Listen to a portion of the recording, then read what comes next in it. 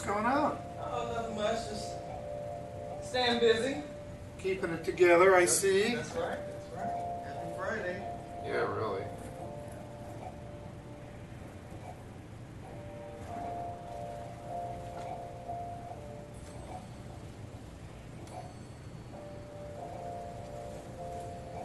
And uh, and why don't we start by having, having roll call? Do you want right here, or do you want to take this food, or Sorry, Kim. why don't take this one?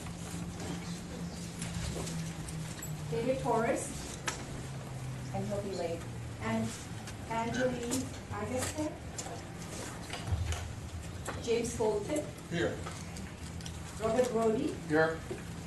Alex Chen, James Hapkin, Here. Dolores Heisinger, Judy Gillespie. Here. Kareem Gongara, Present. Karen Goodman, Present. Larry Kaplan, Here.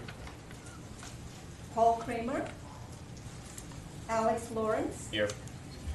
Esther Lynn, Here. Bethany Pick, Here. Patricia Villalobos. Here. And I'm here. Oh, Erica Greenwich. Thank you. So, uh, just a reminder, we are webcasting, so if you, uh, can make sure your mic is on when you speak, we appreciate that. Um, we're going to open up first, uh, let's do, to open for public comment. So if there's anybody who would like, in the public, who would like to, to speak at this time, we can entertain that. And seeing none, we'll move on. So, uh, do you want to do that? Okay. Uh, Good morning, everyone. Um, I, um, as you noted, we have quite a number of agenda items. So we're going to start with um, the third item um, under the report from the interim director. So the item is um, uh, the 2019 schedule of committee meetings. Um, It's been attached on the agenda, and I'm requesting that everybody review it to facilitate uh, uh, scheduling and planning. And as you can see from the agenda for next year, we're planning on one-day meetings, um, uh, based on the format that we're uh, instituting today. That is a format where we're meeting as a full committee, um, and if, uh, with one exception, we have a subcommittee on examinations. But for the most part, um, given that we're all gonna meet as a group, um, we are aiming to have, um, one-day meetings. But as you can see from the schedule, there are gonna be instances where we cannot. For example, on days where we have, um, the, uh, let's move that. The question selection as well as calibration. Those, um, can be two-day meetings as well. So if you have any questions or concerns about the schedule, please don't hesitate to contact Kim Wong and I. All right, the next item is the statistical indicators for June and July. There are no major flags um, in, in these statistics. The one thing I do want to make everybody aware of is that there's been a slight decrease in most of our counts. There are a few exceptions.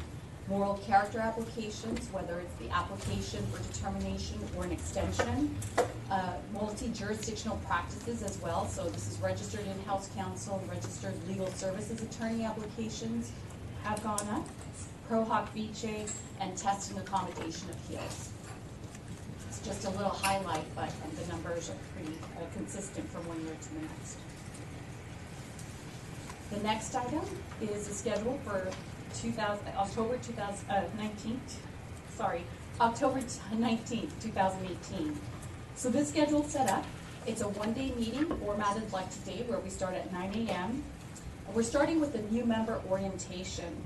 And I'd like to encourage all committee members to come to the orientation. What we're hoping to do is to cover the admissions functions along with, uh, in conjunction with the rules. And this would be helpful, I think, for all members. We are going to reformat the orientation manual, so that would be helpful. So, the next item is updates on pending activities. I'm gonna start with the AIMS. So as you uh, are aware, AIMS is our admissions information management system. We're currently approaching week 12 of 24, um, and this is the second phase of our project. The second phase being the build-out stage. We've started review cycles, which are referred to as mini user accept- uh, acceptance testing. And what they are is an opportunity for staff and for subject matter experts to uh, review and preview uh, some of the design and provide feedback prior to the full uh, user acceptance testing. So it's consistent with this agile uh, format of providing providing feedback as the design is happening. We're still aiming for a November 5th launch date with AIMS. All right. The next item is the job analysis update. As you may recall, in 2017, um, pursuant to a directive from the Supreme Court, the State Bar conducted two studies related to the California bar exam. Uh, The first was a standard setting study, and that evaluated whether the existing pass score appropriately reflects the minimum competence of le- entry-level attorneys. And the second study was a content validation study, and that evaluated whether the topics covered on the bar exam in terms of breadth and depth um, are in alignment with the knowledge, skills, and abilities required of entry-level attorneys. The content validation study relied on a job analysis conducted in 2012 by the National Conference of Bar Examiners. And we uh, have decided to embark on a California-based uh, job analysis. So um, this is, um, again, the job analysis is a body of research that examines the expected skills of new attorneys, entry-level attorneys. And the goals of the job analysis are to ensure that the exam content, that is the breadth, the depth, and the complexity, is related to the knowledge and skills required for entry-level attorneys. Another goal is to provide a documented link between the exam content and current legal practices. That's part of the information that's being gathered from the job analysis. We also want to assess the adequacy of the exam format in testing requisite knowledge and skills. We want to provide a blueprint for question development and selection, and also to inform the development of a minimum competence definition for standard setting in the future. So where we are now with this project, with the job analysis, I think the last time I reported, we had an RFI that we had completed. That RFI, so this is a request for information, intended to learn about the viability of the project, to find out if there are contractors that would be available to take this on. Um, AccessLex also um, accepted uh, a project proposal that was submitted by the State Bar to provide funding for this initiative. As a result of the RFI, we also uh, completed an RFP that was issued, and uh, staff from Office of Admissions, Lisa Cummins and I, as well as staff from the Office of Research and Accountability, Institutional Accountability, participated in the RFP review process. And a vendor has been agreed upon. However, given the fact that we're in the process of negotiating the best and final offer contract terms, we can't reveal the vendor until the board has approved the contract and the contract terms have been uh, approved. So in the meanwhile, what we're working on is formulating a working group and establishing that as part of the job analysis. And so what we know now is the um, state bar is seeking nominations from these categories to- for that working group.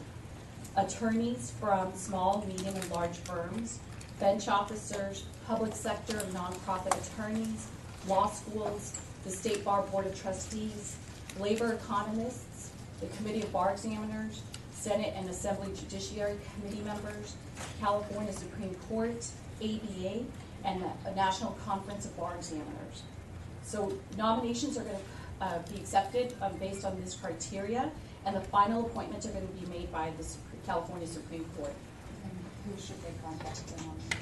Uh, we are going to disseminate the information once that has been gathered in September, um, at the Board of Trustees meeting, the Programs Committee meeting. Um, they, uh, will have, um, a proposal on, uh, upcoming dates and, uh, more information on the final, uh, contract selection, contractor selection. So if people want to volunteer, then how, how can you do that? We will be disseminating that information. Um, it's not ready for, um, uh, solicitation for, uh, membership to the working group yet. All right, next item. Oh, That might be it. So, um, Yes. So we'll move on to uh, the chair's time. As an outgoing person, um, myself, I, I wanted to, I wanted to introduce our new members. Um, Jeff, Judy, sorry, Judy Gillespie. Maybe if you could introduce yourself and, and say a little about yourself, where you're from. My name is Judy Gillespie, I'm from Riverside, California. I'm a court reporter, and I owned a court reporting agency there for thirty-two years. Recently sold it, now I'm a semi-retired person, thank God. And uh, I'm looking forward to enjoying this, uh, this new assignment. Thank you. Thank you, welcome. And, to- if- yeah, okay. Okay, and I'll pass it forward. So, well, we have to, to do that, unless you want to do it on myself. Oh, that's right, okay. So we'll, Uh, we'll table number eight, number four until David gets here. His, his flight was delayed by weather. Uh, and so next is oh one oh one, the approval of the minutes. So Everybody had a chance to read those, and we need a motion for that. So moved. Second. Right, uh, shall we dispense with the roll call and just do a consensus vote, does anybody have an objection to that? Okay, so the motion is to uh, approve the minutes. All in favor, say aye. Aye. All opposed? Anyone abstaining? Okay, that passes. And then it's, we're a little early, so we'll go to, uh, can we go into closed session? Sure. We'll go into closed session.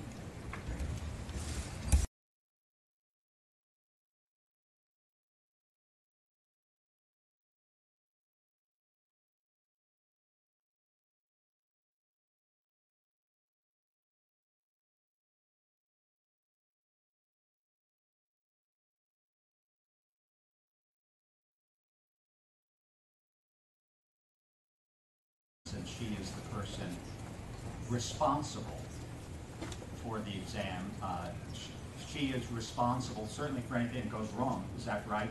And uh, we try, we, we- we try to take credit for uh, what's right, but since we're all relatively, in fact, entirely anonymous, we can't take any credit, so that also belongs to Lisa as well. Performances, we're going to see and look at these slides, and of course, all of you know, the purpose of the slide is just to uh, show that uh, I am a professional presenter. Uh, Everything I know about uh, PowerPoint is really that it distracts. That is not a very good teaching tool. But people expect it, and you look like a piker if you don't use it. Also, the one thing it can help with sometimes is to the extent people are visually oriented, it keeps them off Blackberries and smartphones. Uh, as any of us who've sat through uh, either compulsory legal education or any kind of presentation know, you know, there is this way of sitting like this, and you pretend you're making eye contact, but you're checking if you're highbrow, something about the opera, but not if you're talking about, who's that fellow, Urban Meyer or something, but you're not really paying much attention to the speaker. I'm gonna try to, one, engage you enough that you'll pay attention by talking to me and asking questions. Uh, As you know, a lot of this is basic, and we're gonna go through it quickly let you stop me. A performance test is one of the three uh, instruments, testing instruments on the bar exam, on the general bar exam, one of two on the attorney's exam. What are the other instruments? Uh, uh, Multiple choice exam, which is the National Conference of Bar Examiners product, and the other is uh, essays. They all test different things, and as you uh, probably know, they test different kinds of things. A multiple choice uh, question is something called a selected response test, right? You know that? you have a, a fact pattern, and then you're asked to choose between, usually, certainly on our test, four alternates. I try to get the answer that's, uh, that's usually, we have one that's clearly right, or th- this is the goal, one clearly right, two somewhat close but definitely wrong, and one terribly, terribly wrong. Uh, An essay is a constructed response assessment. Uh, And what's that? Instead of simply choosing, you've got to create something. Uh, So too is a performance test. But the- what the performance test does, and I, how I try to non-technically uh, distinguish between the two is with that, those not quite accurate, those adverbs, actively and passively. The essay is more or less passive. Why? You're given a paragraph or two. Uh, Generally, no matter what people believe, there are no extraneous facts, there are no red herrings. It's too short to put anything uh, very extraneous in it. But you've got to work, you as the applicant have to work with the facts given uh, against the background of the law you've learned and come to a reasoned conclusion. And as you know, certainly the committee knows, our uh, guests I'm sure know, what uh, the California Bar Exam looks for is the analysis, not simply the conclusion. Obviously, it's great to have the correct conclusion, but what's most important is do the analysis correctly. It's almost like playing uh, a game of baseball. Some people play really well, they lose the game, but they do really well. That's a good ball player. That's what I think we, we often look for. It's a good ball player. Somebody, even if they lose, they're really, they know how to work with facts, they know how to work with the law, they know the law, and they come to a reasoned conclusion. Not simply spotting issues, but doing the legal analysis. So it's something uh, uh, like grammar school in a way. I think many of you remember when you took math, whatever version math we took. I think now they're on version, you know, 175.16. But most of us had to show the work. That's what the teacher wanted to see. Wanted to see the work, even if you came to the wrong conclusion. That you know, you knew how to do long division. And oh gosh, you made a mistake. You didn't, uh, uh, you divided two into six as four instead of three. Uh, The performance test is a longer kind of constructive response. Uh, As you know, what we do in a performance test, we have two sets of materials. Factual materials and legal materials. In the old days, which is before this year, we had our performance test for three hours. Now they're an hour and a half and 90 minutes like the uh, uh, uh, NCB. What we try to do is give you the factual materials, give you the law. This, I use the adverb, uh, is more active. Why? An essay is something you go through, you try to figure out, well, they're asking, will this motion to dismiss succeed? Uh, Is there subject matter jurisdiction? Was uh, uh, Dennis negligent? And you try to remember, what is a tort of negligence? What are the four elements? What are the facts that show there was a standard of care, there was a breach of that, there was proximate cause, there was damages? You show Dennis was negligent or not, the arguments for and against. Uh, The performance test is more active. It's something uh, like the difference between reading French or Spanish or other foreign language, which takes a lot of effort, we know, than speaking it or writing, which is harder, because you actually have to create, you actively create something. And in the performance test, what we try to do is give the applicant the materials to create something. And we'll talk pretty much about the task and the subject matter a little bit. How is it developed? Uh, We have to, I'll, I'll go through briefly, briefly to select a task and a subject. Task is draft a brief, uh, draft a, uh, an objective memorandum evaluating something, draft a letter to a client.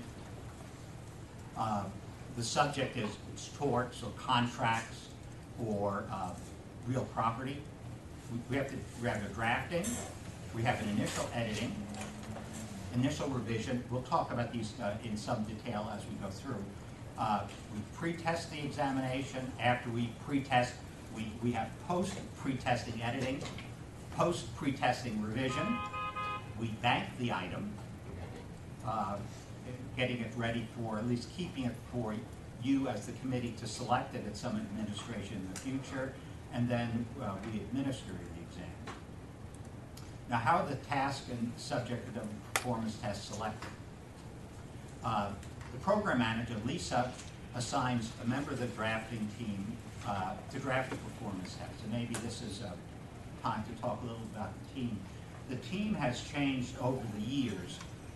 Uh, As you know, or you may know, the performance test was something created by California around uh, 1980, as we did a, a number of psychometrical studies to try to find an uh, instrument that would help us really be fair uh, and reliable in determining who had minimum competence to practice law in the state of California. Because different people learn differently, different people express things differently, and as we know, there are different skills uh, that are shown in uh, multiple choice than uh, the skills shown in an essay, and also in performance tests. Uh, All of us know there are very many people who are very persuasive, very good oral presentation, even if they don't have much behind them. Usually those are the people that we argue against in court and damn, we often lose against because they just know how to use whatever facts they have to persuade a judge or a set of judges. Performance test now has a number of members, uh, in California, the performance test has always had a good number of practitioners and uh, clinical professors. So what we try to get are people who actually do practice law. Many of the essay exams uh, are are drafted, as you may know, by professors and people who work in courts. What we try to get here is something close to what real lawyers do by having something close to real lawyers draft these items. Uh, clinical professors usually are the professors at law schools who are running clinics, running uh, programs, immigration programs, uh, programs uh, helping small businesses incorporate and uh, take their, uh, and start up. And as of now, we have, uh, as permanent members, we have two clinical, one clinical professor, one former retired clinical professor and dean, uh, and I. And what I do, I, uh, I worked for many years at the Supreme Court here in San Francisco, and uh, for the last 14, I've been in practice. I'm an appellate lawyer. And so we have, we, and, and we try to get other people, as you will see here, as we go on, involved in the process with us. Drafter selects a task and a subject uh, with Lisa. And how do we select a task and subject? Well, Lisa looks at the, the bank, the list of items that we have ready to, uh, or almost ready to administer, and says, oh, you know, we don't have any contract item, we haven't tested on contracts in the performance test for a long time. Or we have lots and lots of uh, persuasive items, briefs and memoranda of points and authority, or letters to opposing counsel, but we don't have anything objective. So why don't we, since we don't have much in contracts and we don't have much objective, Dennis, why don't you try to select something, objective task in the area of contracts? How is it drafted? Well, uh, I think, I think it was Jimmy Cannon, the sports writer years ago, and very, very few of you were old enough even to have heard of him. Uh, He was a great sports writer in New York, and uh, he wrote very, very elegantly, fluidly. And someone had asked him, you know, assuming that you do this so easily and elegantly, it must be quite easy for you to uh, write.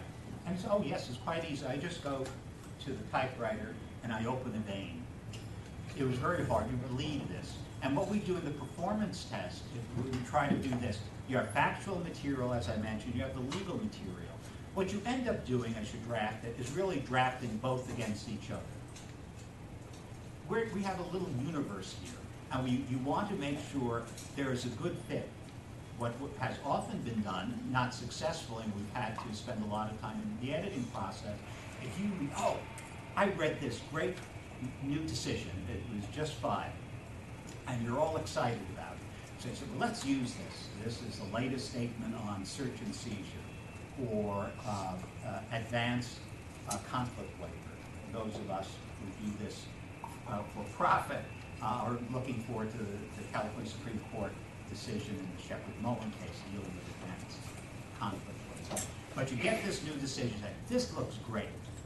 Let me get some facts together, and you put them together. Well, often, as you know, you see, well, they don't really match, and they certainly don't match, match as a test.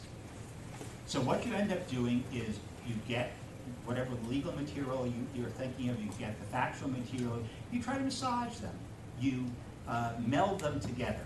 At the same time you're doing this, you're also preparing what we call a point sheet, which is a kind of outline of the analysis involved in a performance test. It is not what I think the, uh, uh, at least some states do, it is not a grading guideline in the sense that, oh, the applicant has to get this point. And if the applicant gets this point, he or she is uh, assigned ten points. The applicant uh, may get this point if he or she does, if he or she is assigned five points. We don't do that because as you know, in California, uh, in both the essays and the performance tests, we don't have an absolute scale, we have a relativistic scale, we try to rank order. So you can never tell in advance of any exam, for instance, what's going to be a hundred on a forty-point scale. You can never tell what's going to be a forty, which is the lowest grade on a, on the forty-point scale. That's going to depend on the composition of your population. In fact, just make this a little discursive so you see what we're trying to do, at least in grading, which is something we're not doing, but Lisa and the EDGE team that you've heard about, and we'll hear about some more, but we'll talk about that. Um, What we try to do is rank order them, what the, uh, the, uh, the point sheet tells us is really, what are all the steps? How would the analysis go? In looking at this question, what is a lawyer-like way to approach this task, whatever the task is going to be? So that, uh, at the end of it, we can say, we know exactly what goes into the analysis for this performance test. And then all we have to do is the really hard part of sticking a grade on. Is this an eighty? Is this a seventy-five? It is sixty-five. Uh, and just to show what relativistic means, you can imagine, I don't know how many of us are here with our guests and everything, maybe there's twenty-five or something. Um, many of you are lawyers, and uh, if we gave a performance test to twenty-five applicants now, we would have a spread generally between fifty-five to eighty-five, something like that, generally. Uh, And let's say a bunch of us got together, and we worked on this exam. And we uh, uh, uh, studied it, and we discussed it. We really knew what was involved in this exam, what really the proper approach was. And then I said, okay, why don't you take out some uh, loose leaf paper, people still use that, or your laptops, and take ninety minutes and draft, uh, uh, and whatever the response to the task, uh, a letter or a brief. And he said, you know, what we just talked about? I said, yeah, just, you know, just do that. So you do it at the end. We also, uh, even though we've studied it and prepared it very well, one of us would be getting around eighty-five or ninety, and one of us would be getting fifty-five. Because still, among us, even though we've prepared, we've prepared for this precise instrument, this performance test, one of us would have to be the best, and one of us would have to be the worst. So, just as those applicants who never saw this exam go from about eighty-five or higher to fifty-five or lower, so would all of us. Point sheet helps us as a check, as I'm drafting a performance test. I think, boy, this is really gonna work. But then when you sit down and you try to say, well, how does this analysis go? You can see, oh gosh, there's a gap here. I've, uh, I've forgotten a necessary fact. Or there's too much here. I've tipped my hand if I put this fact in. So I add the extra fact that's missing, or I take away the, the fact that shouldn't be there that tips our hand. And then after the drafter does that, me hypothetically in this example, would give it to Lisa, and then uh, Lisa takes that ball and circulates it. And here are some acronyms. I hate acronyms, but I also hate uh, PowerPoints that are too condensed, that end up in two-point type, and you're, you know, trying to go like this. Uh, Lisa will circulate it to the people who are going to participate in the editing of it. And those are the other people on the drafting team. They are one or two members of your committee, Committee of Bar Examiners, who are invited and who are going to come to the editing session to participate. And one will be a member of what's called the EDGE team, the Examination Development and Grading Team. And those are the people who work usually with, who do work with the essay exams and who lead the calibration sessions and are in charge of making sure that these items actually work in practice. They can be the greatest exams in the world unless we can fairly grade them consistently so that all, usually it's now 11 to 12 of us grading this one question, would basically give every answer the same score within a tolerance of only five points, the question is not going to be working very well. So it goes to these various people. Uh, One of the people on drafting teams leads the discussion at this meeting. And uh, at the meeting, we talk about it, we see its weaknesses, any concerns, uh, and the person who drafts it is the scribe, and he or she takes notes, and it's going to be his or her job after the session to uh, revise it in accordance with the recommendations of the committee. And that's what this does. Also, you're doing the point. It's very important to do both together. You've got to check yourself, uh, because it is surprising when you're writing things, I think all of you know this, whether you're lawyers or not, there are all sorts of things that you know are in the product you've just created. In fact, it doesn't have to be written, it doesn't have to be legal at all. It could be in a piece of music, it could be in a dance, it could be anything that you produce. Well, you know or what's in it, or at least you believe what's in it, but we're not making it for you. It's not an exercise uh, uh, in solipsism. It's something that a reasonable observer, a reasonable reader, a reasonable applicant should be able to look at and see what you intended to be. That's what the point sheet helps you do. So you're, you're drafting both together to make sure that you're covering everything you want to cover and not covering things you don't. After this, again, the ball goes back into Lisa's court, and uh, the next step is a very important step. Uh, Lisa will assign this item, this pre, uh, performance test now, to one of these EDGE team members, people responsible for administering and calibrating the exam, to be pre-tested by between six and eight uh, experienced graders, people who grade the bar exam for us. And uh, that EDGE team member administers the exam uh, under test conditions, so you begin just as an applicant would. They get the exam, they have 90 minutes to uh, respond to it. Uh, After that, there's a debriefing, so we can uh, try to see things. Is it working? Uh, uh, Do these pre-testers believe it's a good exam? Is it fair? Is it the kind of thing at least they would expect that a, uh, a new lawyer would be doing in practice? Is it within the, uh, uh, is it at the experience level of a new lawyer? Is there something distracting about it? Is there something missing? Is there something extra? Is there something that may be off-putting about it? And we do, as you know, we try to avoid things that are extraneous in the sense that would cause needless upset. Uh, In old days, we, we wrote, I think, more dramatic performance tests.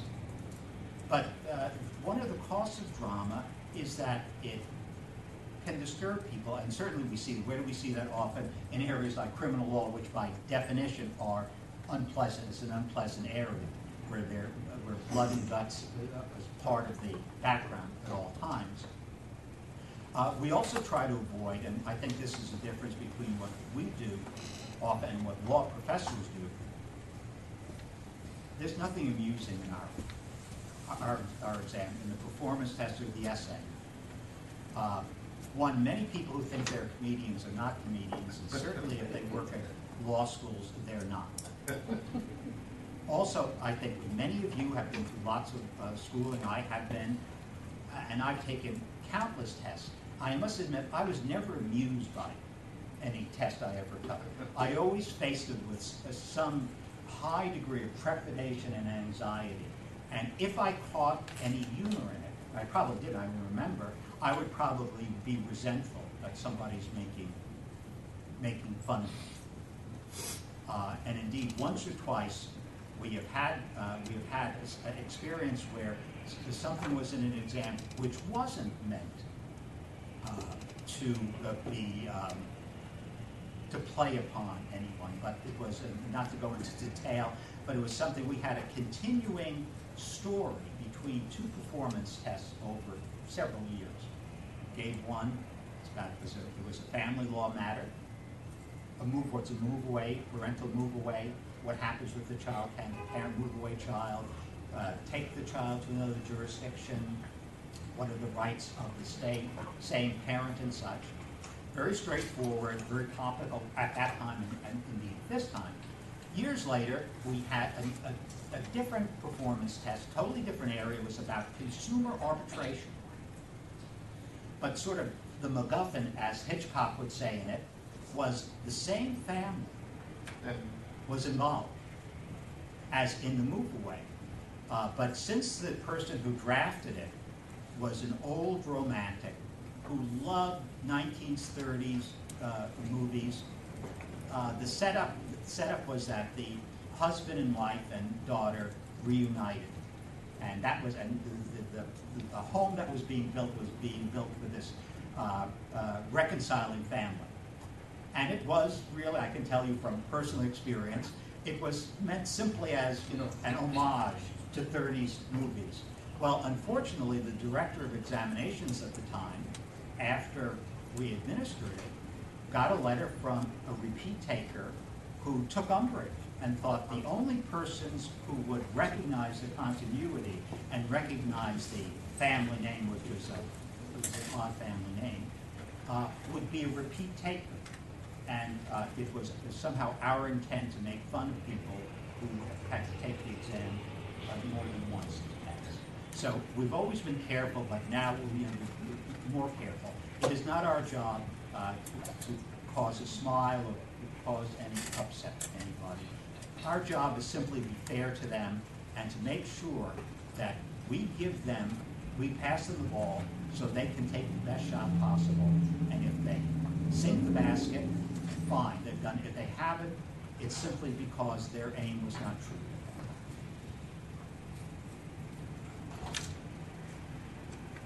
After this pre-testing, the Edge team member uh, drafts a memorandum for Lisa and for the uh, drafting team to give essentially the recommendations of the, uh, the six to eight uh, pre-testers.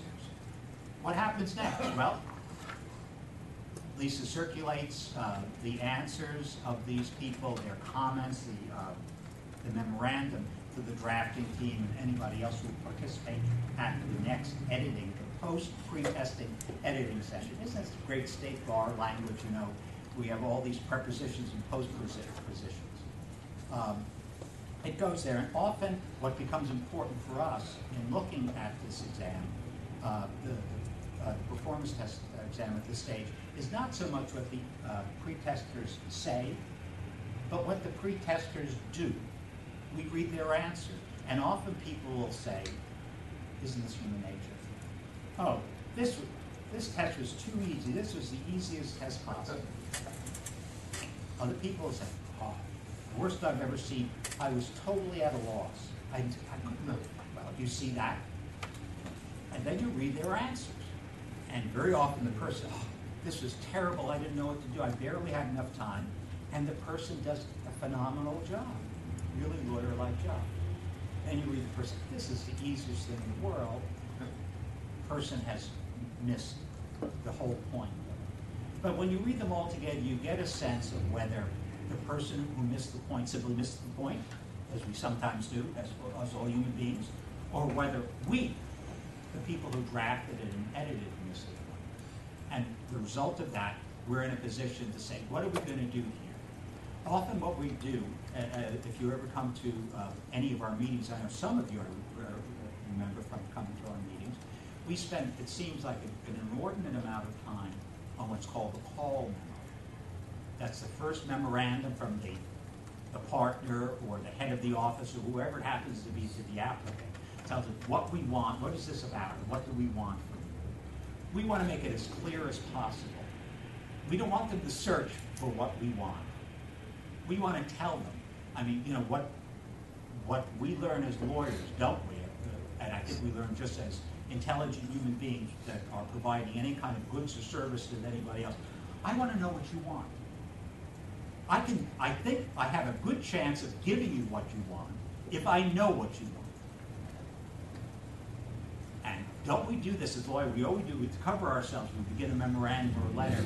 These are the facts as we understand them. Right? Correct, correct them if they're wrong. But on my understanding of the way things stand, this is what we're going to do. That's what we try to give them. We try to make it very clear what we want from them. We're not trying to mislead them. We just want to make it really clear, and that's what we spend a lot of time, certainly at the second meeting. We want to focus on them, on what we want, so that as they go through the material, they're able to uh, organize. And if I could just for a little second uh, talk about, that, I'll talk about this a little more. You know, what we're trying to, this is a high-stakes exam. This is a very anxious part of the exam. Why? Because it's an hour and a half. Uh, It counts twice as much as an essay. Uh, Person picks it up, and what people often do, because there's always a factual component. In fact, generally, really, if you know how to work with facts, this is going to be relatively straightforward. Might be a painful process, but you'll do well. If you don't work like, know how to work if you're simply a smart guy or gal in law, you could figure out law, you, it's going to be harder. But of course, all of us who are lawyers know, it is the facts that are most important in law, not law. And it takes a lot of us, me especially, a long time to recognize that. It's the facts that drive things, because it really is the facts that determine the law, not the law that determines the facts. We try to put them in that direction because what they've got to do is this. They pick up this item, now it's maybe, for, for the hour and a half exam, ninety minute exam, perhaps it's twelve to fifteen pages. Still, that's a lot to read. You've got an hour and a half. You're going to read through this, and no matter what we tell our applicants, we used to tell them this, we no longer do. One, because we think it might mislead them. Two, because they never paid attention to it. Is you tell them to read. Spend a good time reading. If you're smart, you read it twice. Spend a good time reading. Spend a good time outlining, real outlining. Spend a little time writing. Uh, Unfortunately, no one believes that because the stakes are so high, so almost immediately upon reading it quickly, people start drafting. That's why we want to give them uh, the best signposts we can in the call, so at least when they read, I'd like you to draft me a memo saying, is there subject matter jurisdiction in the court? If there is subject matter jurisdiction in the court, is there personal jurisdiction over Miss X? If there's personal jurisdiction over Miss X, uh, uh, uh, does the uh, plaintiff uh, state facts sufficient to uh, establish a cause of action? We'll try to make it as precise as possible. So at least as they're rushing through at the back of their minds, certainly should be right up here, I know what I'm looking for. I'm looking for things, subject matter jurisdiction. What kind of court is this? Is this federal court or state court? Uh, let's say it's state court and there is a claim of the Sherman Act, the Sherman Act violation. So as they're going through, we're gonna have some legal material, as you know, that makes it pretty clear, state courts don't have subject matter jurisdiction of Sherman Act. Something like that, focus.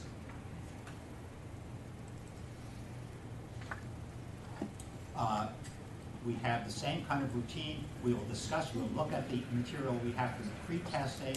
Uh, The person who drafts it acts as the scribe, he takes down uh, uh, uh, recommendations by the group, and he or she then becomes uh, responsible for going home, going to the office, revising the performance test yet again, revising the point sheet yet again. And then, once again, the ball goes into Lisa's court. Uh, At this stage, what happens? Lisa could put it in the bank, which is this vault we have, uh, for items that are ready to be administered sometime in the future, when you select them, the committee selects them. And there it usually stays. Sometimes it stays for, I was gonna say a year.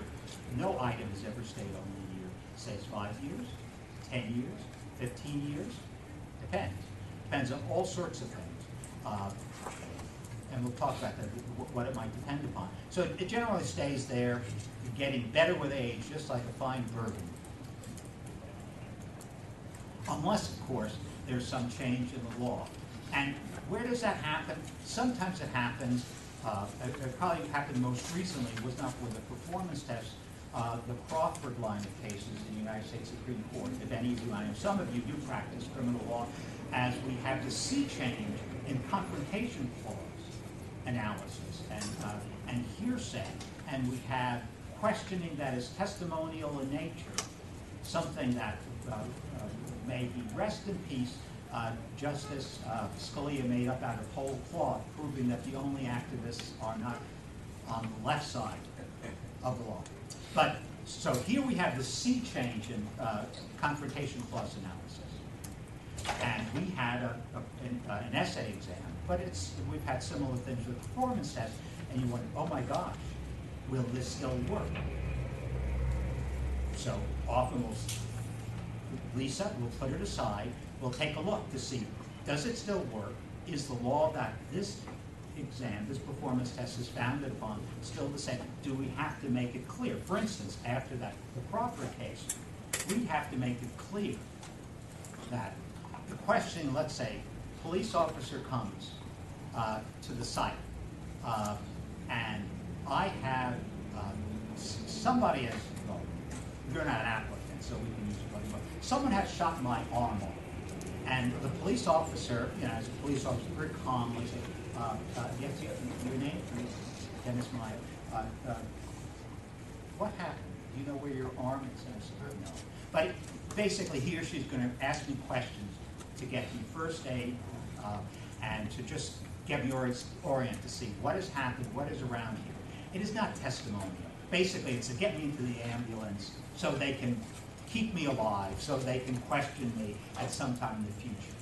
So let's say we didn't have a fact in our, in our performance test. Then after Lisa's review with, with whomever she's going to review it, maybe a member of performance test drafting team or an edge team member, they'll say, we need some more facts about this. If it's just one or two facts, as it often is, they can review it and put that fact in to make it clear that the police officer came to me and was simply uh, asking, uh, as an emer, on an emergency basis, how much blood have you lost, where is the arm, or whatever. Sometimes going to be more uh, extensive, and at that, then Lisa will have the opportunity of saying, maybe we should send it back to the performance test drafting committee, maybe we should get it pre-tested again to see if it works. Uh, The committee, uh, on the recommendation of Lisa and the Edge team, uh, will select the performance test. And you go through that twice a year. And how you select it? Well, it depends on many things. Why do we wait ten years? Why does something age again, like the fine burgundy for ten years? Well, it's not really aging, but in every exam, you know, you're gonna have five essay questions. And they're gonna be a mix, mix of all sorts of topics. And it might be this time, uh, you've selected five essays in, oh, let's say, professional responsibility, contracts, torts, criminal law, substantive criminal law, and real property. Well, you're not likely to want to give a performance test in real property or a performance test in substantive criminal law because you, you've got that covered. As much as you can, you want to have instruments that test various skills, right? That's why we have three instruments, uh, multiple choice, uh, performance test, and the essays. Also, you want to test as many subjects as possible because one, it gives us a better, gives the applicant a better opportunity to show what he or she knows. Maybe, oh gosh, if they didn't show up for that one day of civil procedure when you talked about diversity jurisdiction, so they missed that. But if you have enough areas, they will have shown up for the other things, even for the rule against perpetuities. So you want to cover that, so you're going to say, okay, what, what do we have here? Uh, uh, What have we been testing on? Have we had uh, uh, objective memorandums? Uh, Have we had persuasive uh, briefs? So you'll say, well, what's a good mix for this? Also, there are some things that are topical, that seem to fit. There are also going to be some things that are topical you don't want to test on. We had had uh, years ago, and this, it it was, it was sensitive in a way, but only for people of a certain age. We had a question on uh, constitutional law. And it had to do, it was testing on First, First Amendment, on freedom of religion, of a, uh, a U.S. Army officer who, during a tour of duty, uh, basically develops a, I'll call it religion-like view of life that would prevent him to take certain kind of assignments. And what we're testing is, you know, one of the standard uh, issues in constitutional law, well, is it religious belief or it has to be something that's at least tantamount to a religious belief, you remember from the, the sixties.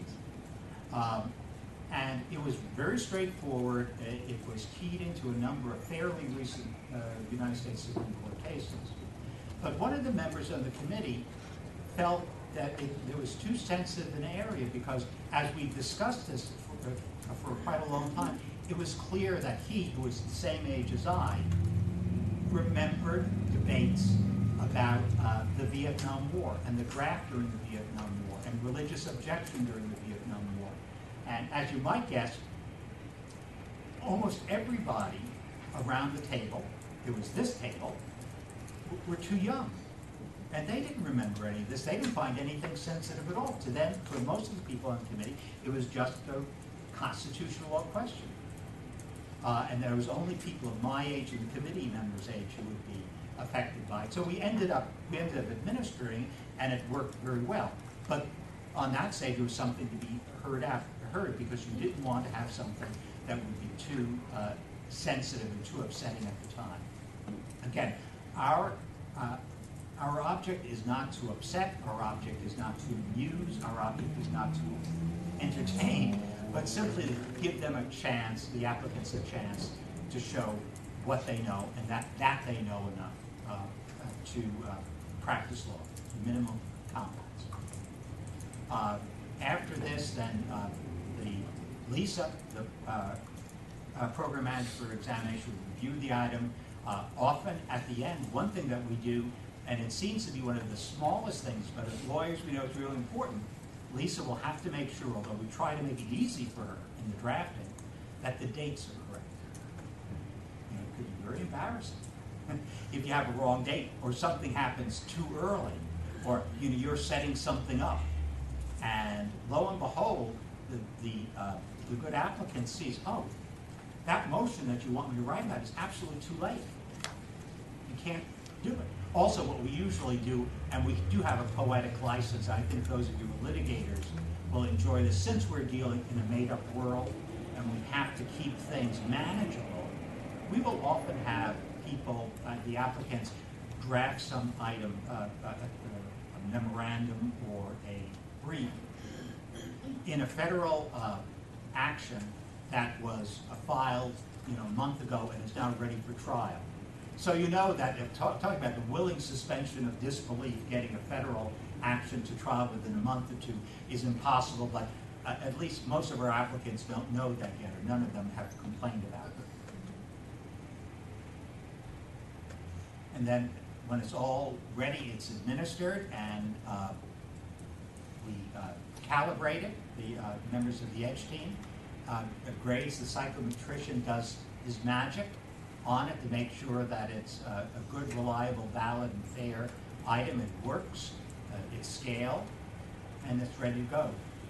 Uh, But there are two topics toward the end I'd like to talk about.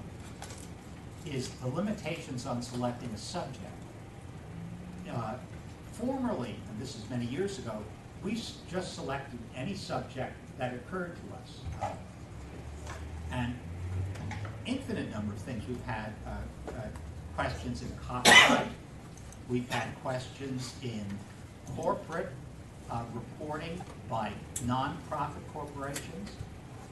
Uh, But a number of years ago, the committee decided uh, to focus on 13 subjects that we test on in California, uh, so that what we have, so the, no applicant would even potentially be disadvantaged because he or she, well, I never studied this. Now, of course, with a performance test, what we're doing, we're giving you the factual material, we're giving you the legal. But still, you, we wouldn't even want the appearance that somebody, let's say, who studied copyright, would somehow have a leg up over somebody who never heard that. So we focus on those 13 subjects, and it also helps us in a way. It helps the committee then make sure you can spread any exam, any one of the single administrations over as many subjects as possible. So again, we're not testing an applicant. Five essays on uh, civil procedure and one performance test on civil procedure. It wouldn't be fair. We want to make sure we can get at least six subjects this way. Uh, What are the limitations for uh, selecting a task? No limitations uh, at all. So we can, the task can be anything uh, that uh, would occur to us that we would think that a uh, lawyer, fresh out of law school, who's passed the uh, bar exam, is capable of doing. And of course, what we're doing, well, how we try to balance this, as you know, the- what the bar exam does, it determines minimum competence. Minimum competence to do what? To do everything. Right?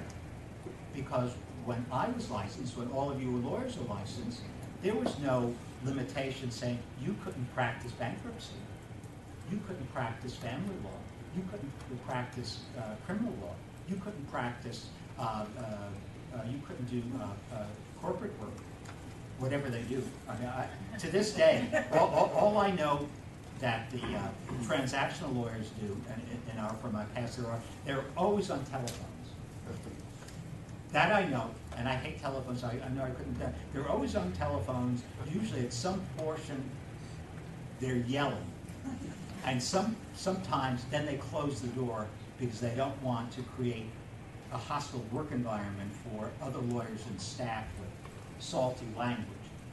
But whatever they, but none of us as lawyers, when we're licensed, we're licensed to do anything at all. So, but we're trying to get something that we reasonably believe that somebody who's gone through a legal education, passed the bar exam, should be able to do, the minimal kinds of skills.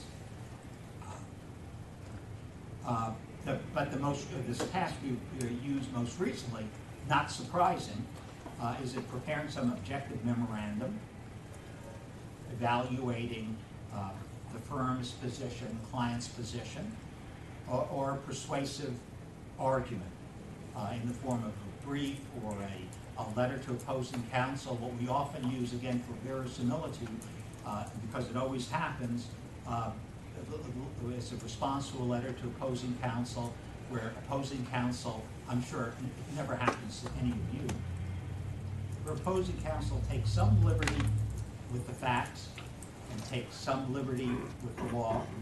So really, the hard work we have as lawyers is trying to figure out really what's happening, and not so much even making the affirmative argument for our client, but being able to respond uh, to opposing counsel says. So those are two basic uh, tasks that we've been uh, using most commonly uh, recently. And in the past, we've used other tasks too, as we've tried to experiment, and that depends upon the experience usually of the drafters. And it's usually the experience some of us who've actually done work. Uh, I am a very boring person because of what I do. I'm a litigator and appellate litigator, so all I ever do is essentially write direct briefs. So what I do is pretty accessible to most law students. Other people do really interesting things. Uh, one thing, and we try to make it interesting or try to see them reach out. We had one example I always use, so those who've heard are going to have to hear again.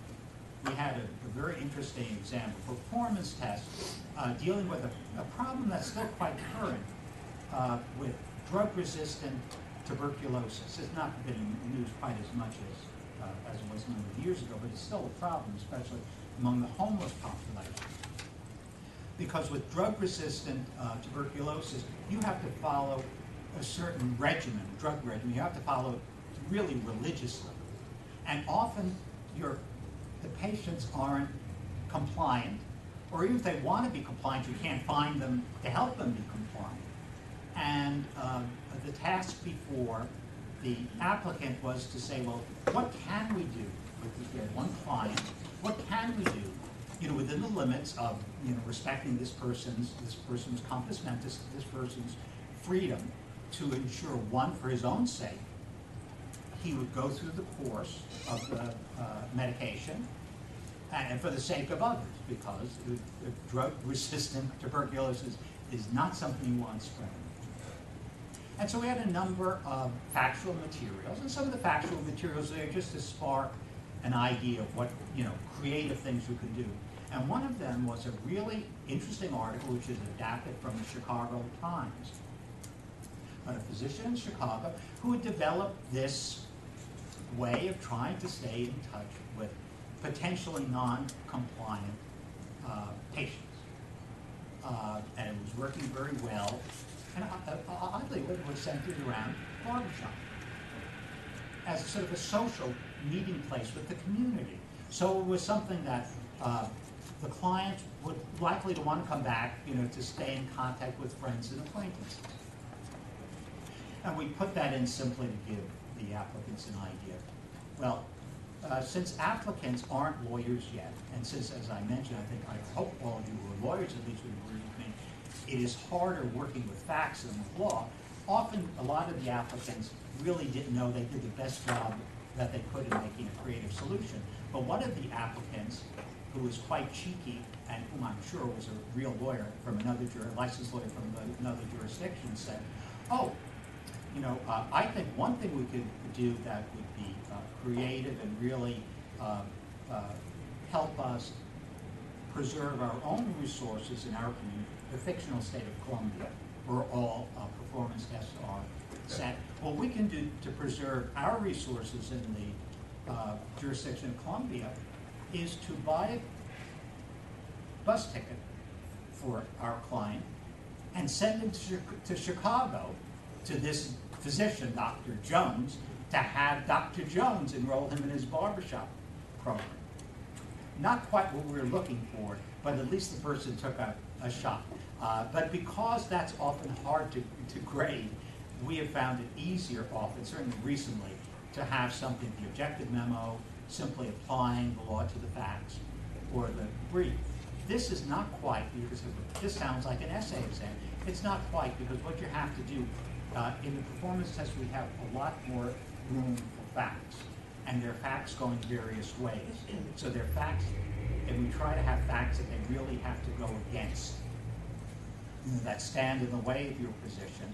And usually, the way we're able to uh, differentiate between stronger and weaker applicants, as we do between stronger and weaker lawyers, are those who are able, one, to face the unpleasant facts head-on and do the best they can, and other people who basically take the approach, maybe many of us took er, early on in our careers, are, if I don't say anything about this fact, maybe my opponent won't notice it. And maybe the judge won't notice it, which of course is a recipe for disaster. But that's what we have. We- We want them to go work with these facts, work with the law, and give us something that is as good as a lawyer could do. Not a right answer, but a solid reasoned answer. With that point, I'm finished. None of you have said anything, so I'm sure you have pent up questions. You have pent-up comments for discussion. Yes. Just one quick question. How many, how many brand spanking new performance test questions are developed every year? Uh, That has changed. Uh, I think what, what we're doing, two now a year, two actually new ones a year. And, and that has depended on things like budget, what we've needed. In some years, uh, we have been relatively flush, and we have been able to develop more, maybe six to eight. Uh, Other years not. But now we have a good number in the bank. Uh, And sometimes we have to develop them because as we look back on some items, and unfortunately this happens, hasn't happened much for us. But you, you know, you're working with something, especially in writing something, you're working, you're editing, you're changing it, you're making it good. Yeah, you're, you're making it good, uh, and it doesn't work. And so think we need something to replace this. Uh, we're actually gonna move into closed session to continue the discussion so that maybe some of the questions that are asked, if, if we need to go into those uh, confidential areas, we can cover that, so. um, Are there other open questions before people Yeah, have to go? uh, and, um, I- David has I want to thank you uh, for a very brief moment of insanity. I thought about sitting for the bar just for the heck of it. But it was a brief moment of insanity. Um, Don- uh, Dennis has been truly a a treasure for the State Bar of California. Uh, For what, 30, 40 years, he's been uh, assisting in putting together the examinations. But I had the opportunity a couple of years ago uh, to sit a couple of days with Dennis, and I believe the law professor from Georgia and several other folks, uh, to see how the sausage was made, so to speak. And that was one of the best opportunities I've had with this committee, to actually see it uh, all come together. So I would encourage any of you, when uh, Lisa does send out that memorandum, there aren't that many that can attend, and when she does send out that memorandum, try to make sure that you uh, participate in one of these, because I'm certain it will probably one- be one of the best experiences that you've had with this committee. That's. Thank you, Dennis. Thank you. I have a general. Um, so uh, initially, I want to definitely thank the Edge team and everybody who operates in the performance team. Uh, Lisa Cummins, I've had the opportunity to sit and kind of understand the process a lot more. And so, uh, from what I know, it's a thorough and comprehensive process. There are a lot of layers, um, and I really appreciate that because it shows um, how, how much we're working to make sure the test, you know, meets uh, what we're looking for. My only question is about the PT bank. Um, I know that we're ongoing filling the bank up. I just want to know if any of the questions have any life expectancy or when they kind of fall off the radar or um, what is the, the process in that regard? Well, we, uh, every administration, before the administration, Lisa has the list of the items in the bank, the tasks, and the subject matter. And there's always somebody assisting her who knows the question themselves. So that, let's say if we were an area, and I can't imagine one that really has fallen off, but the, the Crawford area was something close where we have a search and, not, that was, excuse me, confrontation clause, where the law had really changed very much. And the item needed a look at. And we looked at that. Where there also would be, there might be a change, are things now, although there's not gonna be as big a change as most people think, with the, uh, any performance test that uh, involves uh, professional responsibility. Now that we're getting new rules of professional responsibility. That's something I'm sure Lisa and the rest of the people who work with her will be looking at carefully to make sure there has not been some area that has sort of been phased out or covered by statute now. But th- that is ongoing with every, twice a year before Lisa's meeting with you. That uh, vetting of the items will have taken place, and I'm sure if something's on the cusp, Lisa would present that to, to the committee. There- There is no aging of the, I mean, basically, there is a review of whether it's, you know, it's still good law, make sure it's still a good item, but it, there are some items that are old and some that are newer, so. Uh, thank you. Uh, thank you for your presentation. Yes, sure. And I have a question for closed session. So if we could move into closed session.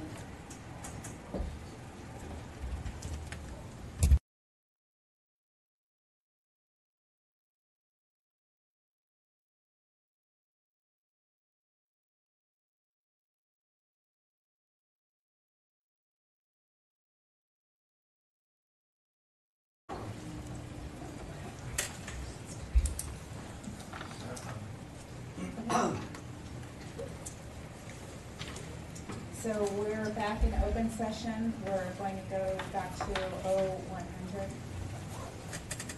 Recognition of outgoing officer and member. I'm not really sure what that concerns, but. Good. So David, um, have some, um,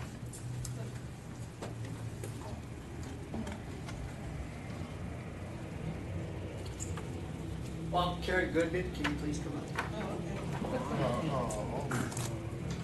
Let me first start off, I met Karen when out in twenty twelve, when I was first elected to the Board of Trustees. And, uh, from the very first time I met her, the very first time I saw her in action during a meeting, I was absolutely impressed.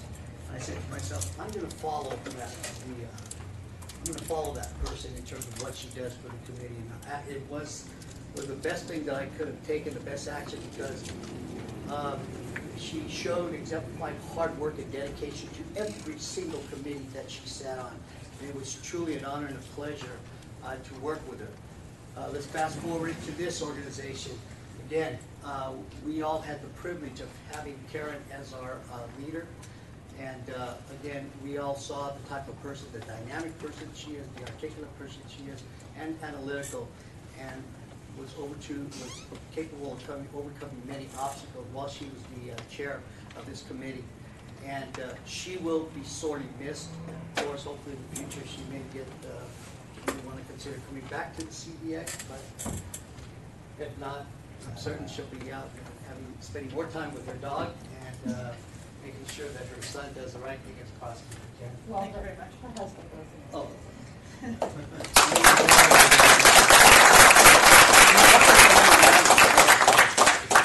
Yeah, I have time. So I will say it's been a pleasure to work with all of you. I very much enjoyed my four years um, tenure on this committee. I've learned a lot. I hope I've contributed something. Um, And for all of you, staff and committee members, um, just remember to uh, speak up, truth to power, and uh, continue the mission that uh, each one of you have. So thank you very much. Who I have a tremendous amount of respect uh, for. And as Karen mentioned, both her and Erica uh, speak truth to power. Uh, It's been my honor and privilege, and I'm certain that it's also been uh, your honor and privilege to have Erica sit as our chair uh, this past year. Uh, She's been, she set a wonderful example for leadership. She set a wonderful example to, um, to ensure that any changes, if there were any changes to be made, that all members of this committee had a voice and uh, a loud one as well. And I wish her the best of luck, and I want to thank you so much for uh, everything that you've done this past year.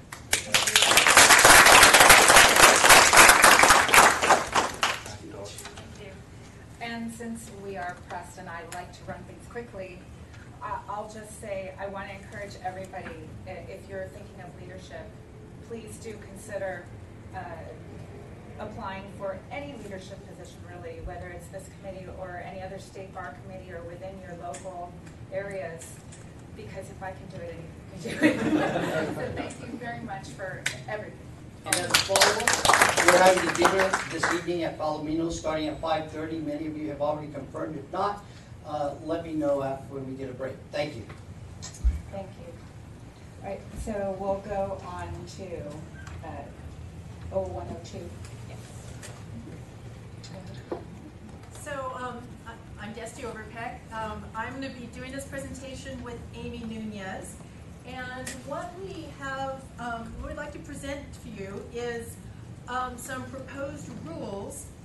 These came out of the, um, uh, as a result of the Board of Trustees discussions during the January 2018 Annual Strategic Planning Meeting, the staff was directed to review the special admission rules to determine whether or not there were changes that could be made to them that would support the goal of increased access to legal services or for other changes or implementations that need to be made.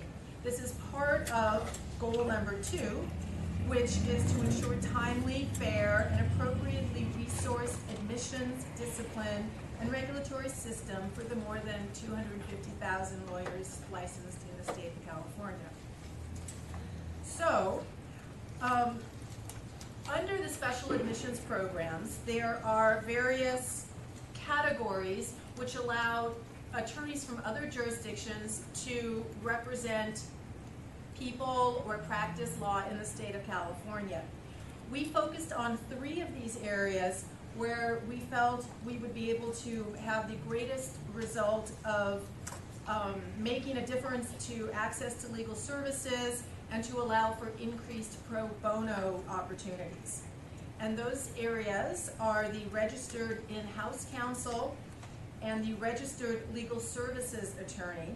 And then a new area that we don't have in California, but that does exist in a lot of other states, and there are some model rules for, the registered military spouse attorney. So the overall considerations that we kept in mind when putting together some proposals, and let me just remind you that we have both, um, there are rules of court for each of these categories, and then these, there's the implementing state bar rules that um, provide more details to each of the categories. So we were trying to make the rules consistent in format to the extent that that's possible. It doesn't always work, some, that, that there are different kinds of practices. But where there are similarities, we wanted them to, um, you know, be parallel, both for the public, because it's easier for the public to understand what they're supposed to be doing, and also for the staff administrating. We wanted to update all of the legal requirements. For example, we now have the new fingerprinting requirement, and this will also apply to the special admissions. We wanted to make sure we're uh, complying with the spirit of the law. For example, um, if there's a discipline status against uh, an attorney in its own jurisdiction, um, we want to make sure that, that, that they should not be admitted in the special admissions if it's because of a discipline issue versus an administrative problem like they forgot to pay um, timely for their uh, registration. Or under the unlawful practice of law, we want to make sure that we're not allowing someone to do something that would fall under the uh, prohibited unlawful practice of law. And we want to make sure we're still protecting the public um, who these people would be representing. Um, on the other hand, we also wanted to allow for flexibility. We also wanted to make sure that we're encouraging these non-California attorneys who have um, been accepted at, in the special admissions area to take the California bar and consider becoming um, licensed attorneys in California. We wanted to encourage the increase of access to legal services and pro bono opportunities. And then we wanted to do, um, you know, fix-it type things. For example, we're now going by the term licensee instead of member. Some of the rules are older and refer to the Board of Governors instead of the Board of Trustees. And so we cleaned up those sorts of things.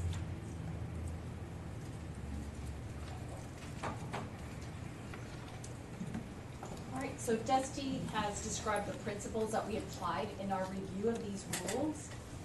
But one thing to note um, also is in the material, we've uh, attached each of the rules and each of the corresponding um, state, uh, rules of court and state bar rules. But we're gonna summarize the, the changes um, the- that we looked at with the lens for uh, increased access to justice. And so for registered in-house counsel, uh, what we did in our review was to look at areas that created an obstacle to increasing access to justice. And the first one is in the definition of a qualifying institution. The way the rule reads now is that there's a minimum requirement of ten employees, um, or, and- or a California attorney, uh, as an employer at the qualifying institution. And so we have made a recommendation to reduce that to five, because it sounds like ten has been a challenge for a lot of organizations to comply with. Later on in the presentation, I'm also going to talk to you about um, some of the feedback that we've received, so um, just keep that in mind. The other item that uh, Dusty has alluded to is the um, distinguishing between administrative su- suspension and disciplinary misconduct. As you can see in Rule, uh, Court, Rule of Court nine point four six, it restricts attorneys who've been disbarred, who've not resigned with charges pending, or who've been suspended from being eligible to participate in registered in-house counsel. And the goal of that appears to be that to restrict attorneys who've been disciplined in their home states. And so we want to clarify that between that um, type of applicant and those that have been administratively suspended, as uh, Destiny suggested, for non-disciplinary actions, such as um, not paying your fees. And so um, we made that distinction um, in our, in our proposed modifications. The other item is um, simplifying the application process. So when a registered in-house counsel wanted to be able to perform pro bono work, um, that required a separate application. We have streamlined the process so that we, the one, uh, one application for registered in-house counsel will allow you to um, work and identify an employer for a, to perform pro bono work for, which also eliminates the fees that would be required for a second application. The one item too about um, ensuring against the unauthorized practice of law, um, which we see as also a measure of public protection, is um, supervision would be required if performing pro bono work for registered in-house counsel. And that is part of the application process that we have noted here too.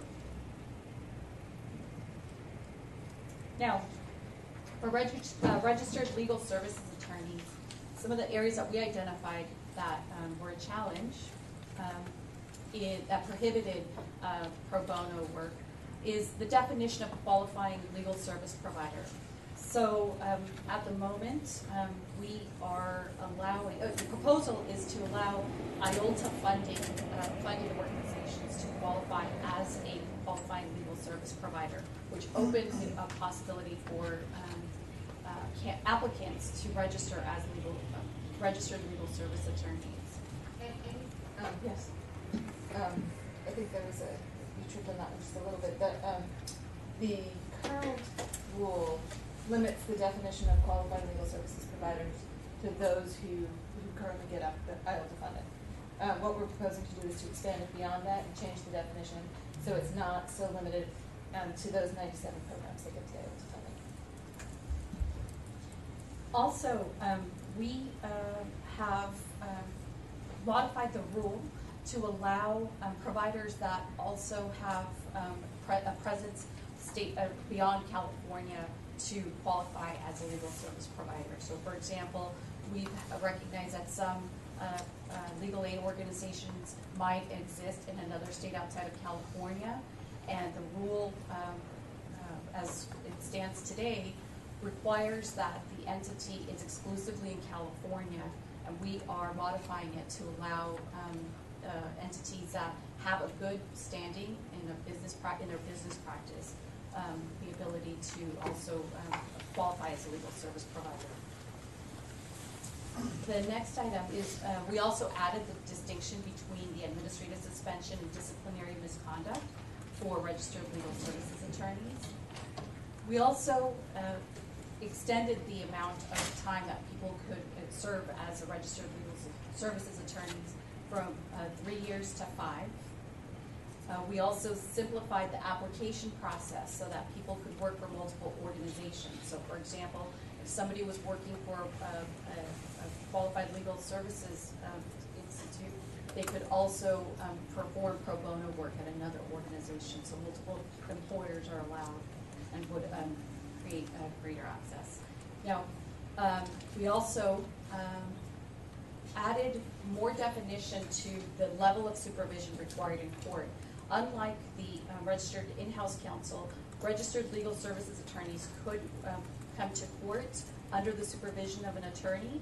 What we did in this modification is identify the various um, tasks that are, they could be connected to um, while working in court. The last item too, um, Dusty alluded to this earlier, is the, um, uh, multiple attempts at the bar. So currently, the way the rule is written, it says that, uh, under rule, rule of court nine point four five, applicants cannot have taken the bar and not passed five years immediately preceding the application. We have modified that, so that only impacts people's initial application. So these, both of these um, NJP positions require that you apply annually. And so by your second year, you would be able to take the bar exam with no risk of losing your eligibility to qualify as a registered legal services attorney.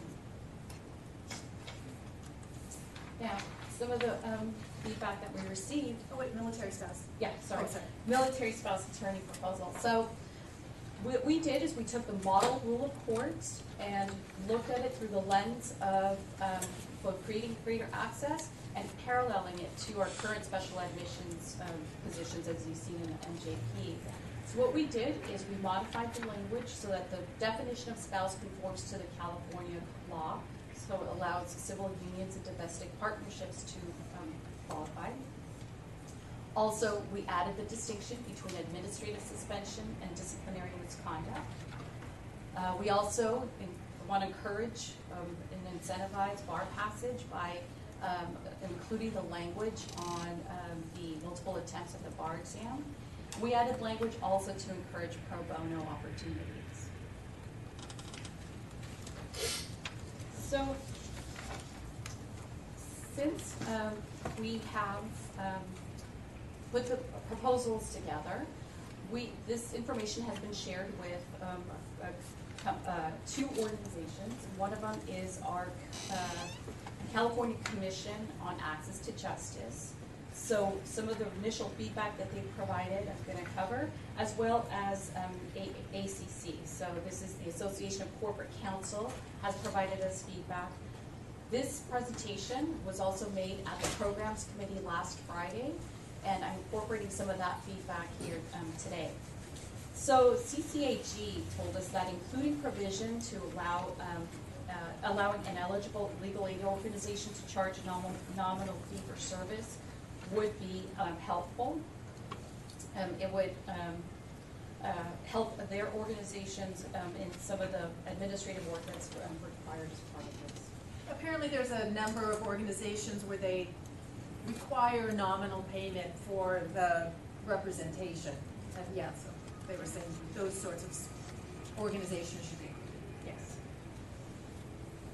Also, um, sorry, jumping down. Whether legal aid attorneys would have to pay for fees, um, this is a request to distinguish with that, uh, distinguish this. Whether they would have to pay fees for application if working at multiple legal aid organizations. So I mentioned that, um, we are allowing, um, registered legal aid attorneys to have more than one employer, so that we would need to clarify whether for every lawyer that they have to report or every employing agency, would they would have to pay a fee for that. And we will plan on doing that and making that, um, clear. Expanding how the requirement up to five years would apply to attorneys currently participating in the program.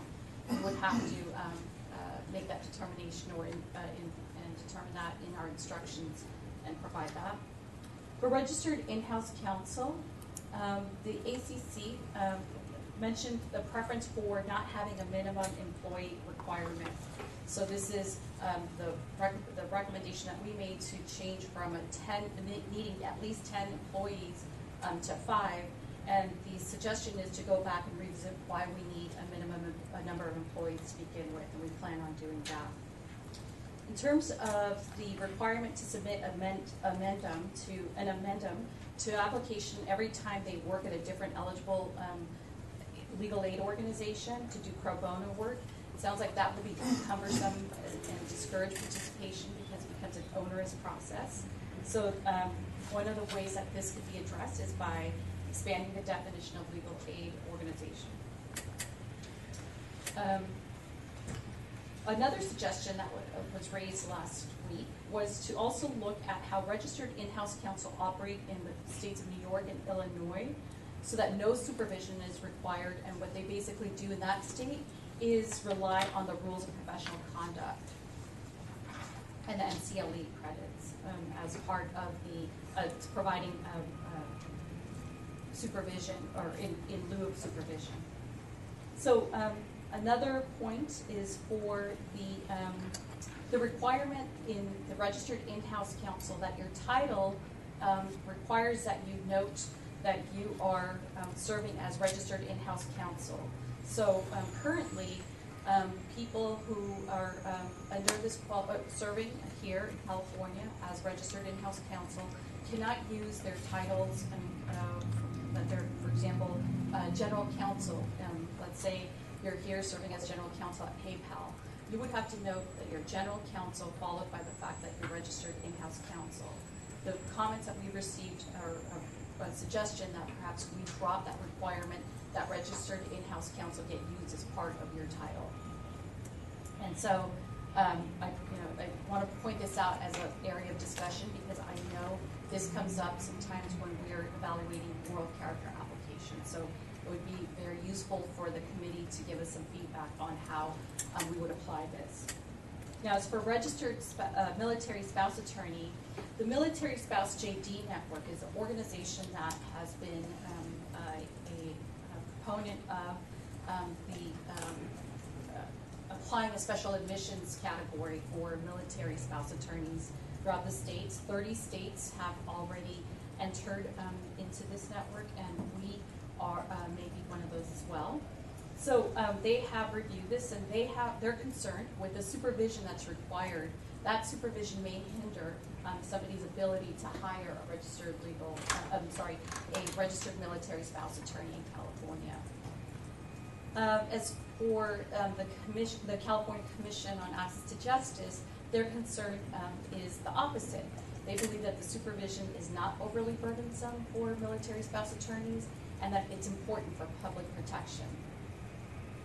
Also, the, um, committee, um, or the commission also is concerned that there's a disparate, that it may have a disparate impact on women attorneys through the loss of registration by leaving a spouse or partner, um, or by not leaving their spouse or, or partner in order to re- remain registered. So one of the conditions as a military spouse attorney is that, um, you are in a, um, either marriage, domestic partnership, or, um, the, uh, or civil union. And so the concern is that um, the impact that might have on women who um, would remain or not remain in the relationship, or men, yes. So, where are we now? Um, what we want to do is today gather feedback from um, the CBE to bring to um, the programs committee um, at the September meeting. And the idea is that we would um, you know, finalize our report, um, engaging and adding that feedback. And then um, what we would do is um, that would, uh, we're gonna propose that the commit, that the, uh, programs committee bring it to the board for a forty-five day public comment period. So with that, I'm opening it up, if anybody has comments, suggestions, thoughts. Okay, I have a couple of questions. Is there a fee to participate in the program, and also, is there a difference in the fee structure between registered in-house versus legal aid and uh, military spouse? um, the fees are the same for, um, each of those categories. Uh, uh, we don't have a military spouse attorney category at the moment, but, um, most likely it would be the same. Which is, is a lot higher. I think It's like five hundred and seventy-five dollars or. The, the, the annual renewal fee is the same as your, as, as the bar, bar licensing fees. So it's, there's a one-time, um, registration fee that's a little bit higher for the working license applications. Have you considered uh, perhaps giving some consideration for the first year to a military spouse as well as uh, legal aid? Because obviously, if you're gonna do corporate in-house work, you know who's gonna pay that, that bill. Many times, uh, the uh, legal aid doesn't, for example, the military spouse does get employment with somebody, and again, uh, they have to work that out as well, but then you obviously need to take their license, and of course, that should, I think should be one of the consideration. With respect to the number of employees for in-house, I would agree with the corporate attorneys in that I'm familiar with many corporate attorneys, uh, or organizations, corporations that have, um, their, their numbers of in-house counsel have dwindled, and they're now uh, doing a lot of, um, uh, outside referral or law firms. I still think five is, is quite a lot. Just quick clarification on that, David, so the requirement is that they have, I'm sorry, that they ha- have, the current requirement in the, in the, uh, that we're proposing is that they have either one California attorney or a total of five employees. We're certainly happy to consider reducing the number of total employees or eliminating that if that's what you're suggesting. I just wanna make sure we were Well, on the no, same page. Yeah, I, I, I mean, I, I still think five is a lot, of something like three, I, I don't know, but most of the corporations, corporate attorneys that I've talked to, uh, they've discussed this with you as well. Not, not this, because it was something else. Uh, the Do you other have a one sug- is. Do you have a suggestion for a number, or should, are you suggesting we should just I, I think eliminate it should be requirement? discussed, I, I think it should be discussed, and I think you should, uh, pay particular attention to a recommendation by the corporate, uh, counsel organization that you discuss this with. Uh, I do agree that a military house, uh, spouse should have public, for pub, for purposes of public protection, should have, should be supervised. That goes without saying. Uh, And with respect to the leaving spouse, because I, I read that, you know, I guess we have to try to determine at what point that person is no longer eligible.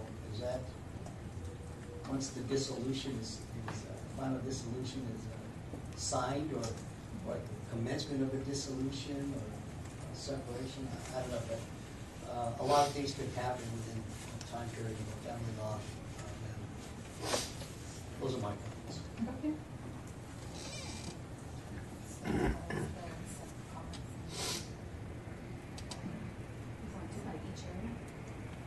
Just, just so that we make sure we cover each of those topics. Do you wanna put the slides? Yeah, so I'll just Oh, this oh, one. thank you. All right, so we start with in-house Yeah, counsel? sure. So any feedback on registered in-house counsel, whether it's a definition of qualifying institution? No, no, no, in-house, I'm sorry. No, Sorry, you're You fine. want to start with that? Yeah. Yes. Um, I do have a question. Uh, I'm reading this, and uh, how do we ensure that registered in- in-house counsel um, do not run afoul of the- any rules governing an authorized practice of law? I do see that they would have to be supervised. Yes. Um, What do we have currently or in the, in the proposed rules to make sure that they do check in occasionally to make sure that someone is indeed supervising? So in-house counsel, they were prevented from making court appearances. Um, their job is to represent the corporation and give advice within the corporation. Right. They're actually not supervised with regard to that kind of work. The supervision is if they were to go do pro bono work. Right. And then in, in that case, they have to have a qualifying um, supervisor who signs a declaration as part of the application saying that they will oversee this person's work. But, but I think, are you asking, do we audit that or verify? That's Oh, my yeah. question, yeah. Do we check in with them on an occasional basis? Because I, I do know that a lot of supervisors just sign it off, sign the declaration or affidavit, and then they don't really look at it at all or supervise, um, certain in-house. So I don't know if there's an audit process to make sure that, uh, we do check in with them. Well, um, two things. One is that, um, we, they are required to re, uh, to, uh, sign uh, annually. So the application has an annual update, and in that process, um, I think we gather that, um, that information, so people confirm that they have, are under supervision, each year. The other thing to keep in mind is for both registered in-house counsel and for RLSA, um, they are required to also have a, put in a moral character application. So a moral character background check is also conducted. Can I add to that? They're also subject to our rules of professional conduct in our discipline system. So if anything comes up, and we are talking about a more sophisticated uh, legal service, uh, you know, the employer is much more sophisticated than the average person on the street. But if there is a problem, they do come through our discipline process. And if a supervisor hasn't been doing what they should be doing, they would also be subject to discipline. So, and I, I don't think we're aware of any real issue with regard to registered in-house counsel in this respect. We have had to um, clarify um, uh, roles in the court itself. Like, for example, um, we've received calls um, sometimes from, um, I've received calls from family law court where a registered legal service attorney wanted to participate in a mediation. And so we, um, that's why we've added that language under RLSA to really make that distinction. about the role the role within a court participation. But, um, yeah, we do get calls on occasion to clarify, um, and to ensure that the supervision exists. But that doesn't apply to legislation. No, for RLS. Is direct supervision requiring that the licensed attorney be present at the, the hearing or the deposition, or simply be aware of what's going on? That wasn't clear to me. Uh, the language, I'm looking at, uh, language for particularly, uh, military spouses. okay. Page thirty, number seven, just says direct supervision, I don't know if what defines that. I'm sorry, page that? Uh, page thirty, I think, thirty or thirty-one, number seven. D, So under the, um, rule nine point four one point one, which is the proposed rule of court, um, under seven for supervision, um, it says you must assist counsel and provide direct supervision of the registered military spouse attorney in the activities authorized by this rule, approve in writing any appearance in court, deposition, arbitration, or any proceeding by the registered military spouse attorney, and review such activities with the supervised military spouse attorney to the extent required for the protection of client or customer. Oh, they must also read, approve, and personally sign any pleadings, briefs, or other similar documents before they're filed or before submission to another party. but it still isn't defined to me what direct supervision is. So I'm taking a real example. So I'm, I've got a hearing and I know it's gonna be continued. If I send somebody down there who's a military spouse attorney, I know what's gonna happen, but I'm not there in court. Is that direct supervision or do I have to go to court with them? And I, that I don't have an answer to and I just, it wasn't clear here. Um, I mean, the way I read this, um, you do not have to be with them, but you have to have approved in writing ahead of time that you're okay with them going to court. Okay. I think that's better. I mean, it gives you more flexibility. Is that considered a certified law student? Certified law student, the attorney has to be present. So it'd be different then. So it, it'd be important to make that distinction that, so that people don't carry the same, its definition. Is, it just, now you got me thinking here, is that, is that more along the lines of filing an association of counsel, or they belong to the same firm, except in separate pleading, you indicate that they have the authority to conduct, uh, uh, in-court uh, proceedings? Or attend a deposition or other things. Yes, or whatever, They're yeah. much more useful if you can send them without having to be there. Right, I agree. Directly present. I mean, part of the reasoning behind this is there's a large, um, uh, difference between who you might hire in this capacity. Could be somebody who's brand new, who knows nothing about California law, and you may not want that person going to court, right? But you could alternatively get someone who's been practicing twenty years and is very sophisticated and could handle, ha- handle the same kind of practice in their own state. So I, you know, I think we were trying to allow some flexibility and give the supervisor some, um, ability to make that determination of if they're appropriately, um, representing the client. Right, so the concern is still there is you have to represent the client properly. Yeah.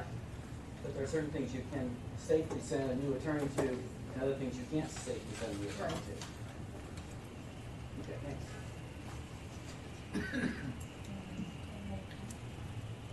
I have uh, a question. Um, so in regards to, this is kind of tangentially related to the registered in-house counsel, but at the last informal conference I was at, more than half of them, I think, were attorneys that were working at larger corporations like Uber, HP, um, as in-house counsel, but weren't actually, didn't go through the registration process for a year or two years or three years or whatever it was. And, um, I don't think it's an excuse for their behavior, because as attorneys, we know if you're practicing law in the state, you need to license. But there was also some negligence on the part of the employers where they never even gave them the heads up, like, oh, by the way, you need to file for your registered in-house counsel if you're gonna move from DC to California to work here.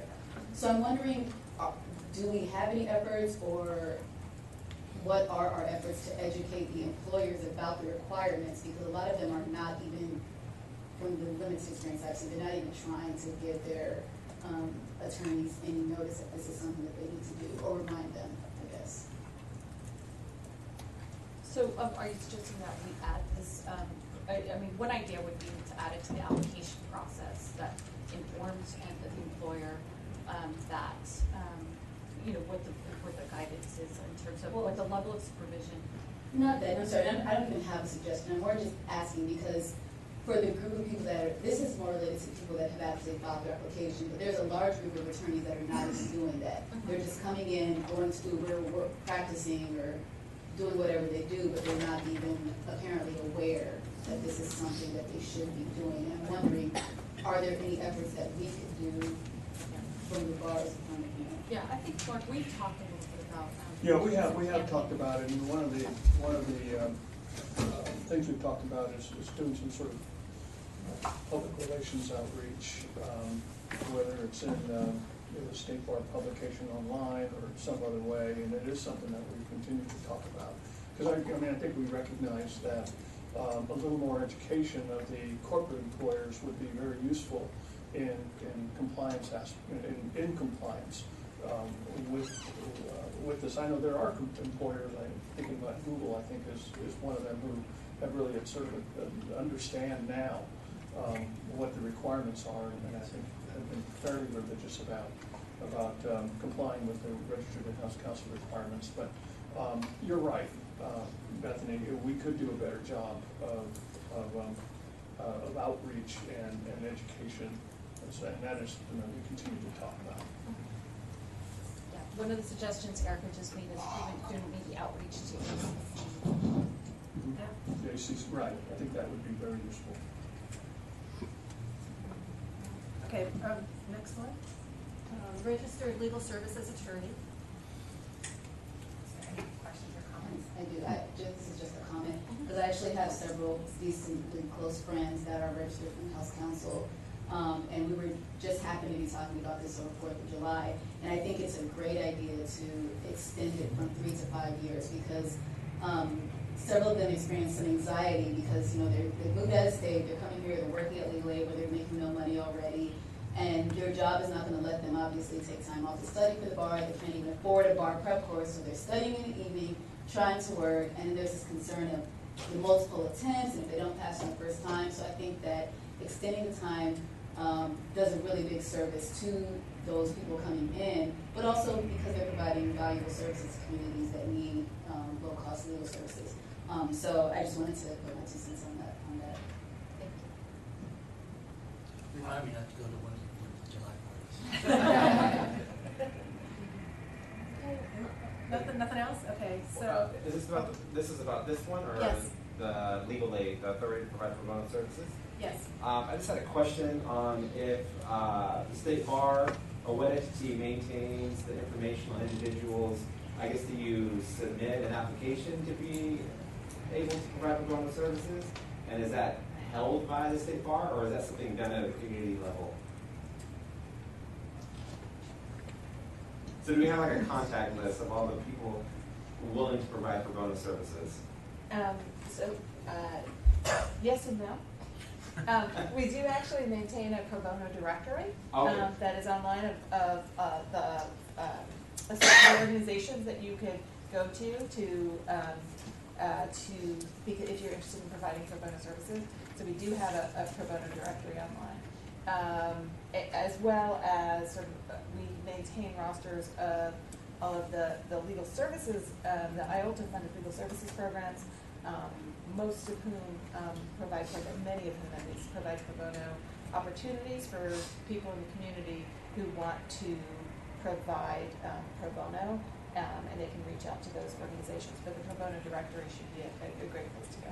Thank you so much. Because my understanding of this is kind of expands uh, the opportunity for attorneys seeking to provide pro bono services through allowing them to do it, not through an org, just an organization, but also through their actual uh, employer. I, I believe that's it, so uh, I, I think that's great. Thank you. Believe me, these pro bono organizations, they're out looking for you. Um, they, cause they need as much help as they can get. Awesome. Great. Thank you. Can you cut the mic? All right, Any other questions about the legal aid attorneys? All right, so the last one, which we talked a little bit about already, but any other comments on the military spouse proposals? I just had a question, it's related to David's comments earlier.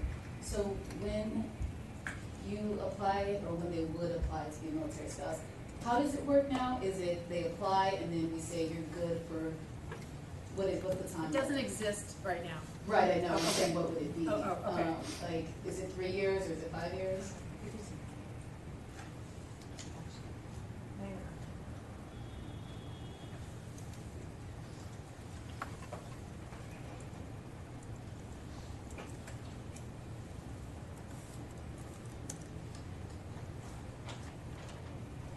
Number eight says five years total of the rule. Okay. Thank you, five Thanks. years.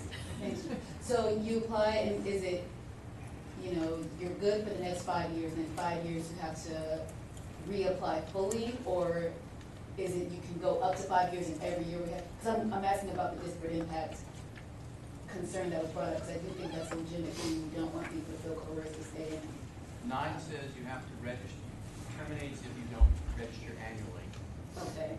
submit the required fee. So nine A two says you have to register annually. Okay. Yeah, and then after five years, you're not allowed to continue on, because the idea is, if you wanna live here, you should take the bar. Right. But we did put in this one exemption, um, that, um, if the person who's in the military is transferred to another state jurisdiction or territory outside of California, um, that you're not, that's a remote, or they're not allowed to bring dependents with them, then the military spouse may continue to practice until the service member is assigned to a location with dependents authorized. So it's just so they're not completely stranded, um, yeah. Is that the same for the legal services where they have to register every single year in the in-house? Yes. Thank you. Is the amount of time that the military spouse rule good for, is that based on a model rule that the JD Network is proposing, or is that something we came up with? You remember?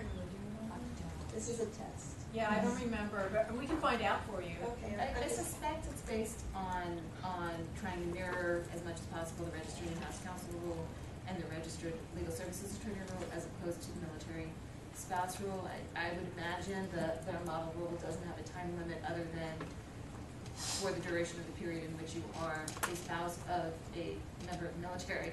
The idea being if they up and move to another state, then you would sort of have that ability in another state, but while they're in California.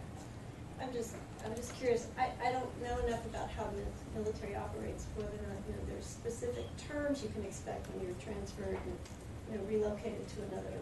David, you wanna weigh in on this? If- What's, when you get your assignment somewhere, is, is there standard periods, or is that gonna be enough? A lot of it depends upon what, I mean, to be quite honest with you, five years, five years is a long time for, for an assignment. Generally, they're three, maximum four. Okay, that, that was important, thank you. And how um, are you notified, or by whom are you notified that a spousal union is splitting? It's a requirement in the rules that, um, when that happens, um, under the conditions, um, to uh, maintain, they, it has to get reported to us from the, um, a- applicant. From the applicant? Can we, um, extend it to one year after the termination of the, you know, the marriage? So it gives somebody a chance to get on their feet, figure out what they're doing before it ends. I'm sorry, did you say one year after dissolution? Yes. Did you need any kind of motion or in terms of recommendations or suggestions? No, just, uh, this is an informational item, so we're just gathering ideas. Can I just make one more comment? Actually, to follow up on what Johanna said, you know, just about every state, or every state has a uh, National Guard. The National Guards hire what are called mil techs. Just to go back what I'm saying, the Army has their tour of duties that they can go from three or four years, and all other branches. But in the National Guard, I could get a job, if I'm from Utah, and get a job in California as a military, my wife is an attorney, I could be at this job in California for up to twenty years. So the question is, do we delineate, is that person a part of United States Army, or is that person part of the National Guard? Because if it isn't, then we have to at least take some measures in making that determination whether or not that, this is gonna be a twenty-year job, whether or not they're gonna be allowed to practice for five years, have to take a while. Would that be considered active duty? It is active duty, but they're, they are called military technicians. And as a matter of fact, uh, JAGs are also uh, militechs under the California Army National Guard. Um, And so their spouses, like I said, you get, they could be from another state. A wife could get a job working as a judge advocate. The husband is also, is not a judge advocate, but she may have that job for 10, 20 years. So the question is, are we going to require, he can come in perhaps under that exception, but on individuals under that particular status, are they going to be given a certain time to be able to practice before taking the California bar exam? Something to consider. Do you, um, just looking back, David, at the definition of service member, would, would you also be, uh, deemed to have been or, ordered stationed within California if that was your classification in the text? To do what again? Order, so the language says a service member is an active duty member who has been ordered stationed in California. All of them are ordered. Ordered stationed.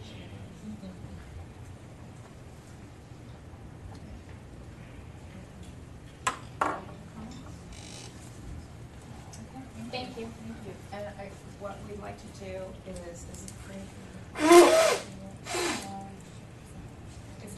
Is lunch free? Yes. Uh, we'll break for lunch, and if everybody can be back in the room by twelve thirty. I know it's not there, I know it's not a lot of time, but as close as we can back to twelve thirty, keep us, because I, I anticipate that the next dis- discussion, which is on ex- appendix I, is going to be detailed. Should we just bring a challenge? Yes, you can just bring it in, if you'd like.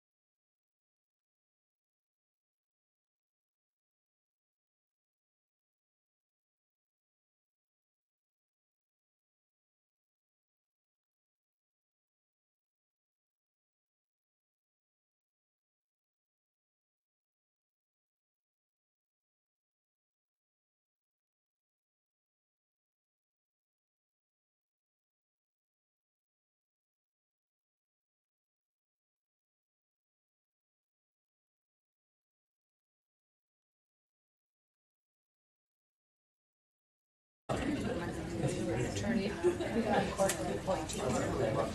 Are you an attorney? All right, if we could come to order, Oh, you're please. I was trying to We're gonna go back to open session, and we're going to start with a um, continuation of appendix I discussion. I'm a fundraiser basically. Uh, Were you going to, who's gonna take that? Uh, Okay, so Natalie?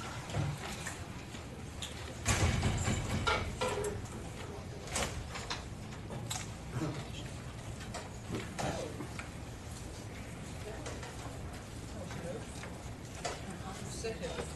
Yes, take it, take it away, just sit there. Possession is what nine tenths of the law. Yeah. Yeah, you're here to represent you, yeah. Okay. Good afternoon. As you recall, um, when we last spoke ap- about Appendix I, we talked about Appendix I through, um, in the context of all of the licensing functions.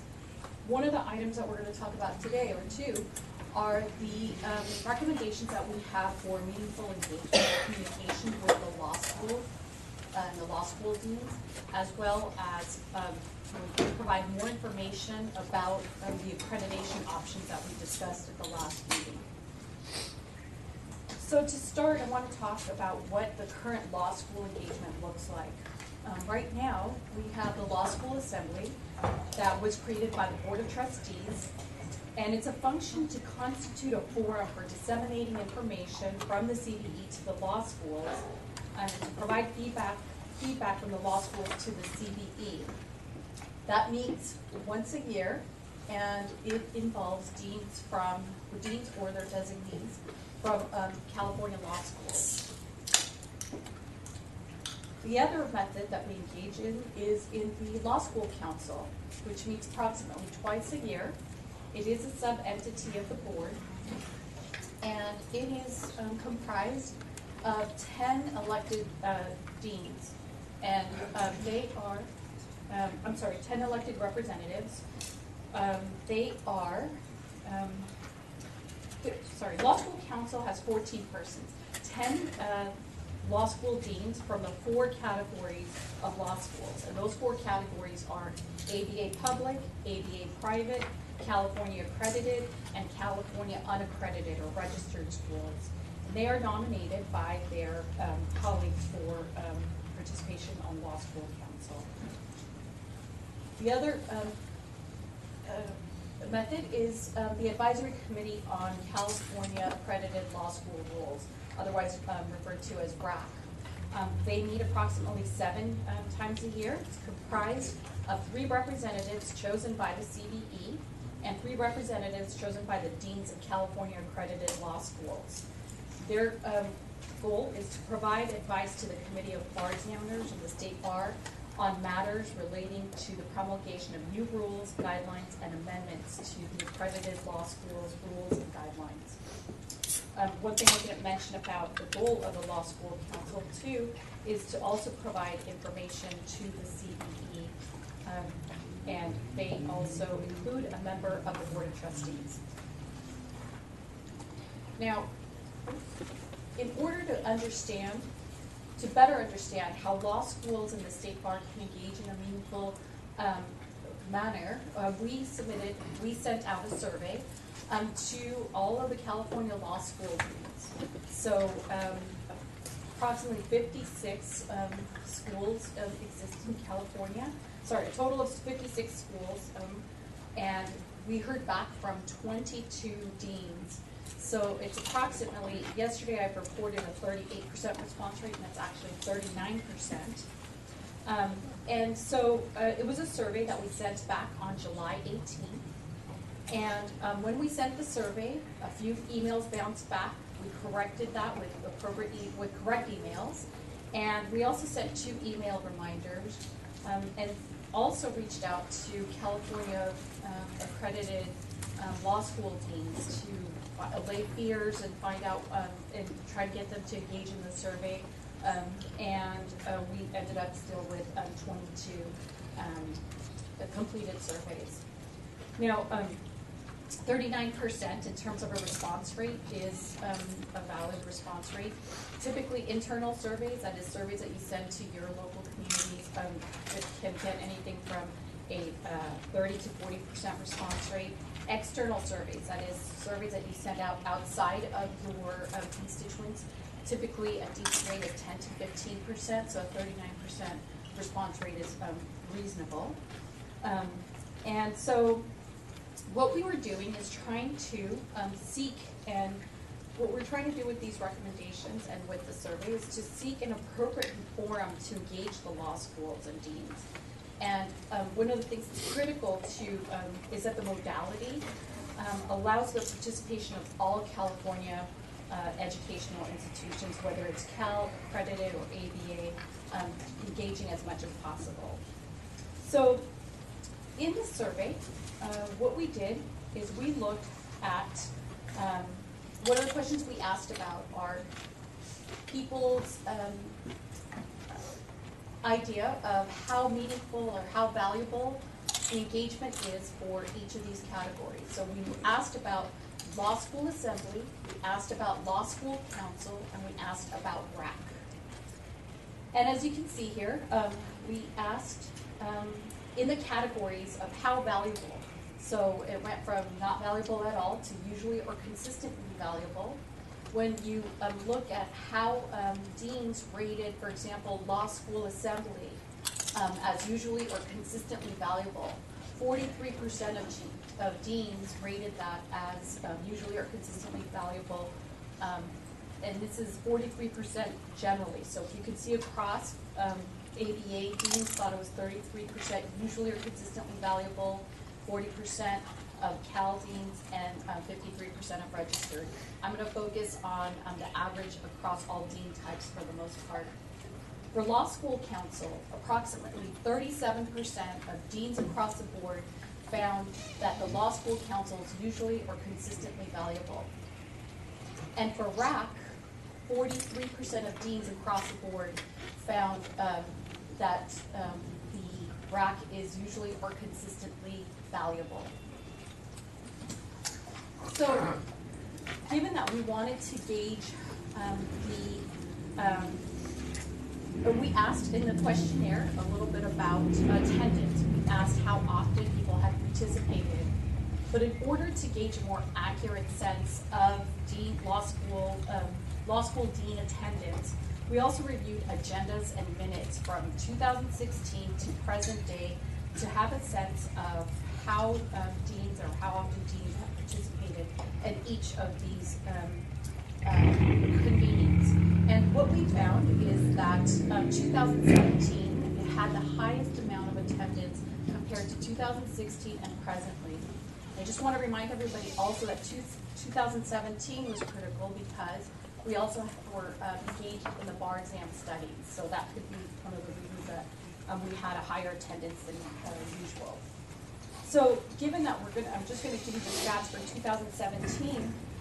For law school council, approximately 26% of ABA deans attended at least one meeting that year. 53% of Cal deans attended at least one meeting to the law, law school council. And approximately 20% of registered law school deans attended at least one law school council meeting in 2017. For RAC, um, no ABA deans came to RAC meetings, which makes sense, um, given that the purviews around um, the uh, accreditation. Seventy-five percent of um, Cal deans um, attended at least one meeting in 2017, and ten percent of registered law school deans attended at least one RAC meeting. We also compared agenda items between law school council, RAC, and the CBE for those same years. We found that there were multiple instances where the same agenda item appeared in, on each of these agendas. So would appear, for example, on uh, RAC and the CBE, or RAC, CBE, and um, Law School Council. And given the fact that the same attendees attended both meetings, that is, like, for all three, RAC, Law School Council, and CBE, that demonstrated that it's, um, rather than meaningful engagement, what we had is a redundancy in, in discussion. One of the challenges that's also presented itself is maintaining volunteer interest in, um, in, on some of these committees. That's proven to be challenging. Um, for example, the Law School Council has had a challenge, a challenging time electing representatives that remain engaged. We've had deans selected that have never made a single attendance at um, a law school council meeting. So some of the other items we asked about would are about how meaningful it would be to, for example, use an e-newsletter as a method of engaging the deans. And this e-newsletter would be um, sent uh, biannually. We'll talk a little bit more about that later. So we have two metrics here. We asked on a scale of one through five, where one is not that um, useful and five is very useful, how useful the use of an e-newsletter would be. As you can see here, a 3.7 is um, you know, uh, uh, above um, you know, useful, um, and that was a rating across all dean types. In terms of finding an e-newsletter very useful, 32% of deans across the board uh, reported that they would find an e-newsletter very useful. The future use of annual meetings, so this refers to, for example, um, equivalency of the um, law school assembly, um, that one, uh, that annual meeting of all um, law school deans from all school types. Uh, the average uh, score, point seven across all deans on how useful that would be, or um, whether that would be very useful. Um, and then also, just the category of very useful, twenty-seven percent of deans across the board found that that would be, or reported that that would be very useful. The other item we asked about is the future use of task force or working groups that are focused on um, a, um, a topic or in an area. Three point seven um, uh, was a rating for deans across the board on how useful that would be. And thirty-six percent of deans across the board reported that um, participation in the, fu- or uh, in the task force or working group would be very useful. So part of our outreach was also um, a method for perhaps um, learning about uh, ideas or topics that we didn't cover in that survey. Um, What we're trying to get at is, are there other ways of engaging the law schools that we haven't thought about? And while we didn't get new suggestions, I want to highlight a critical point that um, you deans made, and that is that the law school assembly and gatherings create an opportunity, grant an opportunity for deans to meet one another and provide a forum that doesn't exist in other arenas. Now, the state bar is seeking to create an appropriate forum to engage the law schools and deans. And um, as I mentioned earlier, it's critical that the modalities allow participation of as many types of, um, uh, from school types and deans from various, varying parts of the um, state to participate um, in um, state bar um, discussions. And so the data that we presented support these staff proposals, like, we propose the following. We propose continuing with the annual convenings of all law schools, like we have with the Law School Assembly. We're also proposing participation on working groups with a defined scope, duration, and charge, such as the job analysis study that I talked about earlier this morning. We want to engage deans in their participation um, with representation on that working group. And the other item I talked about is the e-newsletter. So this would be a periodical, um, uh, we would disseminate it periodically, and it would include information that would uh, include updates about um, policy changes or perhaps bar exam information um, uh, when those were issued. Okay, with that, we're going to talk about um, the options for accreditation. So maybe, why don't we pause? Oh, yes. we can do. So uh, with that, we'll pause. If anybody has any comments or feedback. So I just wanted to add, um, we did discuss these same topics in RAC. Uh, I'll first give an opportunity for the chair to speak on those if he'd like to.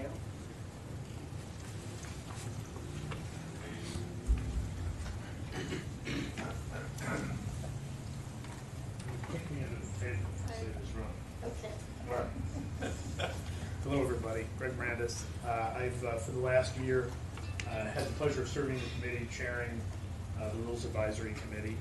Uh, The Rules Advisory Committee met yesterday, as it usually does, before your meetings, uh, to make it as convenient for all of you who are on the committee and those of us.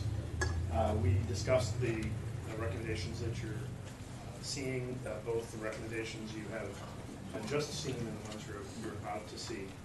Uh, The RAC uh, uh, voted to reject these recommendations, uh, which I'm sure you consider not surprising, including their, the elimination of RAC, which is inherent in what was just discussed, uh, and uh, that uh, there was grave concern about various aspects of the proposal and how that would affect the ability for the committee to create effective, actually meaningful, useful regulation of the law schools.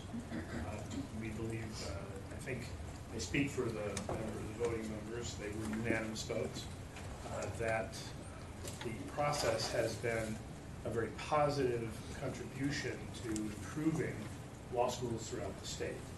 And uh, the data will show that law schools have, have improved throughout the state during the last ten years, which was the period of time in which the uh, State Bar and the Committee of Bar Examiners engaged very effectively and collaboratively with this expert group. Uh, So it's a collaboration between members of your committee and members of the regulated community to simply discuss and make recommendations that you can either follow or not follow uh, to actually enact regulations to improve things. And a number of very important and significant regulations have been passed during this time.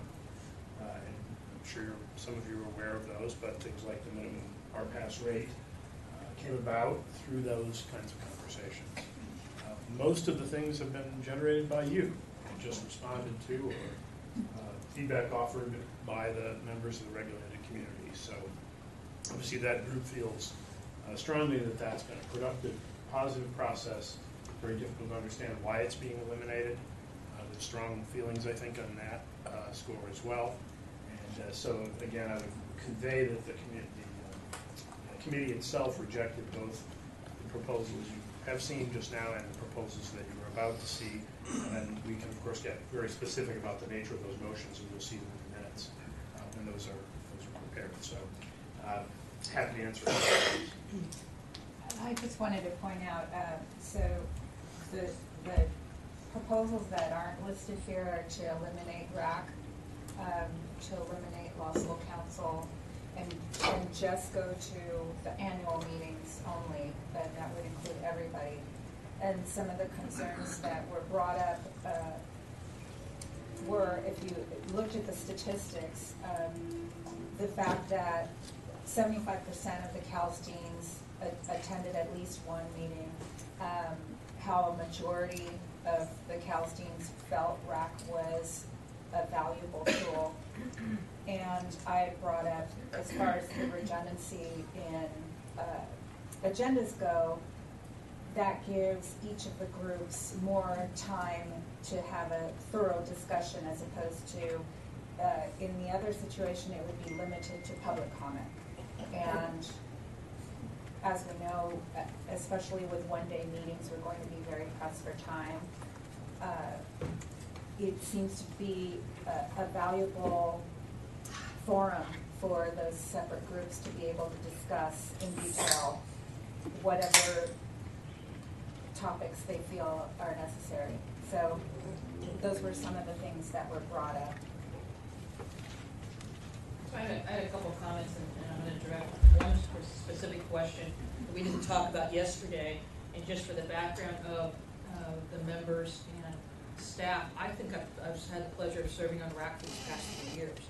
And I certainly, when I joined this committee, had a very different understanding and a lot of assumptions about what California, uh, California accredited schools and uh, registered schools did and how they worked and how necessary or, or, my assumptions were about their, their place in the, uh, legal education. Here's one of the things I can take away, and, and one thing you didn't mention, I think, would be the work that was done this past year on practical skills.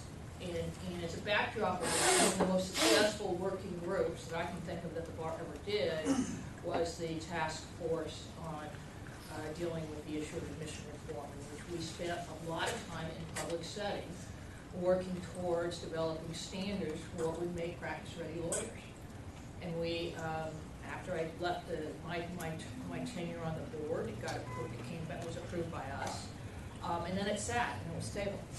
And that was a case in which the California schools, through RAC, presented a proposal last year to require, uh, fifteen hours of course material for every graduating student in practice-ready skills, something that, for reasons beyond me, the board had been unwilling to finally adopt eventually. So this is a great, I think, a great example of, of improving public protection, improving the education for our lawyers and the next generation of lawyers, Greg. And do you think that, uh, how instrumental do you think RAC was in getting that through?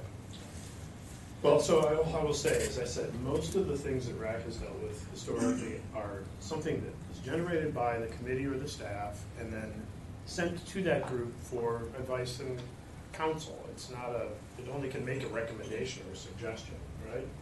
Uh, in a few instances, there are ideas that are generated by the RAC and then they go to the committee and they usually go back to the RAC and there's a back and forth uh, conversation around how they should work. Uh, this happens to be a good example of that. Um, this was a recommendation made by the state bar in uh, connection with several others. And uh, the law schools were fully behind it, in support of it. And they came to the committee and asked that the committee create a rule to require them to offer fifteen units of practical skills training as, as a curricular rule related to their regulation. And again, there was back and forth and understanding, and ultimately, that rule was, uh, or that guideline, a guideline, that rule was made a part of the regulations governing schools. Um, There've been many examples where the collaboration has yielded something that we think has improved not only the schools, but also the protection of the public that's afforded by these entities. Um, I mentioned that it mostly comes from the staff because there have been concerns about the regulated community having too much influence on the regulations. Um, The reality is it has not really gone that way. Uh, Ninety percent of the time, it's come from the, the uh, committee, and the uh, RAC has provided some feedback that you have chosen to use or not, not chosen to use. So it's just not a practical, realistic concern. Did you? Yes, so I wanted to bring up a suggestion that was made yesterday. So the concern with also the new model is the fact that there wouldn't be an opportunity for law school to interject or submit um, a proposal for a working group um, or a topic, um, so that if um, the law school deans had an idea for a defined scope um, to focus on, that there wouldn't be a method. And I just want to um, bring up that idea that perhaps we should find a way or a method for adopting that. And I wanted to get a sense of what the CBE thought of that. So in the elimination of these groups, um, how would, um, in context, in that context, how would the committee feel about creating that opportunity so that law schools would be able to provide um, a, or recommend a suggested topic area for a working group? Um, They should, it's just a matter of how. Yeah. Well, we haven't defined a method, for that, so I'm just trying to figure out if there's an interest on the bar, on the, st- on the, um, part of the committee, um, to, um, do something like that.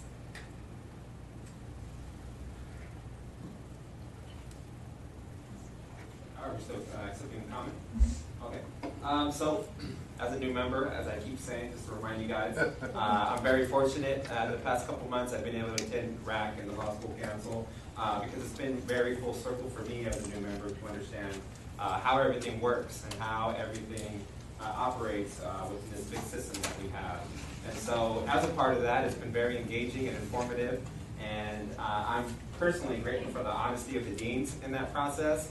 Uh, I think we, we had made a recommendation, or we're looking into how we're going to improve oversight of new teachers um, at our law schools. And um, I'm not a fan of top-down policy. I prefer bottom-up. And so we went to the RAC or Law School Council for their uh, consideration, and we got some important insight, um, which is extremely important when you consider policy being implemented um, at, the, at the local level. You know, we could have great grand ideas, but in actuality, it's like how do you implement it and how do you make sure it's successful? So I want to thank the, the, the RAC and Law School Council for providing that guidance. And so how I have perceived it all is like we're a big team uh, working together um, in conjunction to uh, make recommendations or evaluate policy that's currently in place. And so I think it would be very uh, counterproductive to eliminate these committees. And for me, I'm just disappointed that uh, it's being considered because I know the people that are involved uh, do take a lot of time and they do uh, apply themselves to the process. And I believe that they should be at the table, you know. And so I think it's important that moving forward that we maintain that it's considered in the record that uh, from what I heard in the discussion yesterday, it was pretty consistent that we're all kind of on the same page with this issue. And uh, my hope is that they don't move forward with elimination of either council or uh. So, thank you. And I actually intended to limit comment to answering what Amy had asked, if, if there's any suggestion as to a, a method or a process by which the deans could approach the state bar uh, for starting task force, task forces or whatever.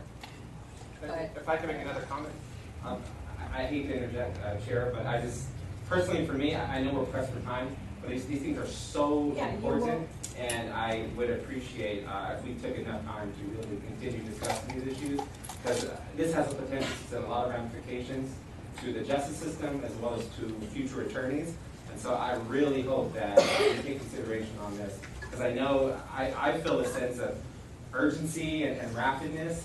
I, I just don't think it's fair when we have to make important decisions that we do it so hastily. So I'm just setting that as, We this will, is it's my just, perspective.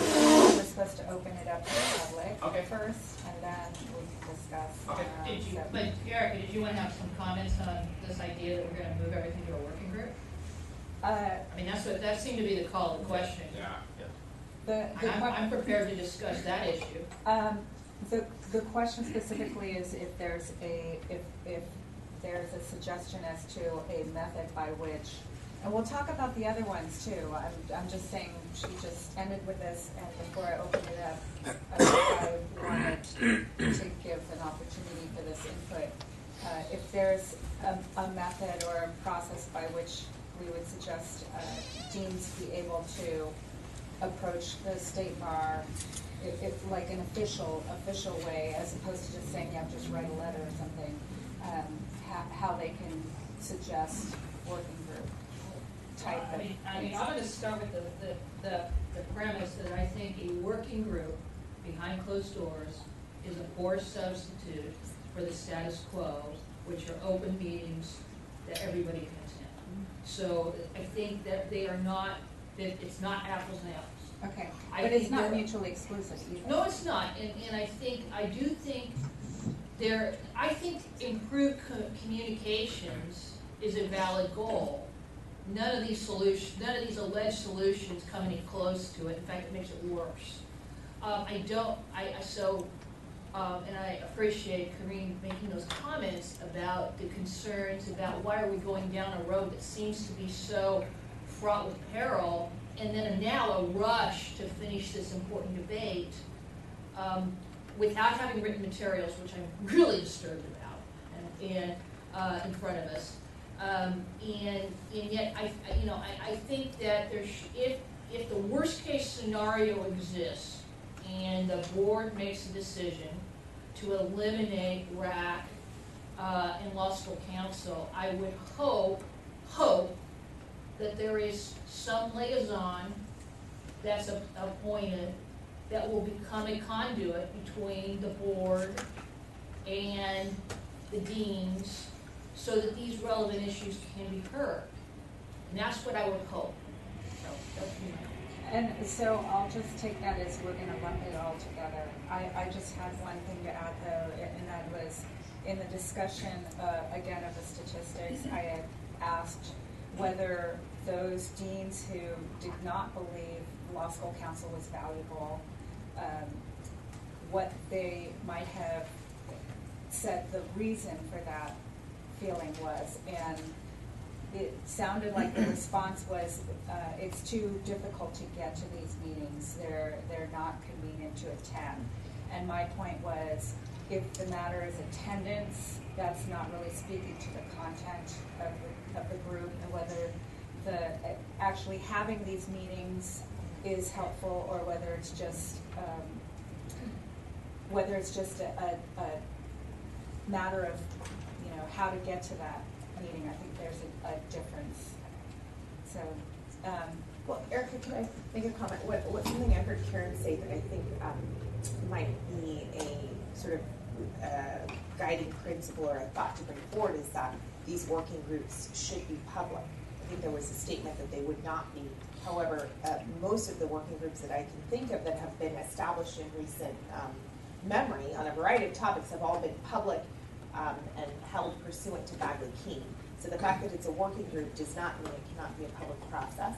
So perhaps, um, Amy, that's something we could note, that there'd be an interest in those groups so we can open it up to public comment in, in terms of the proposal to eliminate RAC and law school council, uh, and just continue with annual meetings, have working groups when necessary, and start e-newsletters. If there's any public comment?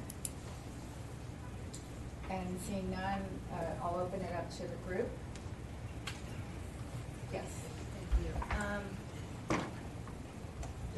really gotta want it for these guys to get them Um, so I just wanted to, wanted to touch on a couple of things that were said. Thank you, Leah, uh, for mentioning the working group issue. I'm not take, taking that off my list.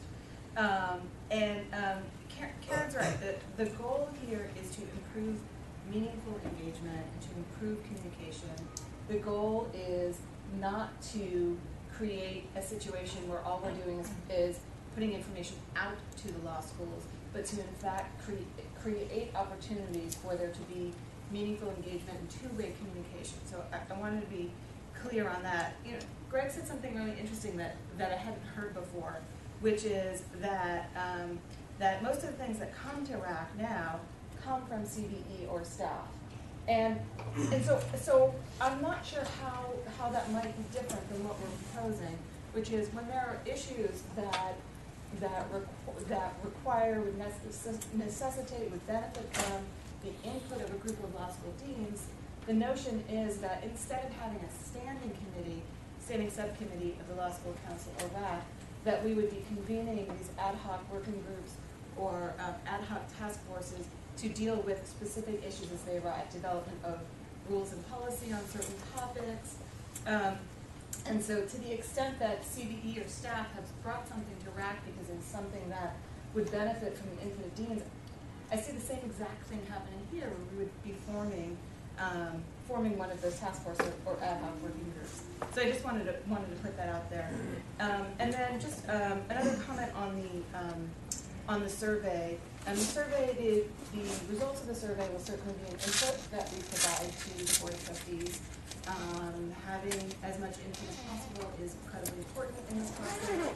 And so we very much will share that information. But I, I mean, I do want to caution a little bit, you know, um, Amy said that sort of the, the forty percent or so response rate, um, is, uh, you know, qualifies as statistically significant, but when we have to break the responses down by the registered deans who, who responded in the CAL and the ABA, which I think is appropriate to do, when you end up at a point where you say sixty percent of the CALS responded that they, um, sixty percent of the responding CALS believe that the, that the RAC, uh, meetings were usually or consistently valuable, there were five CALS that responded, so sixty percent means three of them said that, yeah, these are, these are usually or consistently valuable. And so I think we just need to put that in context, and we will of course share the data with the Board of Trustees, but I just wanted to just give a little bit of context to that as well. Um, and we are open to, um, as Amy was putting out there, we, one of the things we raised with BRAC and the Law School Council yesterday is, is, um, you know, are there options in between the recommendations that staff has put forward, um, where we would eliminate the standing committees and create these ad hoc working groups as appropriate, or we continue the annual convening, convening and we provide an opportunity for making sure we have we have regular updates through this e-newsletter. Um, is there, is there a middle ground between those options and, um, status quo that also might be something that the, that the board should consider, that we should present to them as, as a different approach? And I would just point out that looking at the Appendix I working group and the CBE involvement, the CBE, uh, opinions were not incorporated in a meaningful way in the report. So that's also an issue. You might have a working group, but what kind of voice do you actually have in the context of a working group versus a group of deans being able to come about a consensus on their own and have that unified voice? Uh, I just point that out. So, um, other comments? I got one on that same subject, so I think, I think in terms of working groups, I've had the experience of, I think, very productive working group when we did the admissions reform. We, it was public, you know, court reporter was there, it wasn't dominated by any one particular group, and it wasn't a, it wasn't a results-oriented sort of situation. I've had a less, um, favorable in terms of my personal involvement on both the, my involvement in setting up on the standard setting study, and then this most recent, where we've been talking about, um, the, I guess the, what's uh, the appropriate sort of questions to be asked for the law school exams. I have found them both to be staff-dominated, very, and they're, they're only by phone, the idea they're public is not true. Um, there is no, no real record of what occurs. Um, and it's not anywhere the equivalent of the give and take, of full transparent communication that we've experienced in RAC. So when people tell me here in an open session, these working groups are all public, um, I beg to differ by my actual experience. So in terms of, um, I, I- think that we ought to really think hard about whether we're serving the, the, the, the mission of improving communications by getting rid of what appears to me to be the single best means of having a, a open communication back and forth between the state bar and, and the law school deans. I think that could be improved. I would love to see, like Donna says, I would love to see more participation. I would love to see a greater engagement. Um, and some of it's issue, issue driven. Last year, it seemed like we had a lot of participation with the deans because of the concern about the cut score. I'm sure that's gonna ebb and flow, but, uh, just because it's more efficient doesn't mean it's necessarily better. So I would, you know, at least in our group, we ought to be cautious about getting rid of what my experience, and I personally attended, I think, every RAC meeting, maybe other than the time I was in trial, every RAC meeting since I've been on this committee. Um, some have been more interesting than others, um, but I think we have done good work, and I don't think we should be so, uh, I, I would, I would hope that the board would be somewhat cautious about throwing out good work, um, eliminating necessary, uh, things that have done a good job without thinking about, um, uh, how you're gonna replace it. Yes. Yeah, I would just uh, echo those comments, and um, I'm very concerned, you know, given the collection of talented, diverse people in the room, as we're trying to figure out or even think of what a working group would look like, not having a plan or not having something in place, and but eliminating a group or entity that has some good value to it. Uh, I just be concerned because even I don't have sort of an idea of like what that working group would look like, transparency, the timeline, creating a work group for each of the issues. Uh, I attended the, the session yesterday and heard a lot of uh, feedback from others about concerns, uh, but I'd be concerned about just eliminating one entity without having a plan or having a, a working group that's going to have some structure, some accountability to it as well. Further comments? Yes. If you could come forward and just identify yourself. Make sure the mic is on. Um, my name is Andrea Lua, and I'm Dean of Pacific Coast University School of Law. Um, I am a criminal defense attorney by practice over thirty-one years. Um, this just leads me to believe that there's, a- there may be a huge conflict in who decides when there needs to be a working group and what that working group consists of. It's kind of like letting the prosecutor decide what material could lead to exculpatory material for a defendant who is being charged with something. Do you have an independent judge who then goes in and looks at all of this to decide where we need an independent working group? At least with the RAC, you have a standing committee that when something comes up, even if it hasn't been referred to by the CBE, that we can at least look at it and discuss it. Thank you. Thank you. Further comment? Is, do we have, I, I think it's important to have a motion as to the proposals. Um, if, if, so that we make it very clear how the committee feels. Uh, so if there is a motion pertaining to the, the proposed recommendations. Erica? Yes. Before you do that, I haven't heard any alternatives or options being proposed by the committee, so I'm gonna take from that, if you move on to a motion, that the committee is not gonna present any other options. So I would love to hear other options if they are out there, but if, if you move on to a motion with just the thumbs up or thumbs down, that's the natural conclusion we'll reach. Well, it sounded to me like there really wasn't a workable option other than keeping RAC in place and keeping the law school council in place. And I could be wrong about that, but do, does anybody have any other suggestions? Yeah, I mean, I'm just gonna say this, and, uh, I've heard, I've heard Joanna on this as well. What I'm not, I'm not hearing anything here that enhances communication. So if the, if the call of the question is, we're going to improve communications by getting rid of the means to communicate, that seems to be a no-go, and I would move to oppose that proposal. Now, I don't think it's our burden to come back with another proposal under those circumstances, because I don't think they've met their, their burden to show that this improves the communications.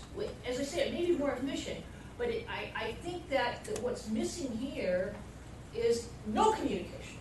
This same proposal has come up repeatedly, we, we repeatedly questioned it, we repeatedly objected, and it keeps on coming up. We're not being listened to. And, and to then come in and say, well, you gotta show us something else, or it's gonna be up or down. Well, at this point, it would be my vote, given what we've seen, we just vote it down.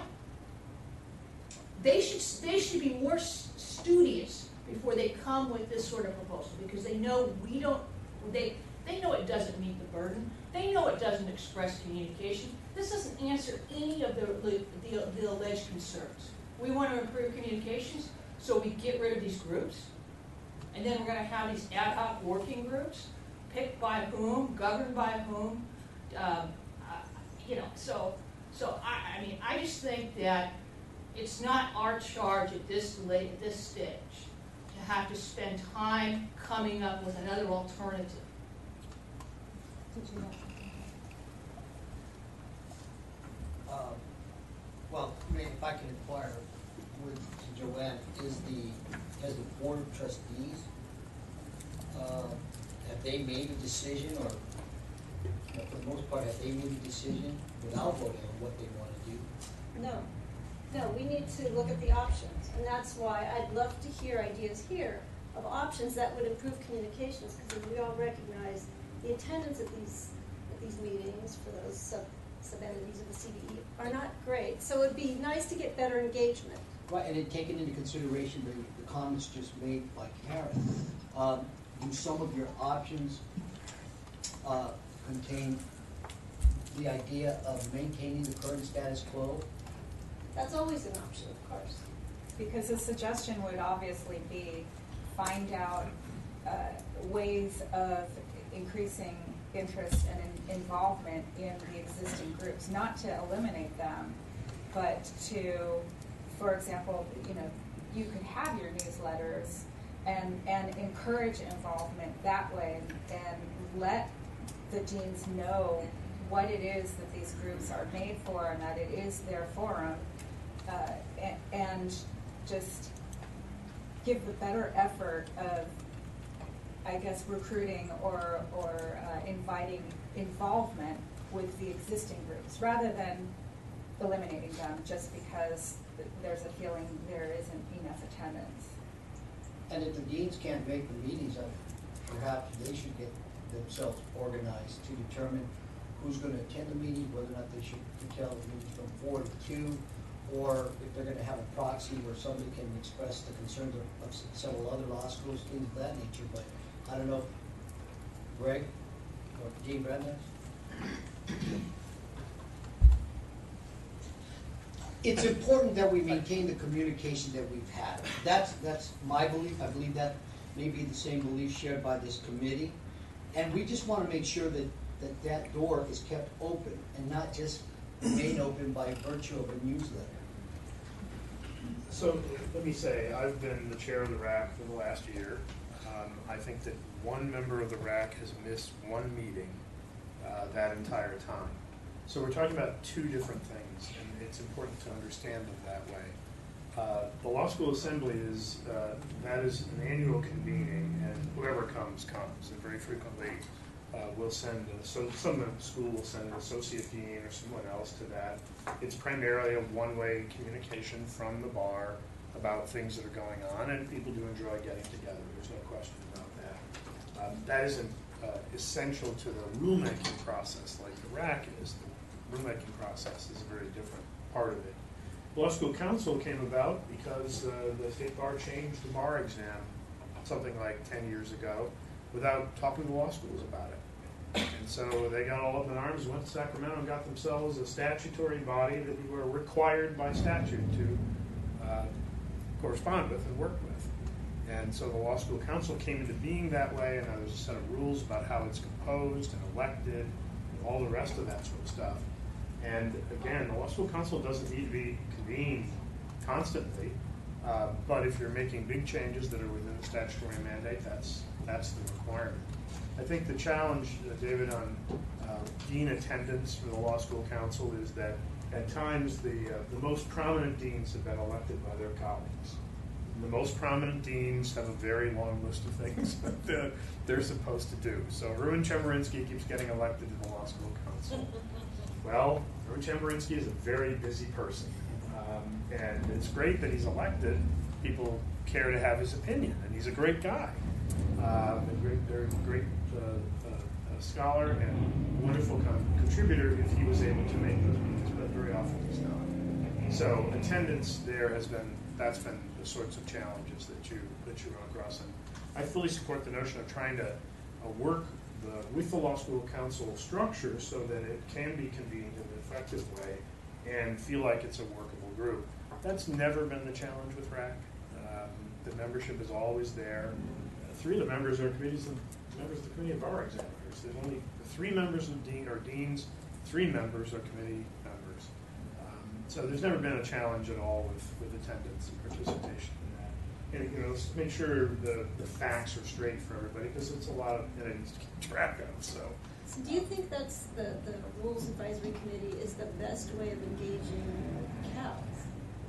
Considering it's- there's three deans. And it's very specific, yes, yes. It's very specific because it only really has this charge to look at regulation of CALS, right? I mean, that's, that's how it was created. Um, And three of the deans are, are appointed, or, uh, sorry, it's not even an appointment, you appoint the members of the RAC. Uh, The deans propose candidates to you, and you appoint three of your members to be the other three members of the RAC. That's how the rules work. So the deans propose a slate of, of three people that they have agreed to serve, which is the other reason you get good participation, because they, the mm-hmm. deans work to make sure that they've all agreed to serve.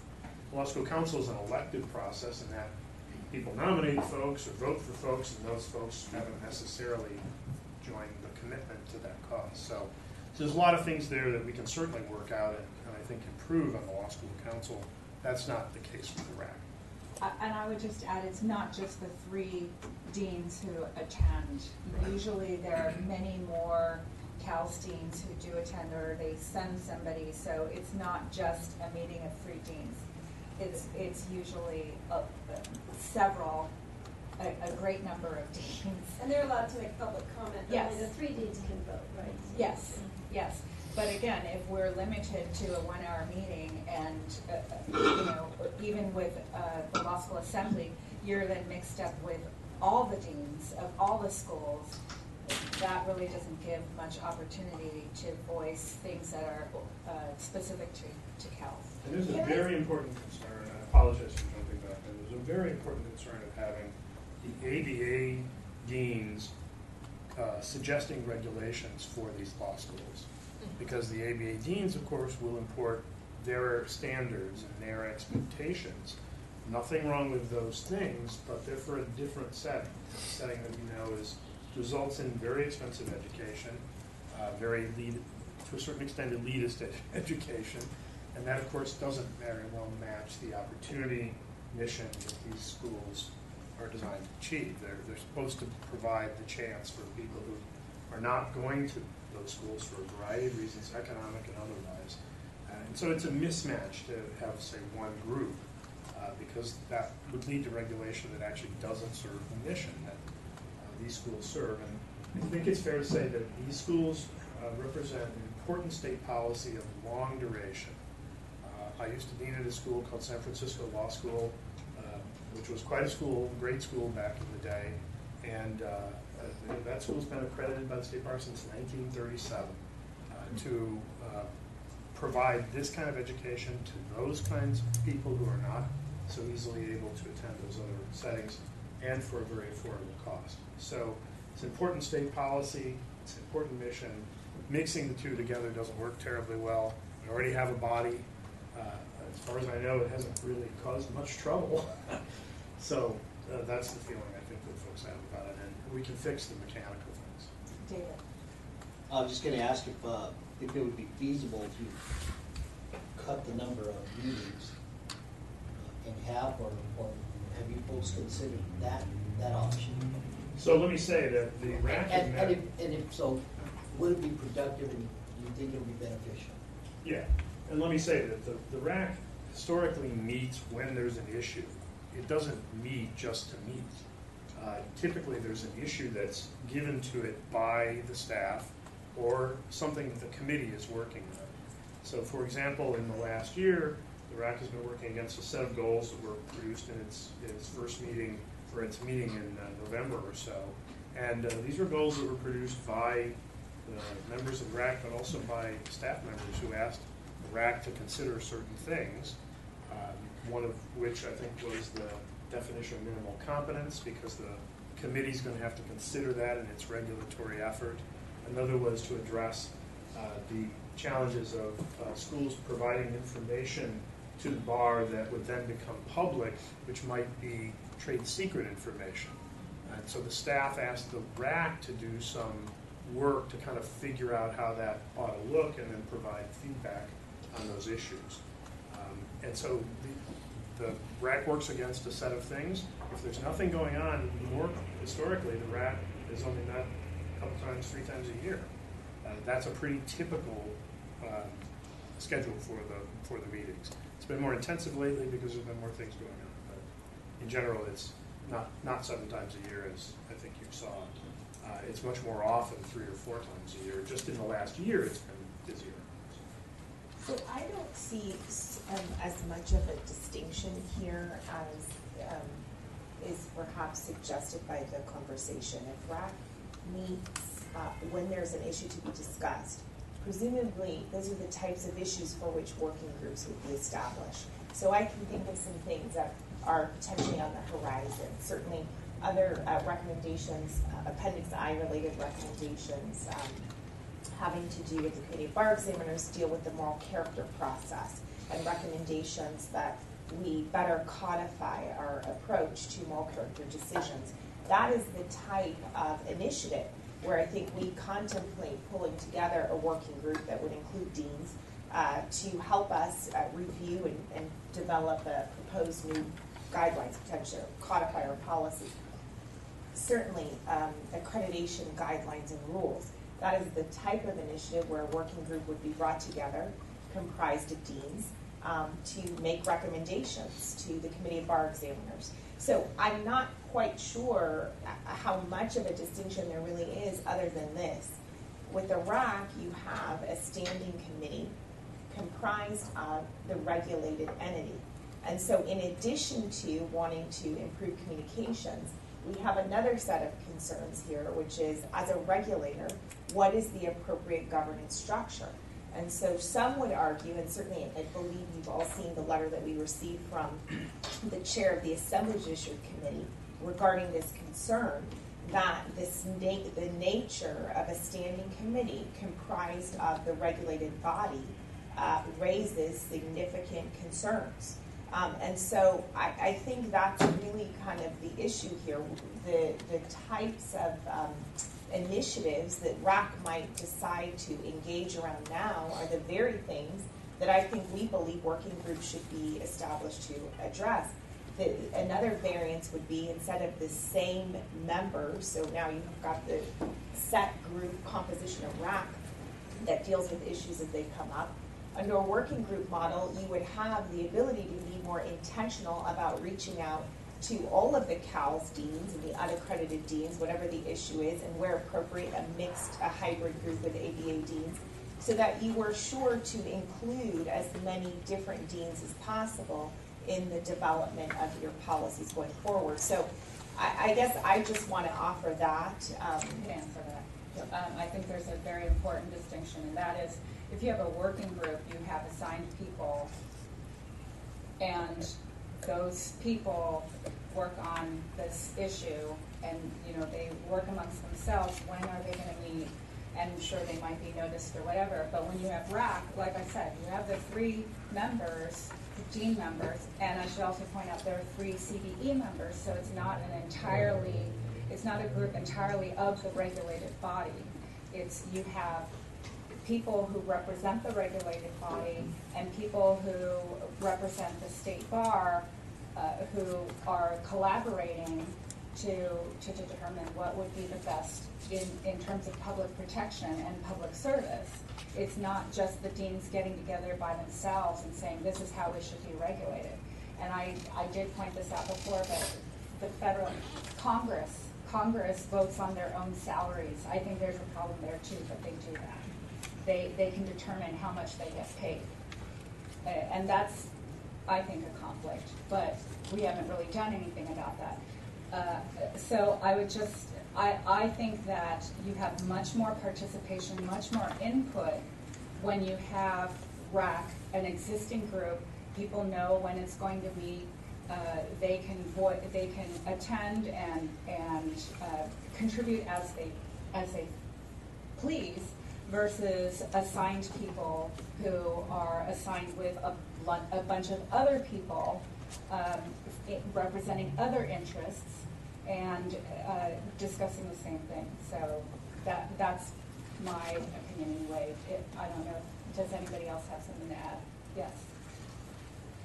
Um, I understand that the goal is to promote meaningful engagement and create a two-way dialogue. I feel that RAC does that because it gives a predictable and consistent atmosphere for law school deans to come and discuss issues and that those issues are later then presented to the CBE. By only relying on the annual convening of all law schools, that completely decreases the amount of time that we can hear from the law school deans. And to also rely on the e-newsletters, um, I think that goes against the whole idea of a two-way communication because a newsletter is informational, it's a one-directional dialogue because there really is no response to a newsletter. And if there is a response, it's sent to whoever writes the newsletter and it's never necessarily shown to the public. Yes. So, so I think that's, that's where, where, where we sort of differ is, is from our perspective, we're not, we're not saying that we're relying only on the annual convening. What we are, what we are also relying on is these ad hoc task force, task forces or working groups on the specific issues as they arise. Again, as Greg said, and my experience with RAC has been this year, so, so, so I've only seen them meet every time CBE meets. Um, but if they do only come together three or four times a year when they have specific matters to discuss, that's, that's sort of what we're talking about. We'd be creating these ad hoc working groups to develop rules on moral character or the guidelines on accreditation. Um, and we'd be pulling together a mix of deans, a mix of CBE members, a mix of whoever might be appropriate in, for the given, uh, for the given task force. So, I- so I just, I do bristle at the statement, because I've heard it a couple of times, all you're relying on is the annual meeting, and, and it's not that, and so I just wanted to. And can I add one more um, item too, is that, um, you know, we can talk just about the working group and also the convening and the newsletter, but nothing would also, um, we shouldn't eliminate the idea of deans coming to our CBE meetings. I mean, we've done a really, um, good job of trying to get all our agenda items ten days in advance to give a, a heads up, so deans are still welcome to come and participate in dialogue pertaining to like ed standard items or anything else that might be relevant to them. So that the only means of engagement or not, just these options, there is the CBE agenda or the CBE meetings that they participate in. But again, if we're limited to one day for a meeting, it really doesn't give a lot of time for the, the kind of discussion that, that RAC engages in. Um, I, I uh, Dean, if you, did you want to, is there a distinction that can be made between working groups and RAC as operates?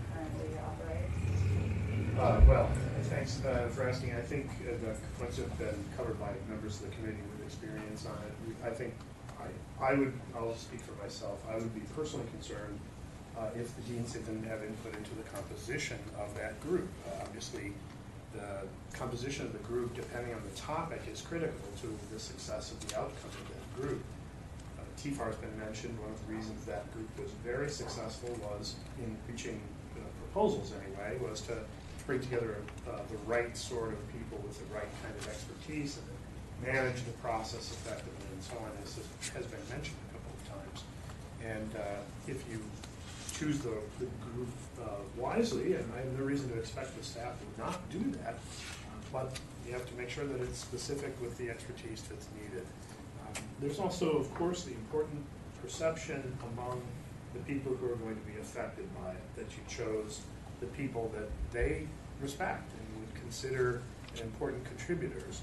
And that's, of course, the great advantage of having deans nominate and you appoint members to a standing committee.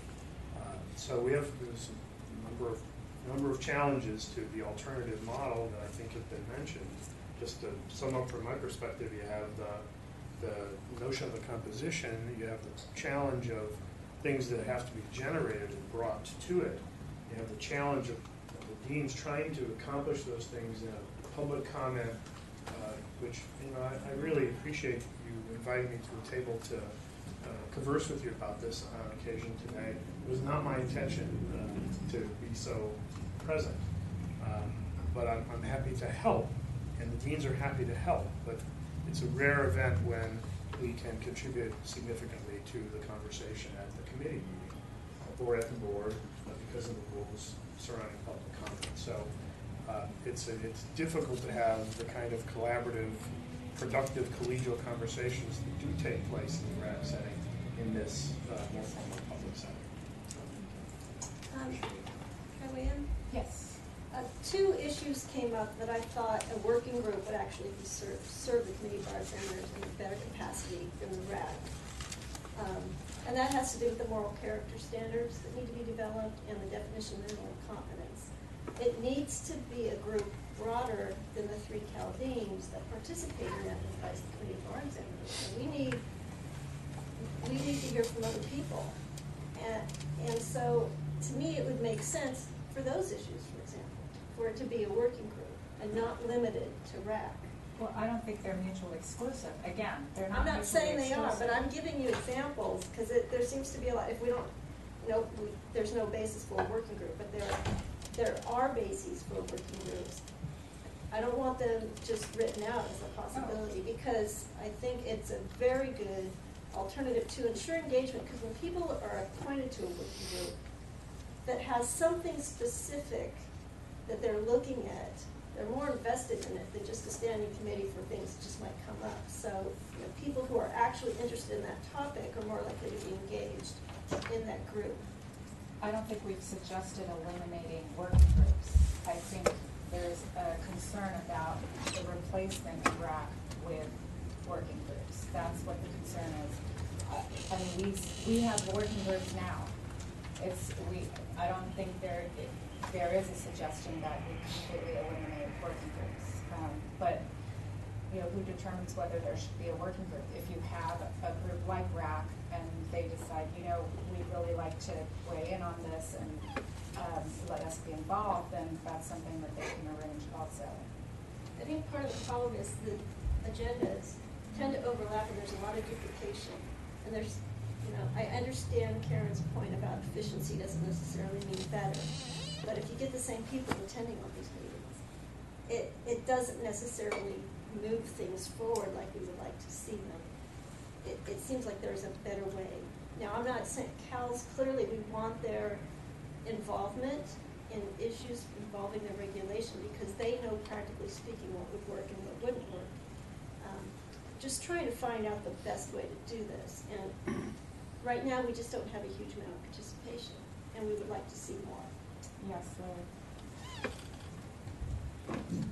Um, you know, the fact, the reality is we're dealing with really small numbers. Um, you know, I, I had a laugh when I saw, you know, the percentages, three out of five, so that's, what is that, sixty percent, and it's kind of like, you know, you use percentages when you're talking about hundreds and thousands, you know, when there's a statistical reason. So, we're really talking about small numbers, you know, handful of schools, or two handfuls of schools, or whatever. And at the end of the day, what the way you get participation when you have small numbers is someone has to take responsibility for reaching out and, and talking to people. And that's something that happens on the staff level, that happens on the committee level.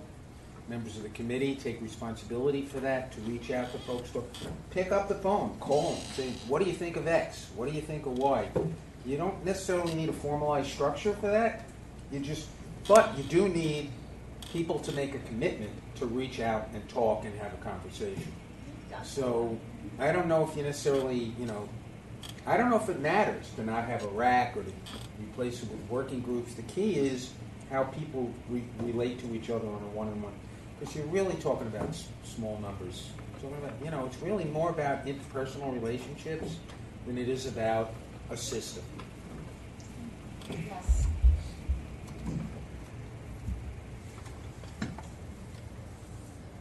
The, the impression I have at this point is that we see before us is um, conceptual.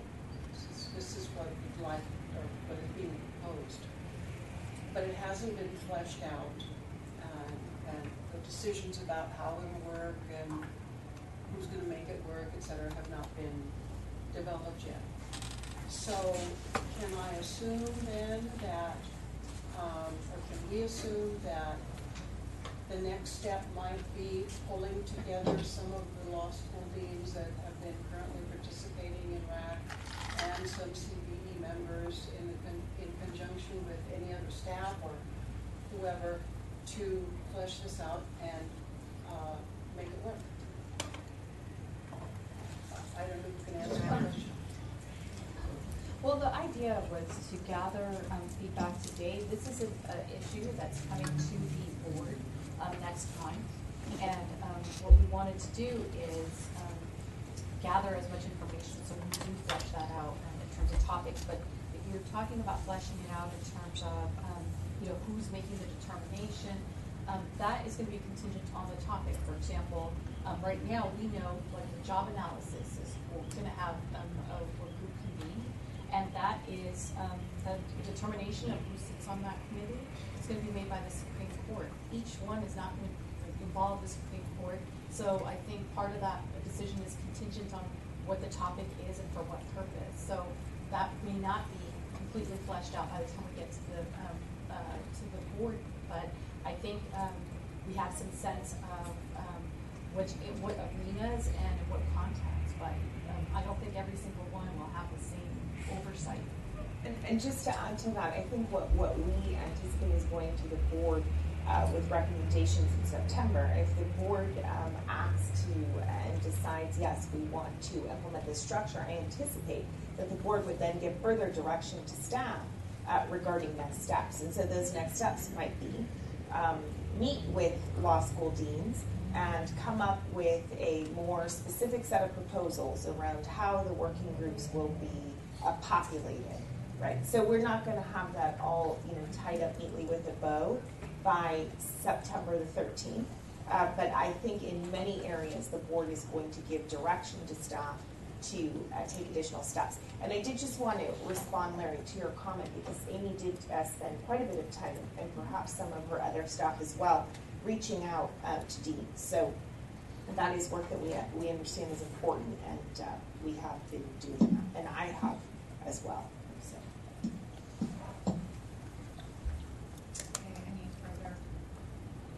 I have a comment. What, what concerned me about this proposal is I look at it and it seems to me there's a whole lot that's not explained there. No, nowhere in that proposal does it say you're gonna get rid of RAC.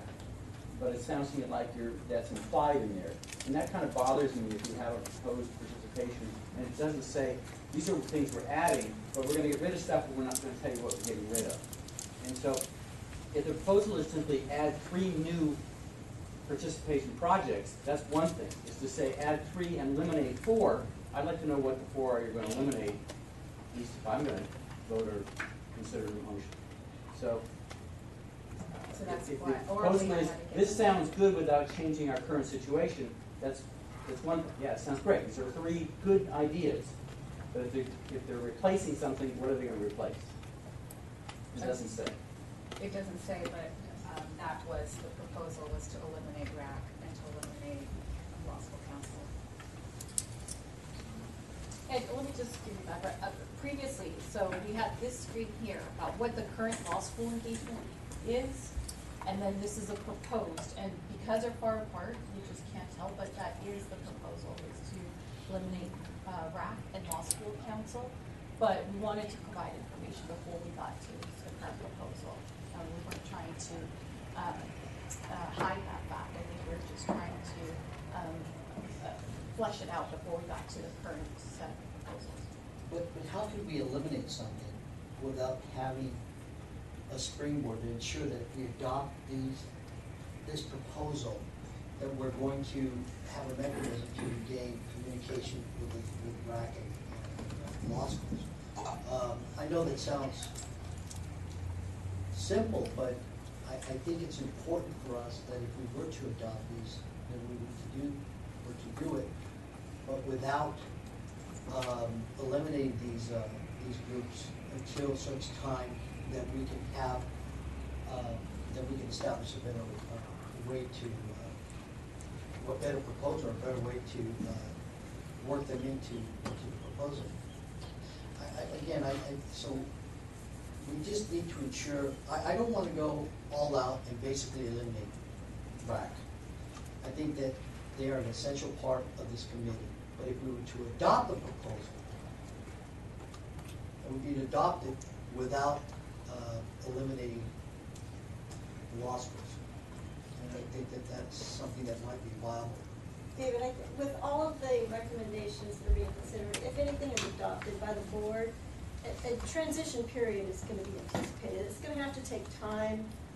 Nothing's gonna just disappear on in September based on any decisions that are being made. Cause thing, as you know, as we, it took a lot of time for the sections to figure out the best way for them to leave and how to do that. And I would anticipate we'd have the involvement of both the law school council and the RAC for the best way to determine how working groups are established and who would be and under what circumstances. So there would still be a role going forward as we are in the transition period, if that's what the board decides to do. And again, this is an option that is being considered, which is why we want your input, because we want to know what your thoughts are on it and the challenges you see to it, and it's all very important. I think if you're talking about increasing engagement, then it would make sense to add these to the existing structure, um, not use these as a replacement. It would make more sense to say, we'll have RAC, we'll have law school council, but we'll also um, implement e-newsletters to give those people who can't attend those meetings um, a- an opportunity to see what's going on.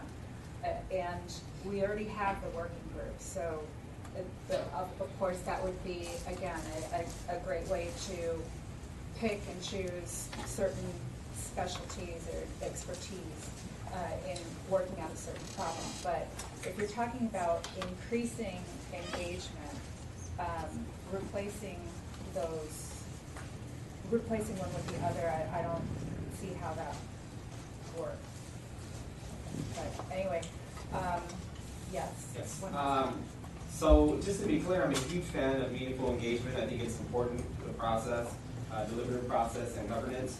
Um, but I'm, I'm in favor of an alternative that improves transparency and accountability and not eliminating it.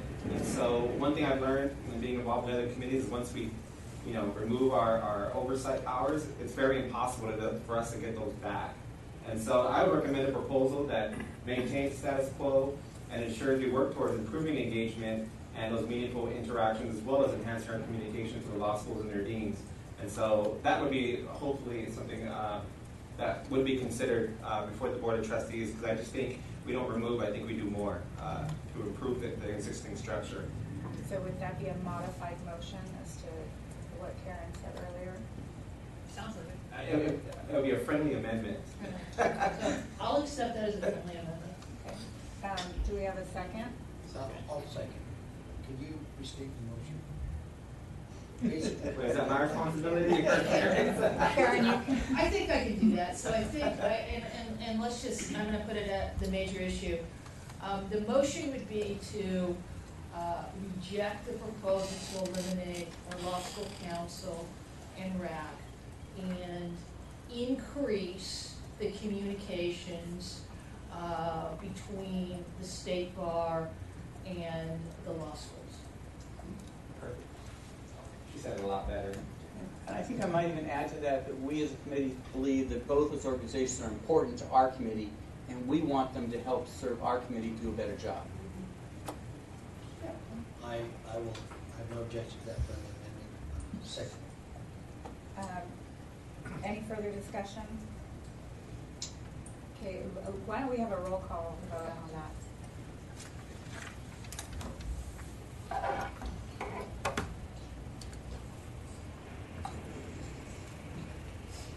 Torres, Yes. Holden, Obviously. Brody, Aye. Chen, Chen, sorry, Yes. Acting, Yes. Fox, Yes. Heisinger, Yes. Gillespie, Yes. Gongora, Yes. Goodman, Yes. Kaplan, Yes. Lawrence, Yes. Lynn, Yes. Pick, Yes. Villalobos. Yes. And I'm also yes. Sure, yes. Should be like unanimous. All right.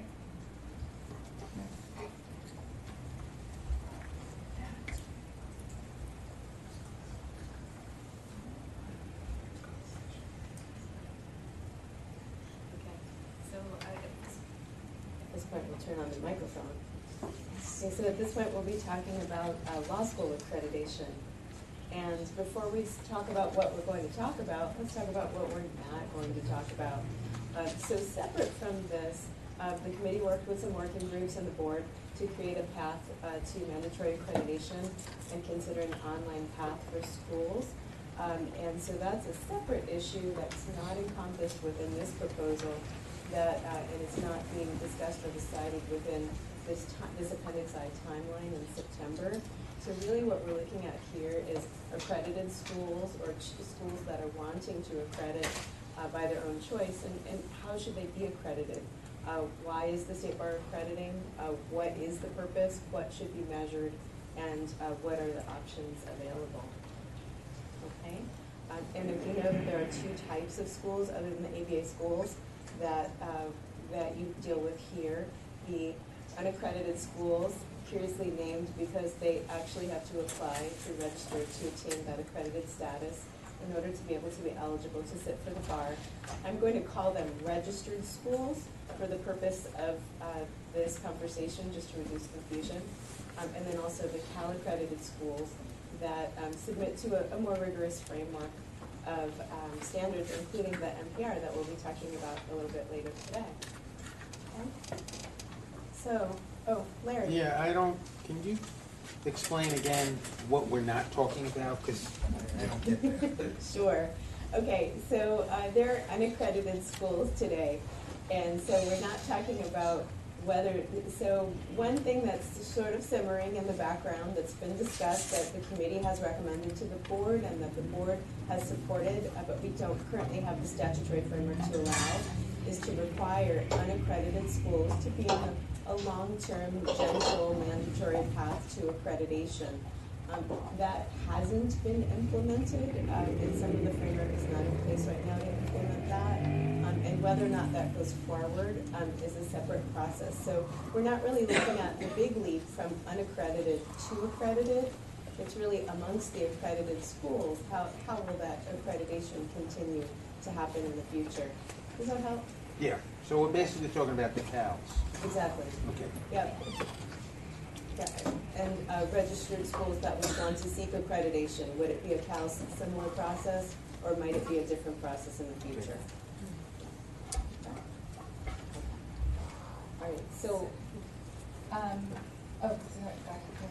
okay, so there are two options we'll talk about today, and I'll summarize them briefly here.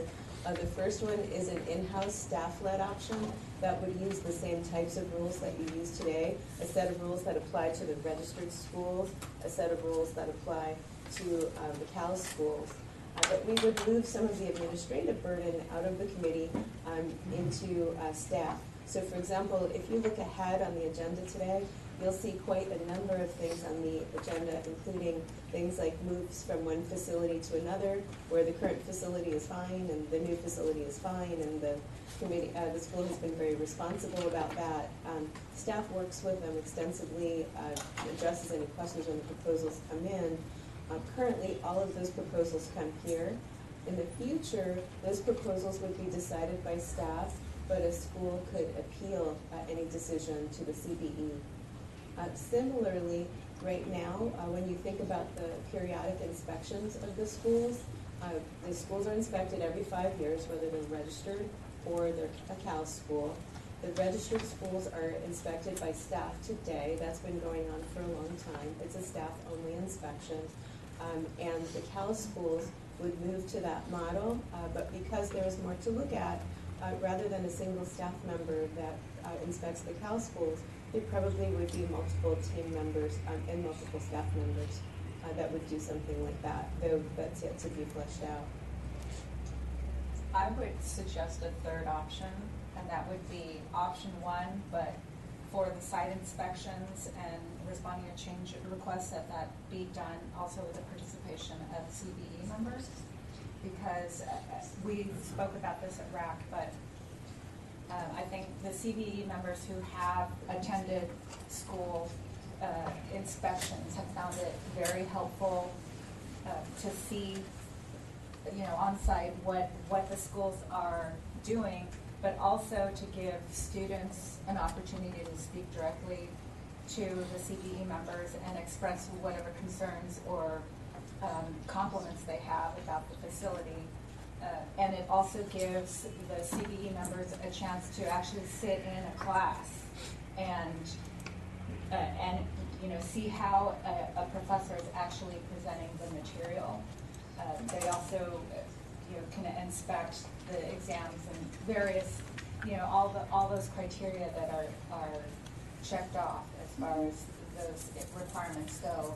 Um, so it gives, it's, especially with the public members, it adds transparency and it adds that involvement that, uh, I think is really important. So I would just, I would suggest that as a third option. Okay. But, um, so first, is there any public comment? Oh, you haven't finished? Oh, uh, no. As to this. Uh, sure. So one way we could go is perhaps we could just talk about this option, and then we'll move to WASC separately. Maybe that would be a reasonable way to do it. It's different than we presented it before, but. Yeah, I, I think you, since you presented the options, I would say just discussion on all three options. Okay, so then, so then What's your input? Okay, so let me lay out some of the others. So before we move away from this plan, uh, this is a professional accreditation, so that means you're specifically looking to accredit the JD program. You're specifically looking at the contents of the JD program, so you're looking for compliance. Here is a list of the things that your program needs to have. Does it have those specific things? Okay? Um, another option is to move to uh, WASC, uh, which is an institutional accreditor. There are, uh, and it's a regional accreditor. There are six regional accreditors around the, uh, the country, and uh, they are, uh, they focus on the entire institution. So they're not accrediting a JD program or an architecture program or a bachelor's degree in sociology. They're accrediting the learning model of the school. They're looking at student learning outcomes. They're looking at how goals are set for student learning, uh, how that learning is going to be achieved, and if that learning is going to be achieved, and is there analysis and continuous improvement. So they're looking at a model of learning that could be applied to all of the degree programs in the school. So it's a different focus of accreditation. Uh, it offers one uh, key benefit too that's not available through the CALS program. They are approved by the Department of Education such that schools that are WASC accredited uh, can also offer federal financial aid to their students if those students would otherwise qualify. Uh, and so in that case, uh, the accreditation function would go over to WASC. Uh, this would not be a contracting relationship. WASC has a set of rules that it uses, and those would be the rules that would be used. So neither the committee nor the board of trustees would have control over what those rules said. Uh, WASC has a well-developed body over its over 50 years of history that it would use. It also has a well-developed appeals body and many examples that people can look at in terms of what has been approved and how appeals have been treated. So they would handle the appeals function. Um, and in addition to that, the state bar and the legislature could continue to require specific disclosures. So you could regulate the way that the schools advertise, uh, whether they post pass rates for the first year, for the bar exam, things like that. That's already happening, and that could continue um, in this model as well. Uh, and in the past few days, as people have been talking about models, a couple of others have been discussed too. And we're getting a lot of models here, but that's the whole point of this discussion. One option is to essentially give schools a choice. So perhaps if they are WASC accredited, that they would not need to seek uh, the CALS accreditation, that they would be treated as somewhat similar. And so staff hasn't had a lot of time to evaluate that and see that what that would mean um, and to discuss that with council, but that is one that has been raised. Um, an additional streamlined version that has been raised is um, if you go back to uh, the way accreditation started, initially it was a much shorter list of criteria. In fact, it was one criterion, it was the pass rate. Uh, what could a model be like if you looked at the pass rate, if you looked at the placement of the students, and you looked at the satisfaction of the students. And the satisfaction was brought up to encompass those individuals that attend law school but don't have the intention to practice. So for example, a peace officer who uh, is looking to move up to captain and needs this level of education and this skill uh, to help them make that move. Uh, so customer satisfaction could engage that if that's the reason that they go to these schools. They are schools of opportunity and that's one of the kind of opportunities that is provided. So we actually have quite a few different general options on the table. Um, I have a pro and con chart about the staff-led model, option one, and I have many more slides that talk in detail about WASC because uh, that's the option that's probably less familiar to this group. Um, should we continue through those? Okay.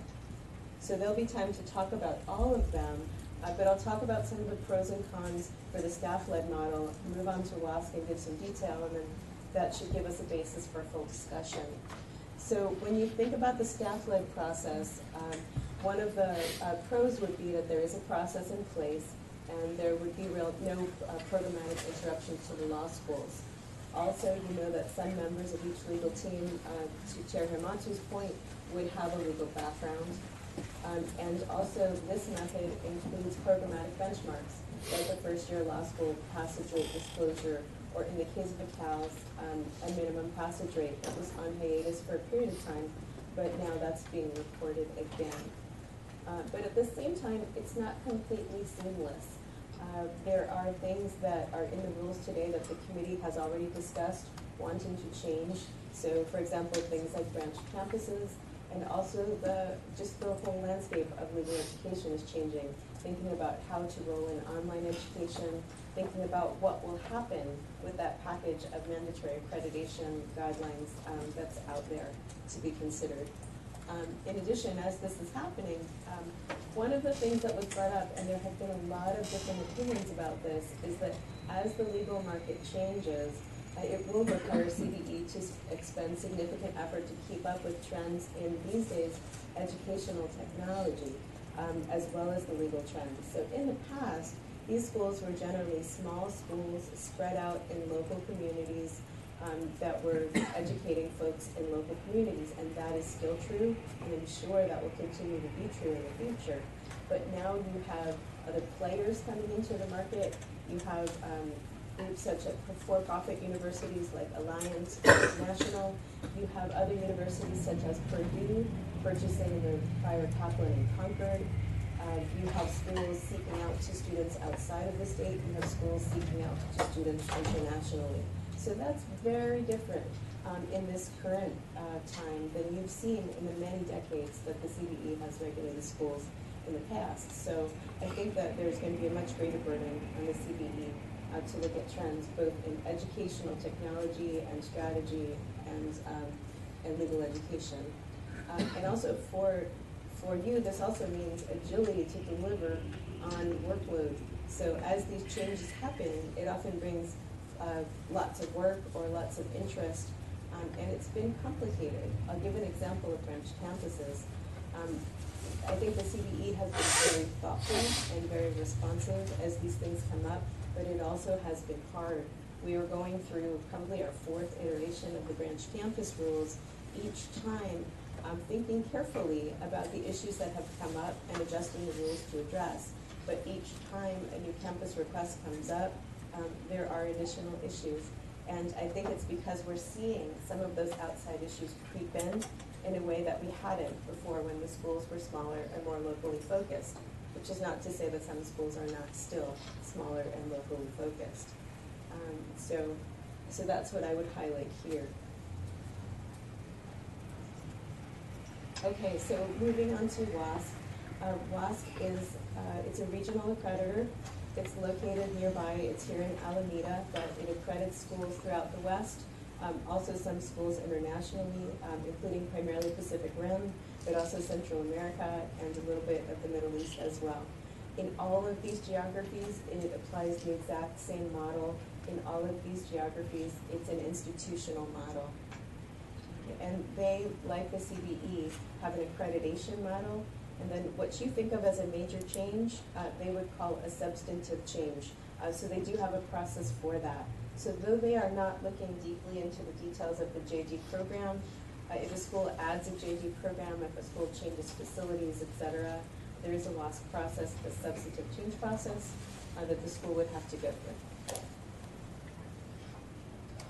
So uh, you're probably wondering if they are not evaluating the content of an individual degree program, what are they looking at? So WASC breaks their standards into four basic topic areas, and underneath those four basic topic areas, there are 39 individual subpoints. And generally, when a school works toward accreditation, they're working toward full compliance ultimately with those 39 subpoints. So the first one involves um, the institutional purpose. What is it that the school is trying to do? And does it do it in a forthright manner with honesty and integrity? And you know that, that the CBE rules also have that honesty, integrity, transparency component to the rules. The next thing it looks at is how does the school intend to achieve that purpose? What methods will they use? Uh, how do they look at the teaching that goes on? Um, how do they evaluate that teaching? Is there a faculty committee? Are the are the faculty evaluated? Things like that. Um, the third thing is the organizational capacity of the school. So does it have the resources? Does it have the physical resources um, in order to do what it seeks to do? And then finally, um, how does it look at those benchmarks and does it look at those benchmarks to try to continue to improve against them uh, going forward? And for those that are interested, I, I do have WASC standards at a glance that I could um, hand out, and you could take a look at those. It's got the 39 subfields on there. So we talked briefly, but just to um, just to remind you, the difference is really it's a difference in focus. So you shouldn't look for a one-to-one comparison between what CBE looks at and what WASC looks at.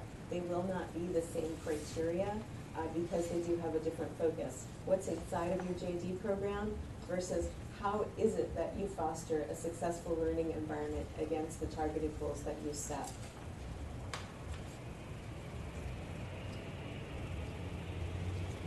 Uh, so how do you become WASC accredited? Well, some of the folks in this room can tell you um, and um, have done so. So right now there are um, 15 Cal schools, and of the 15 Cal schools, six are already WASC accredited, and three are in the process. Uh, we learned yesterday through our meeting that they've come to that WASC accreditation in a number of different ways. For some of them, they were purchased by or merged with schools that were uh, WASC accredited already. And through the substantive change process, they folded into that school and became WASC accredited themselves. Um, some standalone schools chose that method and did so.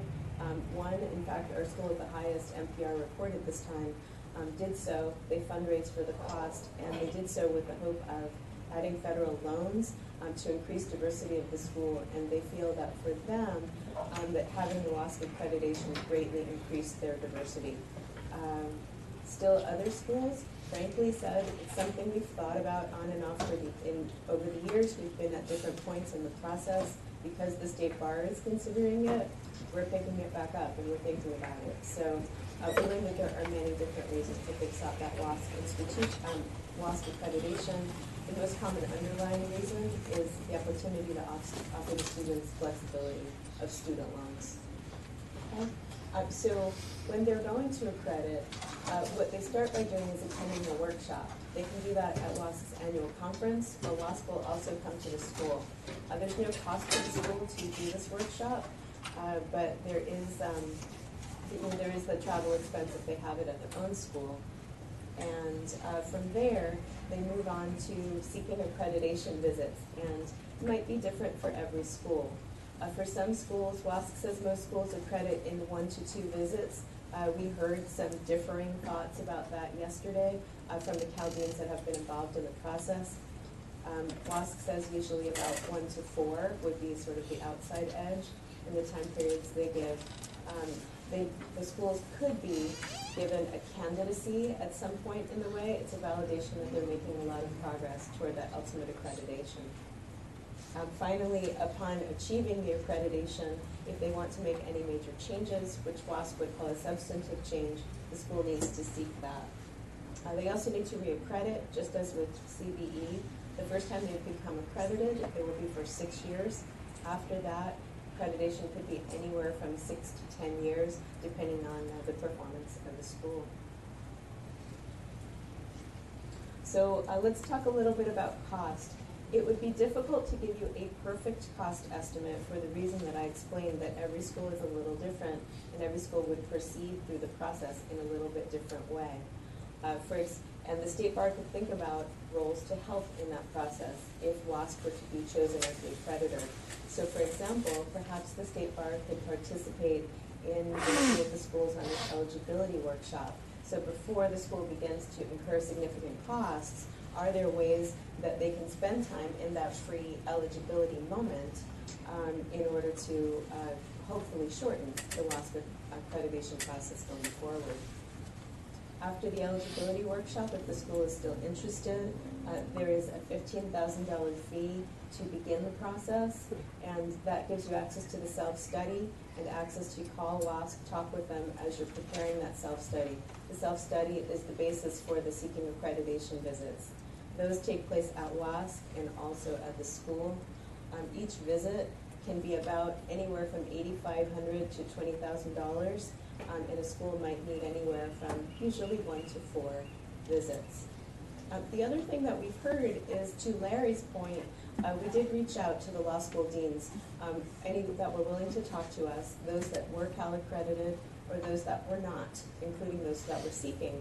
And we just said, what was your experience and what kind of changes have you made inside? And quite a few of them said, we've had to add staff just to do this. So we made an estimate of one to two FTEs that a school might need to add um, in order to seek WASC accreditation. WASC doesn't specifically require this, though they do ask you to have a CEO and a CFO whose full attentions or whose primary attentions are devoted to the school. May I? Sure. Uh, Maybe I lost here. On the, uh, with respect to WASC, Yeah. are we paying or are the schools paying? The schools are paying, and the top cost, the fixed cost, those are monies paid to WASC, either as fees or as reimbursement of travel costs. And then on the bottom, um, s- it's a hard cost, the multi-branch fee, but it's a soft cost of the school. It's up to the school whether they need to hire additional FTEs, but many of the schools have told us they needed to do so. And those are generally in finance or possibly full-time faculty or administrators uh, for the measurement and reporting cycle. And these, when you say many schools, these are the nine schools, nine of the sixteen CALs that are in the WASC pipeline. Yes, so these are specifically nine of the sixteen schools that have either already accredited via WASC or in the pipeline. Not every school needed to do so. Some schools did not need to add staff at all. Um, other schools mentioned adding up to two FTEs. That was the highest we heard. So the range we heard was from zero to two. We tried to be uh, conservative and to give you as much information and to uh, estimate on the high side. Also, WASC charges annual dues. Right now, they are seven thousand eight hundred seventy dollars, uh, which is higher than the dues that State Bar charges right now. Does anybody have any questions? Uh, does anyone on the CBE have any questions about the WASC cost profile? I, I I have a couple questions. So we've got fifteen accredited. Six, six are currently utilizing WASC, three are in process. Do we know which schools are, are using them, which ones are in process, and which ones, uh, are not? We do. I actually, I can, um, can use the MPR list to show you. And, and what I'm also concerned about is the schools that aren't, are they capable of bearing the cost of, of WASC without having to shut down the schools? We inquired into? Or, yeah, or it being passed on to the students as well? So, um, in our, um, in some of my discussions, for example, one school has had to, um, uh, have that, have that cost drive up their tuition fees by about ten percent, and they're in the candidacy, candidacy stage. So we have heard that. So, um, so what I'm saying is that, um, the need to hire two FTEs, and they estimated roughly each FTE, so it's a full-time equivalency staff member, was approximately hundred thousand dollars. What that meant is that the school increased ten percent, tuition by ten percent in order to be able to accommodate the, that staff. Um, we also heard though yesterday that, um, there are some schools that, um, by the mere fact that they're, they're part of a larger organization, it did not require that they add more staff. Um, because again, the review is done by the institution, so that wasn't a factor. But for smaller schools, it is, um, a, it can be very cost prohibitive to move on into WASC. So I think that um, it would be hard to, I- it would be difficult for me to speak for the intentions of the six schools. Uh, I think that it would be more expensive. I think that in terms of the schools that are unaccredited right now, they may run on a much tighter budget, and I think we didn't address those specifically, uh, but I think that it's quite likely that that could be more difficult. Um, But in terms of the Cal schools,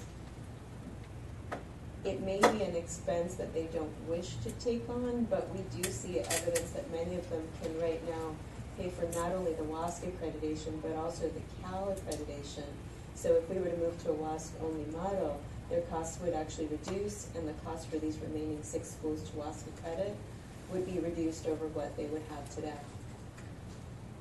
Um, if they were to have the one to two inspection path, then the, the cost would be similar to what the state bar cost is for their accreditation.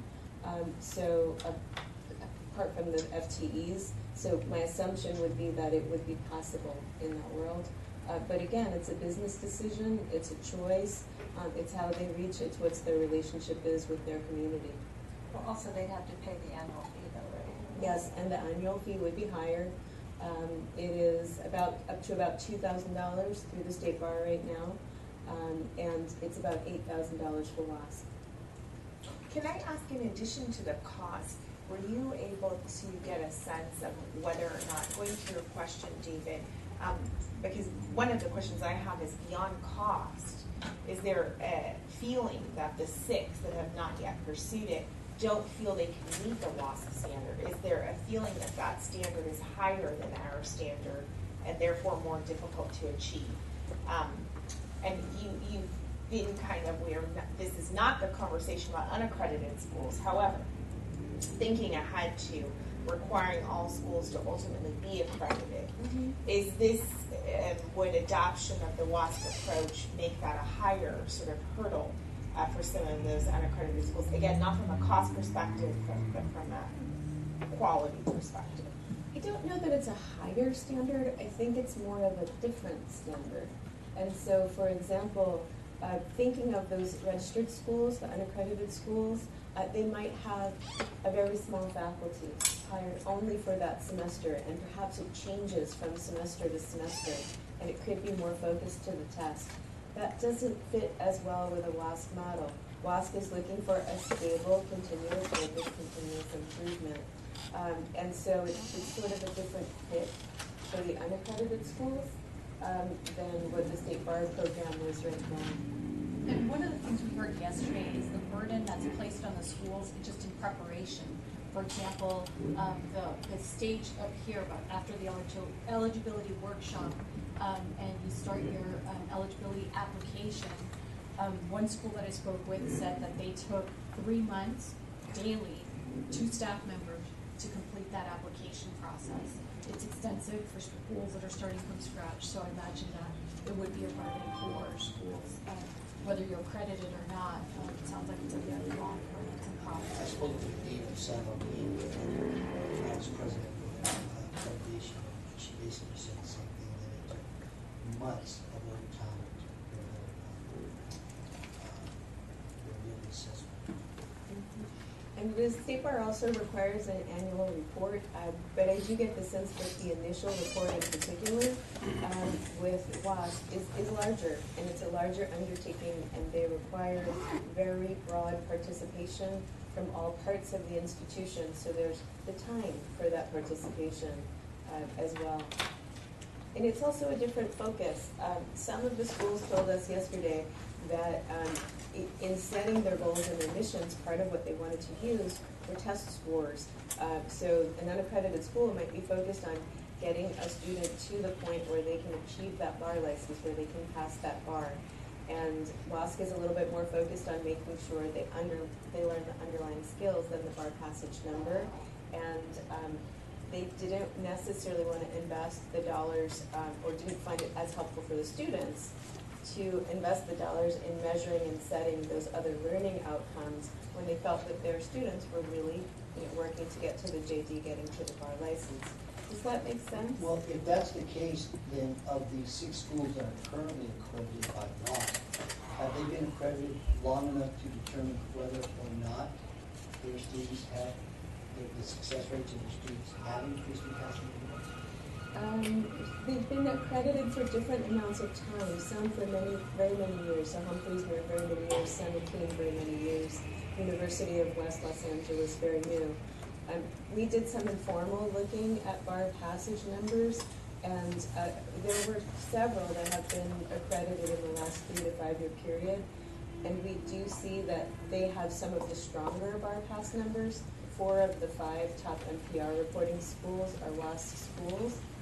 Um, whereas I believe that, um, if one, two, three, two of the bottom five are WASC schools.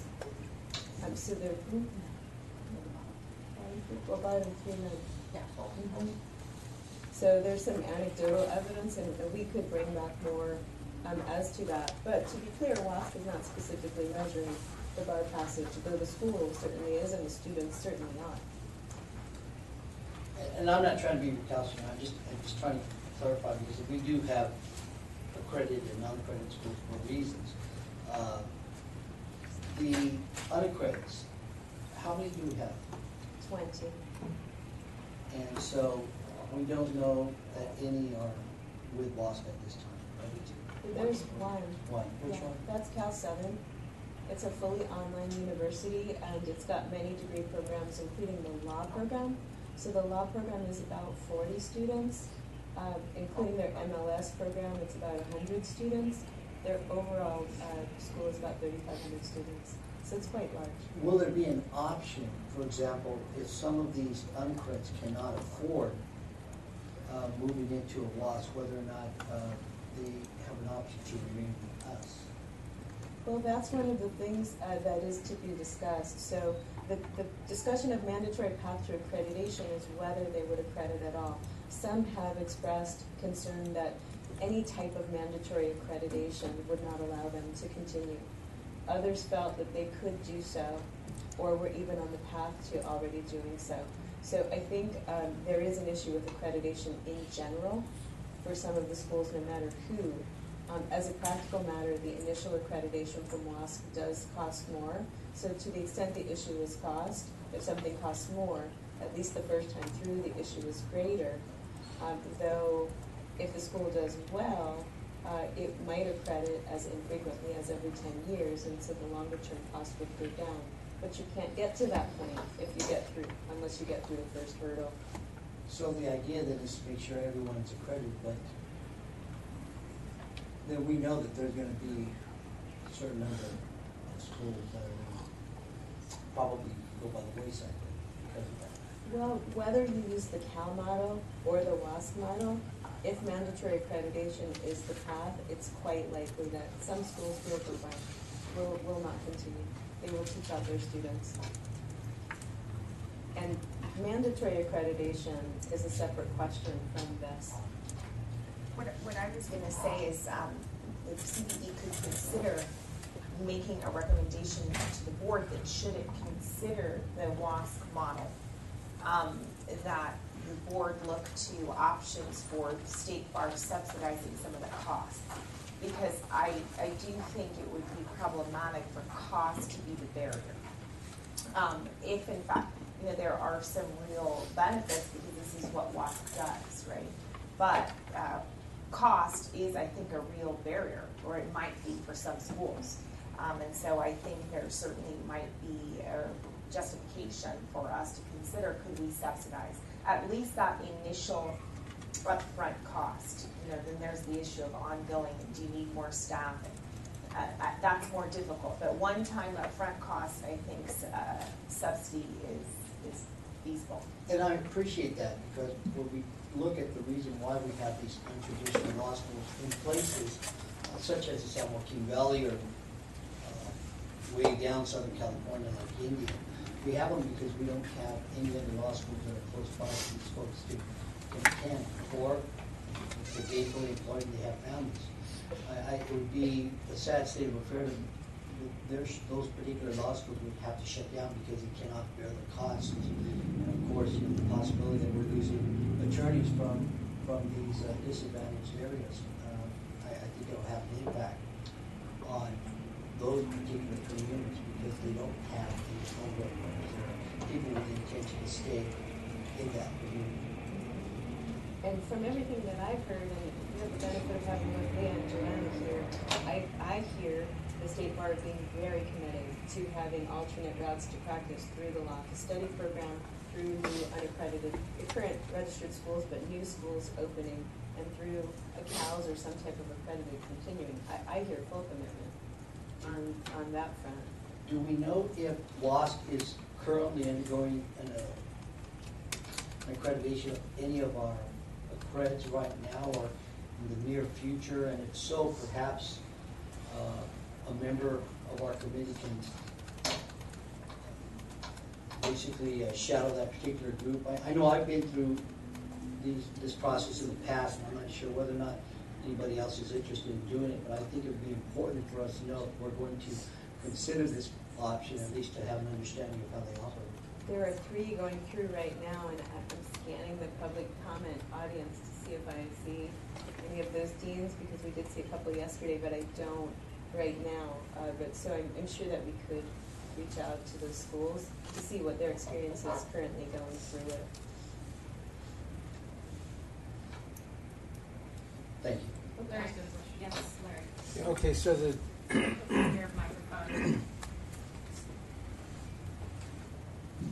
um, the cost difference is forty thousand dollars? Well, so, so it depends is the answer, but let me try to explain what it depends upon. So for either type of school, for, for Cal accreditation and for WASC accreditation, if it goes quickly, if the school is approved on the first try, uh, you're looking at somewhere in the low thirty thousand dollars plus your soft cost of the time to prepare. And most schools say it takes longer to prepare for WASC than it does to prepare for a state bar um, accreditation. Uh, but even with state bar, I've laid out the most streamlined version. A school opens, it immediately on the first try becomes registered. It does not go through a provisional process in the CALS process, and it is accredited on its first try. So you- you're in about the same range. So in that streamlined version, yes. Um, where the costs go up if it, is if it takes them longer to meet either the Cal or the state bar requirements. State bar, it would be common that a, a registration would be very quick and use that most streamlined model. Um, the Cal accreditation could take some time, and later on today, we'll talk about a withdrawal of a school that tried, and they'll be stepping back for a time because they felt they couldn't meet the Cal requirements, and they may try so in the future. Um, so I think it's quite likely that the initial registration for many schools would be similar in price. But for some schools, it's taken longer. So we talked to one yesterday. They've been working on accreditation since 2011. They're approaching their fourth visit. So they're approaching that 70,000 number. So essentially, most schools will pay in the 40,000 range. Some schools could pay up to 70 if it takes them longer. Presumably, in a world where WASC would be the sole accreditor, they would be motivated to uh, move quickly, but we can't say. Does that help? So why, I, I guess my question is, why are we so cheap? Why are we so cheap? Yeah, like, what are we doing? Like, are we like slacking off? We're not, uh, we have low standards? We do a, you know, a, a real slipshod job or something? And these guys are we- Cadillac and we're Chevy? I mean, what, I don't get it. We, by statute, first of all, are precluded from making any type of profit. So that's number one. That's really important to understand. And they aren't? I don't know, even if they are a nonprofit, they can generate revenue. I mean, they can, you know, generate reserves, they can make money, they just have to use it on their business. We can't do that. So, um, so that's one issue, but that's the question that I continue to have to try to understand, is this a higher standard? And certainly the anecdotal evidence is it's harder to get that initial accreditation from WASC. It's more work. And so, you know, at some point this is subjective. Is it is it is it higher? It's a different standard and they are a professional accrediting institution. And so one model allows a school, uh, allows a possibility, though not every school has this philosophy and teaches that way, essentially to teach to the test in the most streamlined way possible. Um, a WASC model doesn't allow that. A WASC model requires it to be a school with faculty that have training in education, with faculty that are evaluated, with a virtuous cycle of education, and so there is more encompassed in that. And so it would be a big change from a very slimmed down school that's almost more like a law office study type program to move to that type of model. I mean, to be frank, the implication is, is that our standards stink. Really, that they're substandard. I don't. I mean, I don't that's the think we should- implication. The implication is that the status quo has, is substandard compared to what it should be. Well, the other thing that I'll say is that um, the state bar is also allowed to subsidize the cost of the program. And um, in, uh, it, it might seem somewhat like geologic time, but you'll remember that the register schools have only been here for about a decade. And so the state bar is still learning over time what various things cost and how to budget. And you know yourself that the program um, it may not be fully covering its costs at this time either, but uh, not through any malfeasance, just because we are also learning, and each year we seem to see different types of mixes of requests. So that's part of it too. Uh, but I don't think anyone is intending to say this is a poor program. I hope you'll see, you know, in some of the things we talk about later today and what you know about the program in general. Well, you may not be intending, but that, that's the implication from this, you know, and, and, and frankly, it makes the argument for WASC in that it makes the argument that, um, in the grand scheme of things, we should have higher standards than what we currently have, and so we should go to WASC because that means we'll have higher standards, and that benefits society by having higher standards. So, Can I respond to that? One of them is, we've got volunteers who are doing some of our work. If you build our volunteers at their hourly rate, I suppose our rate would probably double what the WASC would be. But, because as I understand, we've got two or three volunteers going to every school that aren't being paid anything. We do, but WASC also uses volunteers, so, and they have a commission that makes their decisions. Uh, it's about thirty members. Those members are not attorneys, they're educators. Uh, it just so happens that the current CEO of WASC is a Harvard-trained lawyer who uh, taught at Yale. Um, that's because that, who that person happens to be at the time. It's not required that that person be an attorney, but uh, that person absolutely is. So my second question, though, important here is, is the, are we served better by crediting the schools because we have closer contact with the schools that we're gonna lose if we go to WASC? Or does that really make a difference? Do we get, do we gain something as a committee by doing the accreditation? And I don't have an answer to that, I just don't know. I think, well, what we certainly heard loud and clear from the schools is that once the accreditation decision happens, there's much more day-to-day interaction through the state bar for the schools, but also for the students that would, would like to make a complaint. Um, WASC does have a complaint process, but it's, it's a little bit more bureaucratic, and they felt that they heard from WASC less often. That's anecdotal evidence uh, from Cal schools that are involved with WASC. Can we, can we just go to um, public comment for now, and we'll come back to committee uh, discussion, but um, if, if there's, and if you could please keep it brief, uh, just uh, uh, introduce yourself. Hi, my name is Jackie Gardina. I'm the Dean of the Santa Barbara and Ventura Colleges of Law. Um, We are WASC accredited, so I'm, I'm here also to answer questions. Um, I'd like to address two things. One is, I wish Dean Barbieri was here because I thought that he raised some really important issues yesterday at the RAC in relation to the WASC outsourcing issue. And that had nothing to do with costs, nothing to do with whether or not particular schools would be able to become accredited, but rather what he thought was a public protection or a consumer protection argument to keep accreditation with the state bar.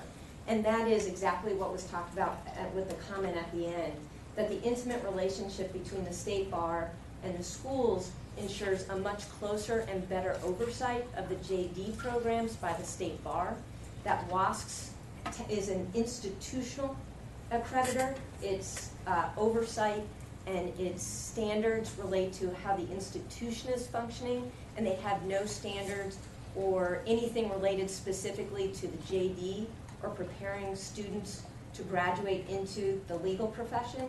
So he spoke, I thought, very eloquently about the consumer protection piece of outsourcing to WASC.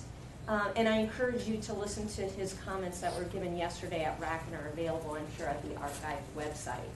Um, but I also wanted to speak specifically to the in-house piece proposal, uh, just to raise a couple of concerns that, that in some ways overlap what was discussed in the last section, which is really the kind of vagueness of the proposal.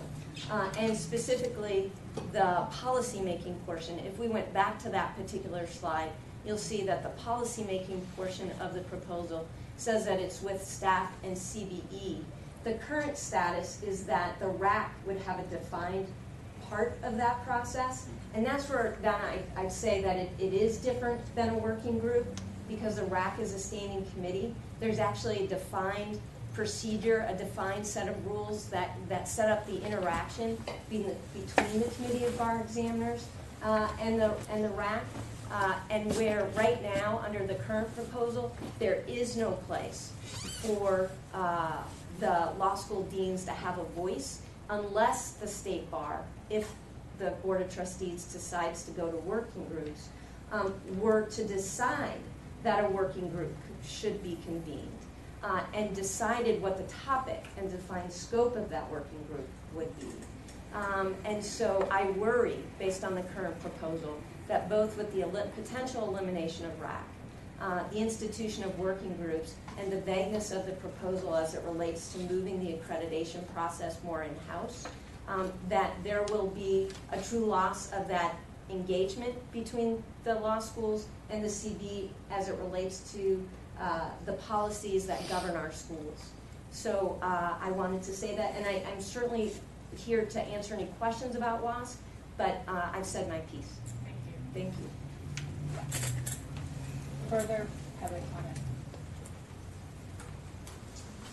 And please introduce yourself and try to keep it brief. I know you get that from me personally, and I accept that challenge.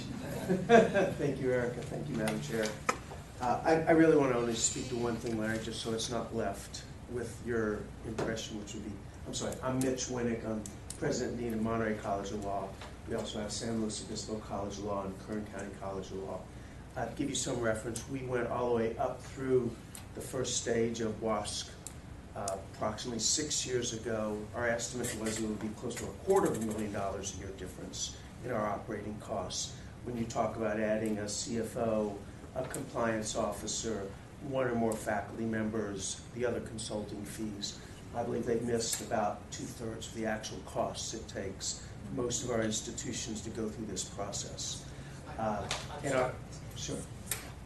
Can you give me that cost again?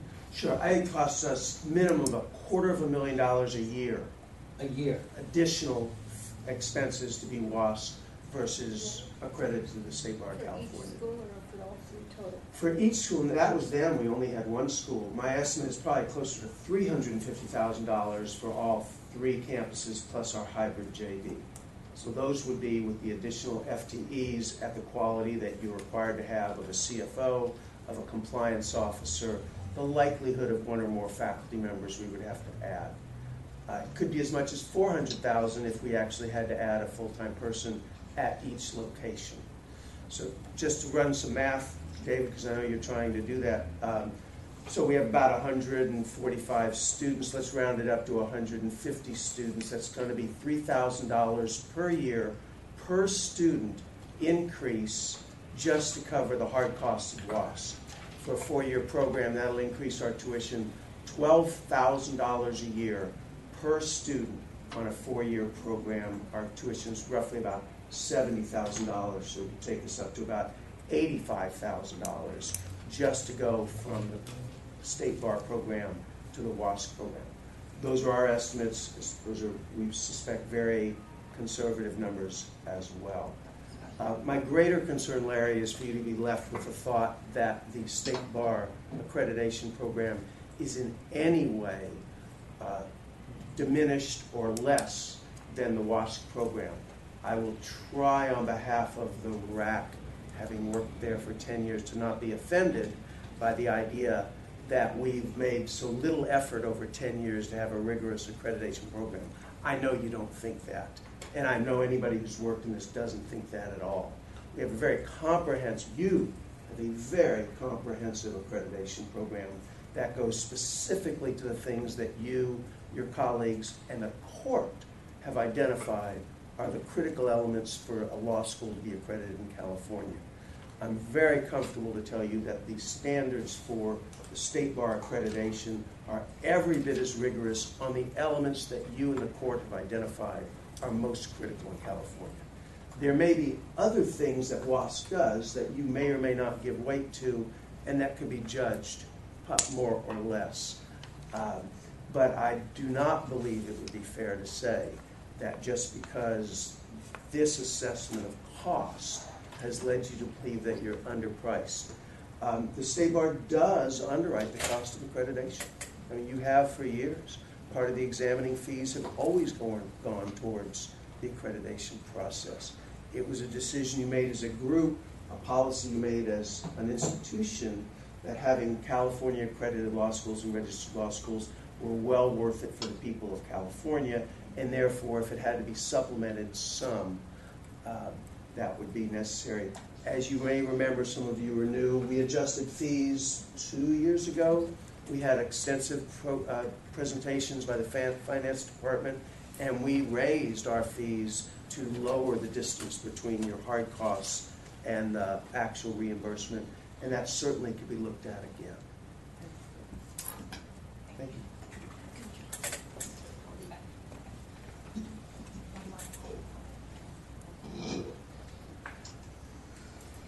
If you could introduce yourself and please keep it brief. Uh, yes, my name is Andrea Lua, and I'm the dean from Pacific Coast University School of Law down in Long Beach. Um, one of the things I think that we need to think about is the access to justice, um, the diversity and affordability. Um, my law school is the most diverse school population in the whole state of California. We have more women. In fact, in my incoming class, when I looked um, out the other night uh, doing our orientation, I had one white male in the whole class. Can you do something about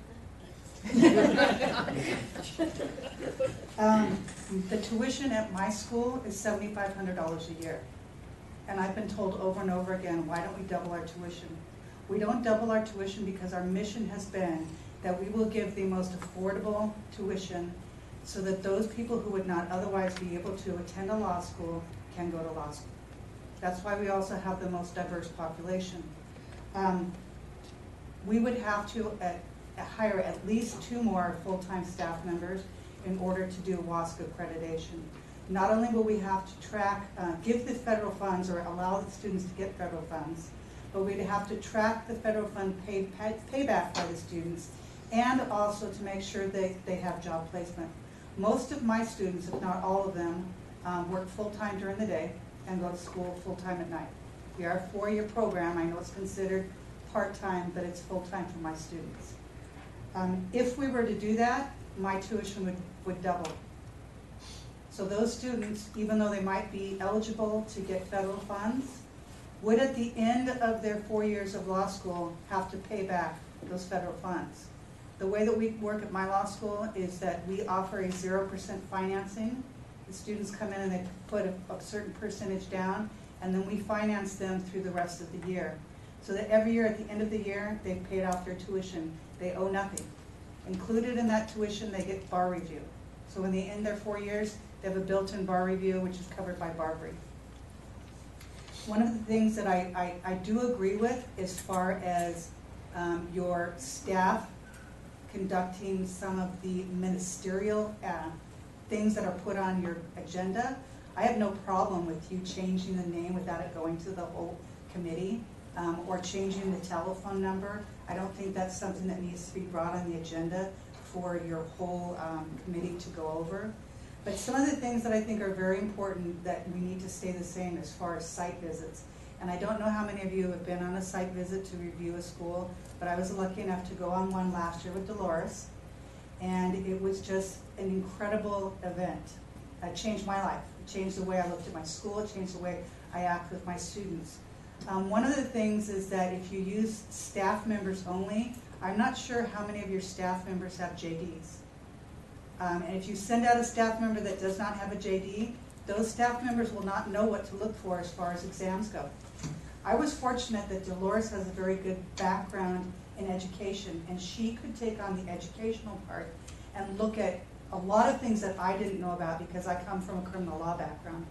But I could take on the part of looking at the law exams to see whether they were content correct, whether the teachers were putting on um, comments that were correct to the students, so the students would understand why they got the grade that they got or why they didn't get the grade that they, that they got. Um, it was also interesting to go into the classroom so that I could see how the teachers were teaching and see if my teachers were teaching appropriately along with those teachers. It also got me to um, interact with their students, to see what their students are saying. And what I really enjoyed about talking with their students is that their students gave me pointers. We need more uh, MBEs. We need more practice because of the change in the bar. So if you go to a WASC, WASC is for upper education. They don't care whether students pass the bar. They don't care whether people know the concepts of the bar. They don't care whether, whether anything other than retention of those students. So where we as a law school are weeding out those people who cannot be lawyers, although they, they may want to be lawyers, and they may be very nice people, but a lot of them just cannot be lawyers. Where WASC wants to include those students because they want at the end of your four-year program for you to graduate all those people who can eventually pay back the federal funds. So I think this is very, very important. The accreditation process that we have in, in place right now focuses on the JD. It focuses on what our students are learning and how they're going to go out and how they're going to practice. If we give this up to WASC, how many positions are you going to lose at the bar? I remember getting a study that came out, and I couldn't find it or I would have brought it, that went through each person and their job title and how much of their job was dedicated to the CALs. And there are some that 100% of their job is to deal just with the CALs. So does that mean that they go away? I don't know, it's something to think about. But I think if you want to look at the learning of the law students and how they're going to go out and function in the job, if they meet the minimal uh, competency rate, whatever that may be, um, we really need to stick with what it is to have a JD. Further public comment? Okay, and this will have to be the last one. Thank you. Um, I'm Ira Spiro. Uh, since a year and three months ago, I've been the dean of People's College of Law, which is an unaccredited school in Los Angeles, founded in 1974. Um, uh, on top of the eloquent statement just now by the dean of Pacific Coast, um, their school and ours have similar goals. We go about it in a somewhat different way. Um, and this goes to the question that's been raised here about whether some of the uh, unaccredited schools will be able to survive uh, WASC accreditation. Our school tuition is four thousand dollars per year, also a four-year program. Uh, the students, nearly all of them have full-time jobs and, and study at night, uh, go to school at night, I should say. Um, we also offer zero percent financing. If they need a payment plan, say, fine, we'll spread it out, no, no, interest. Um, the reason that we're able to charge four thousand dollars a year, by far the principal reason, is that every single person who does work for or at our school does it as an unpaid volunteer. That includes me, that includes every faculty member. We have one part-time uh, administrator who's paid a uh, wage. Um, to increase our budget on the order of, well, uh, Dean Winick was saying, was the experience of his school, two hundred thousand dollars a year, um, or two fifty is what he said. Our total budget right now, you can imagine with all volunteers, is less than a hundred thousand dollars. We did raise some money in a fundraiser, We raised about four thousand dollars last month for scholarships. Um, which we're giving out for these first year students. But if our school is required to be, and these are all friends of the school, alumni. Anyway, if our school is required to be accredited by WASC, that'll be the end of our school. It can't function the way it has now for forty-four years, uh, if that were to happen. Um, we'd have a good deal of difficulty having to become, financially having to become accredited, uh, even through the Cal process, but we started to work towards that ever since this committee uh, announced it was moving in that direction. But that, everything I've learned, is far less expensive and uh, than, than WASC. One more point on that, the WASC idea to have a permanent staff, or, or at least a long-term uh, faculty, I should say. Of course, our faculty is not long-term. They are all volunteers. I've taught for seven years, but uh, um, uh, that, that's rather long for our school. As you can imagine, these are all practicing lawyers. Some of them from the biggest, quote, prestige schools in the country. But it's a difficult thing to get people to teach, to make that kind of commitment for pay. Thank you. So any further, um, committee comment? Yes, Kathleen? So, um, I'm gonna say this as a member of a minority group. It gets pretty old and frankly insulting for organizations to continually assert that they care about diversity or access to justice, and, you know, they put up some pictures of some minorities on the website, and say all these nice words, but then fail to actually enact new policies that are going to do things to either further diversity, um, or increase access to justice. And I'm really concerned, well, um, like co-signing some of the comments we heard from some of the deans, that requiring a WASC accreditation is going to do that in effect. Um, because what we've created here in California is a beautiful, different thing that other states don't have, and I know many other states envy, that we have our accreditation program. Because we care about making sure that we have these CALs that are able to operate in communities that are not traditionally being served by the more elite and or larger law schools. And the framework that we've set up and the process that we have serves the needs and the goals that we as a bar are trying to achieve, which is to promote access to justice.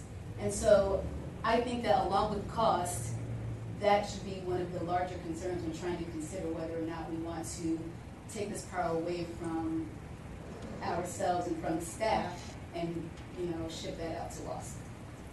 So a, a couple of things I might add that are relate, related to that, just to give you some numbers to have in your head. Um, I think it, it comes back to Larry's point in models. Um, we looked informally at diversity among schools that are WASC accredited and not, and we actually expected to find a large difference. But we found that they were very similar. Uh, we looked at the years 2015 and last year's annual report 2017. We picked those, those years only because we were also comparing to MPR, and those were years for which we had pass rates. Um, we found that the diversity went up for both the WASC schools and the non-WASC schools at about the same rate. Um, we also found that um, there was a tuition difference, so average tuition at a non-WASC school was about sixty thousand dollars. Average tuition at a WASC school was about seventy-five. Um, you know, that could vary, which gave his numbers. Um, so that's a little bit of background. I think it's more a certain type of model that would have difficulty in the WASC process. So Dean Spiro talked about a situation where you have volunteer teachers and that's central to your mission. That's probably difficult in a WASC model. Also yesterday we heard Dean Gardina talk about a model where a larger number of people might be accepted into your initial class, including people without a bachelor's degree or without the 60 credits and a special student status, knowing that not all of those students will make it through the first year. So the attrition, sometimes by design, is extremely high at some of these schools with the idea of giving people in a community, any community, a chance. Um, whereas WASC would place a premium on choosing students that can succeed and nurturing them to success all the way to the end. And that type of model would have difficulty, I think, in a WASC world. Um, a third situation is that you're not directly measuring scores, and to the extent that's a new territory, uh, when a school's scores are rising and falling, what amount of control does the state bar want to have over that? You know, the gut reaction could be a lot, um, but as a practical matter, the state bar hasn't had a lot of control over it for a long time, and you're implementing now a minimum pass rate for the CALs, and it's a challenge, but we're gonna talk about it more today. So it's, it's sort of more the, the shape of the model, um, that is quite different between the two. And so, you know, some of that is where, where does the committee wanna go? Where does the bar need to go going forward? Help? Well, I mean, but but the idea then, just taking into account what Bethany said, when we look at the overall statistics, I believe we're six percent Asian, four percent Latino, and two percent Black attorneys, total attorneys in the, uh, well, members of the California Bar. And what we're doing, as to what some of these uh, deans have said, uh, we are eliminating the possibility of increasing those numbers as well in, in communities who do have uh, and Latinos attending these particular schools. So my concern is, you know, it seems as though the bar wants to shut these schools down. That's my, that's my, that's my impression. Whether or not it's true, that's the impression I'm getting. Because if they're saying no, ultimately, that's gonna happen if they have to convert to a WASC model. The other question is, can we have, or have we considered, can we consider a hybrid model where those who can afford WASC can go through the WASC, and those who cannot, well, then we could uh, continue the operation that we're currently undergoing, so that these smaller schools can continue to operate. That, that is exactly one of the models that um, was more recently proposed, and so we haven't had as much time to sit with it and, uh, and to give you the effects, but that, that is definitely one that was recently discussed. Erica, I don't, oh, someone else. Uh, Dolores.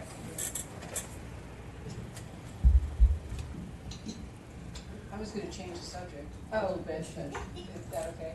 Did, is if that? she's on subject, she, she go. Okay, well, I'll go on the sub, I'll go on, let me turn my mic on. I'm gonna go on the subject that I'm thinking of right now in light of this hybrid that I'm concerned about. WASC doesn't regulate law schools per se. They don't have the training to do that.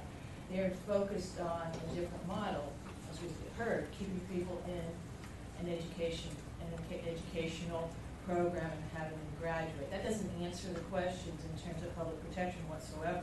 So if we still have the mission of public protection, moving to WASC doesn't solve that issue.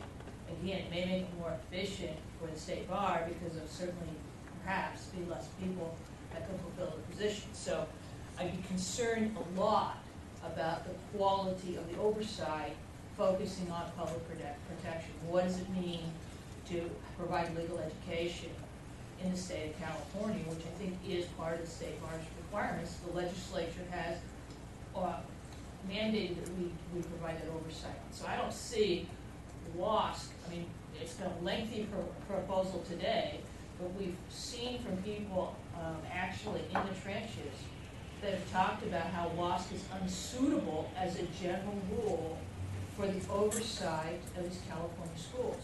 And if it means the end of the registered schools per se, because they can't afford it, or the smaller schools in our rural areas, then it defeats another purpose, which is access to justice.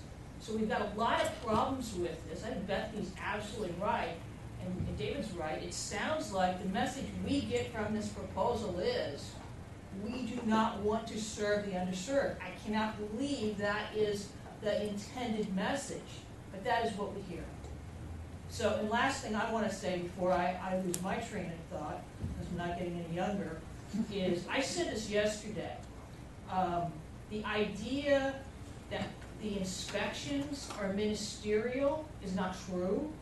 The inspections uh, uh, involving the committee members is very valuable. I think it's very valuable for the deans and the law schools to participate because whether it's a public member or a lawyer, we bring a lot of that kind of boots on the ground insight.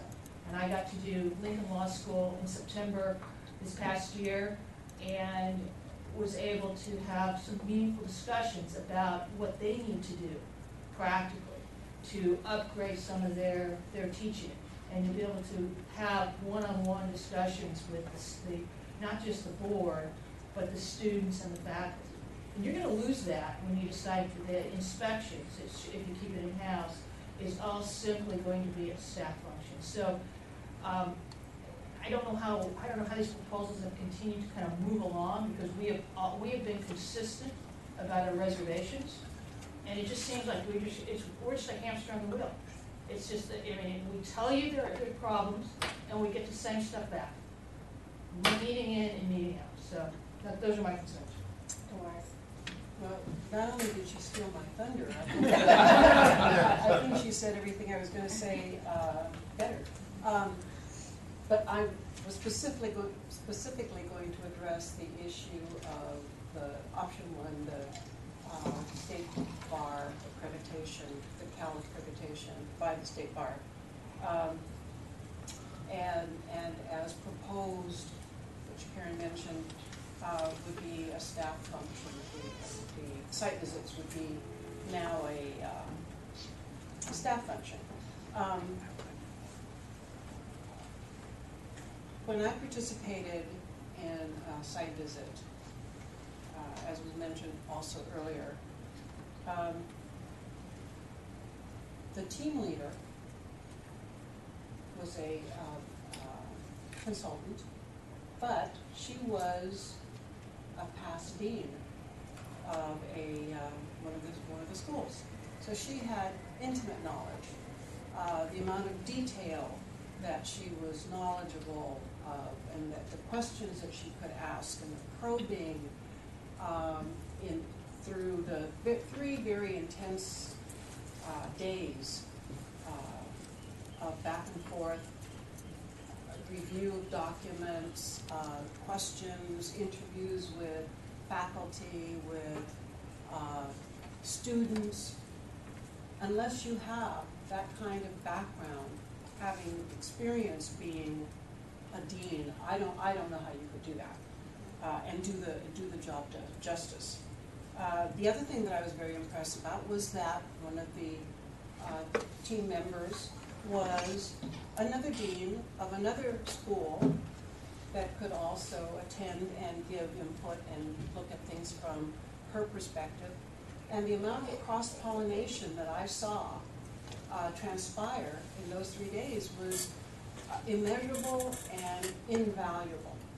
Um, If, if it, staff may become very knowledgeable at the end of five years of this process, but I think that would be to the detriment of Well, at the risk of sounding pompous, I think the state bar did a damn good job of, uh, you know, uh, looking at these schools and, uh, doing the job on the site visits. I think they were very thorough and complete, and, uh, many of us learned a lot just from observing. Um, two last comments. Yeah, so um, definitely kind of sharing some of the sentiment of my colleagues. My initial concern is uh, the cost, and part of that is because we have a rising uh, student debt um, situation in our country. Um, and when you talk about access to justice, diversity, and inclusion in the system, uh, cost uh, plays a, a huge role uh, for members of my disadvantaged community in going into these professions. And so I would strongly urge that we maintain status quo. Um, I would have to look at something more thorough if we were looking at a hybrid option as presented by uh, Mr. Torres. But I think for the most part, uh, the system as is um, works. And I believe that while we could improve the standards and do an, a little bit more, I don't think we do that without the uh, perspective and the guidance of our deans that are here today um, and engaging them in the conversation and improving those meaningful interactions because uh, really, like I said before, I'm not a fan of top down. I don't believe that operates best for people in, in general. I prefer bottom up. And um, what I what I am hearing from them is that this will really impact our operations. The, the snapshot that we have before us is not very um, ideal to what they're going to see on their organizational capacity. And so I would hope that uh, other colleague members and even the board of trustees would understand that this is not a good path to go through because it would really impact uh, access overall. And personally, for me as a public member, that's, that's a huge issue. And so I would hope that we would maintain uh, what we have. Um, and if we were to do a hybrid approach, that we would really take a more thorough analysis into how that's going to look and what our transitional period is in that aspect. I'm scheduled for a site visit in September. I'm really excited about that. I've spoken to some of you about that process. And for me, it's going to open my eyes and really bring this all full circle to how the students and the administrators at those sites actually operate on the ground level and provide services uh, to their um, students. So, thank you. And you'll be at a school that is actually undergoing WASC accreditation, by Oh, cool. Very Um, WASC accreditation, uh, they accredit the whole school, so if the school has other degree programs, those get, uh, so this cost, is that just for the law program, or is it for the whole school? That's for the whole school. Okay, so now you're comparing apples and oranges. That's one problem with those numbers. The second thing is, can you tell me how much the bar subsidizes the cost of our accreditation? I, you know, I'm not certain without looking, but that's a number that we could tell. Yeah, okay, so, you know, in, in some ways, the big picture, it's great to have, you know, schools that are, you know, better at educating people, because we're a better society when people are more educated. On the other hand, that, is that our job? Is that our table? I don't know. Probably not. Um, uh, and the fact that these numbers are apples and oranges, this thing needs a lot more research, I think, before we can decide which way to go. It's too complicated.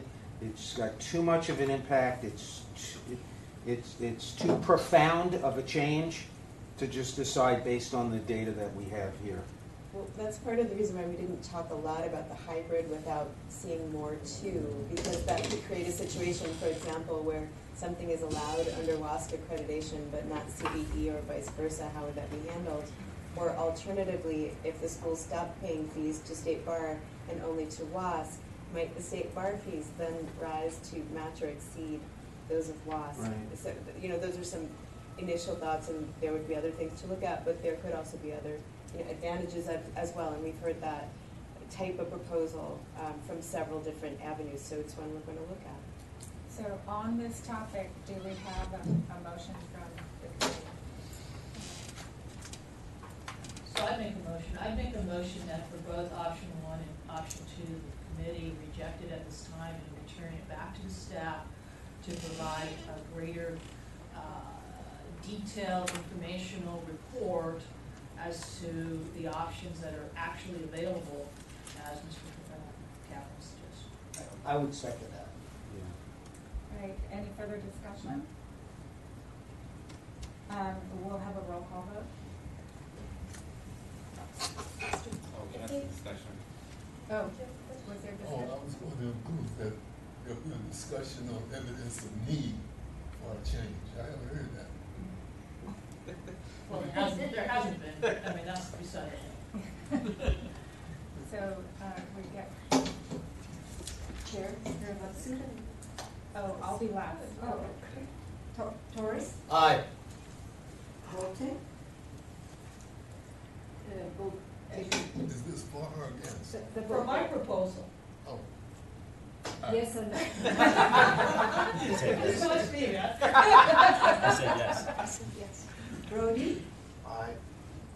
Chen? Acting? Yes. Fox? Yes. Heisinger? Yes. Gillespie? Yes. Gongora? Yes. Goodman? Yes. Kaplan? Yes. Lawrence? Aye.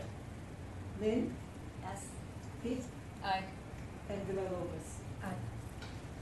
And I'm also. Cora. Yes. Oh, Villalobos. So you should re- indicate that it was unanimous. It was unanimous, yes. And it passes. So, uh, because of time constraints, we're going to uh, stop here and move to uh, Alex, your presentation on ed standards.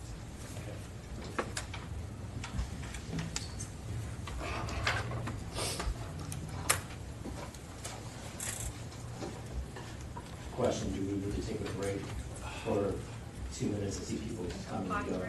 Break? Yeah, real quick, Uh, two let's minutes? take a five-minute potty Five break. minutes? Okay.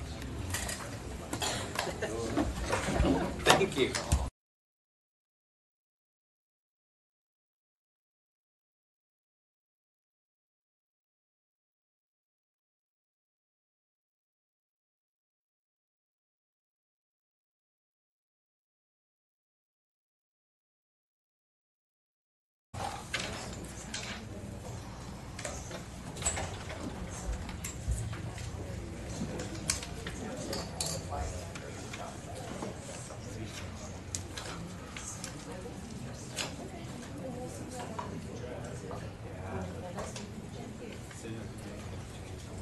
So we're ready to reconvene, and uh, I'll pass it to you, Alex. Great, thanks, Erica. So this is the subcommittee on education standards, and at this time, we'd like to give the opportunity for the public to make any comments, if they wish. Going once, okay, doesn't seem like there was any interest at this time. Okay, so I'd like to begin with the first open item, Abraham Lincoln University School of Law, a major change request, moving to a new facility. The, the school submitted the major change request to ratify its July 2018 move from Los Angeles to Glendale. A request was submitted prior to the move. Uh, The school recognized this action and did apologize for the oversight. And a little bit of background about the school. Uh, Abraham Lincoln University School of Law is a fully online school that registered with the Committee of Bar Examiners in 2008. It was last inspected in October two thousand fifteen and found to be operating compliantly. But according to the unaccredited law school rules and guidelines, an unaccredited registered law school must request and obtain approval from the committee of bar examiners before it makes a major change request. And Alex, just really quick, uh, semantics, we're not doing subcommittees, so this is the full committee. Yes, sorry, I apologize, this, this is for the entire committee. Discussion. Uh, Natalie, do you want to share any additional information, uh, about the school? I, I appreciate the summary, uh, oh, I appreciate the summary, Alex, I appreciate your patience, patience listening to me tattle on so much at this meeting. Uh, and I also want to thank the committee for the suggestion for closing the follow-up group as the schools move, and having this follow-up conversation and follow-up Skype call um, after a move, I think is, is a terrific thing to do. Um, it's great information for the committee, and it's helpful for the school to have an endpoint and a report point to let you know how it's gone and to let you know if there are any issues. So, uh, so thank you. So having presented her all the information, is there any discussion? I would just, um, you you said that the, did you say that the request was put in, uh, after their decision to move? The decision had already been made. Right, so I would just ask that, um, we not hit that in the future, that we make it very clear that the, the requests need to come beforehand. It's, it's more asking permission than asking forgiveness.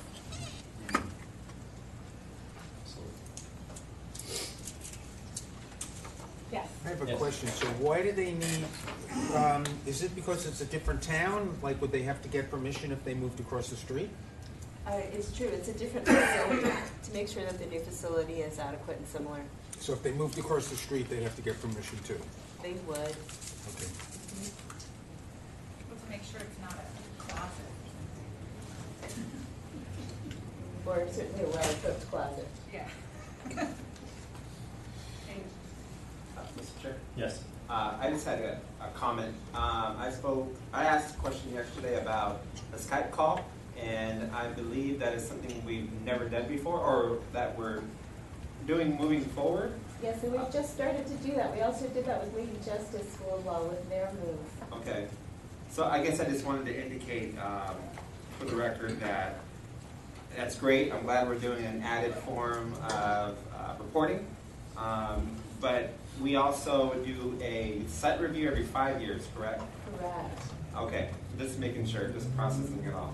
Yes, and so part of the reason why we didn't do the Skype call with uh, Monterey College of Law is because that school will be inspected live as part of its five-year periodic inspection. We'll talk about that in, in a moment.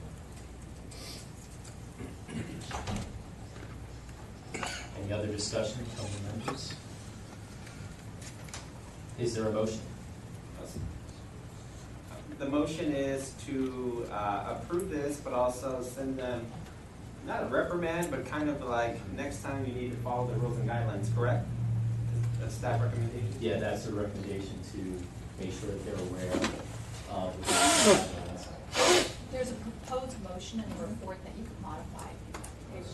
So to be clear, your options would be to um, issue a a warning or reprimand, uh, or a more serious notice of noncompliance with financial penalties, reporting, etc. Uh, Should you go with the latter, I'll point out that uh, perhaps there's some confusion because there were three schools this summer uh, that did the same thing, Abraham Lincoln being one of those three.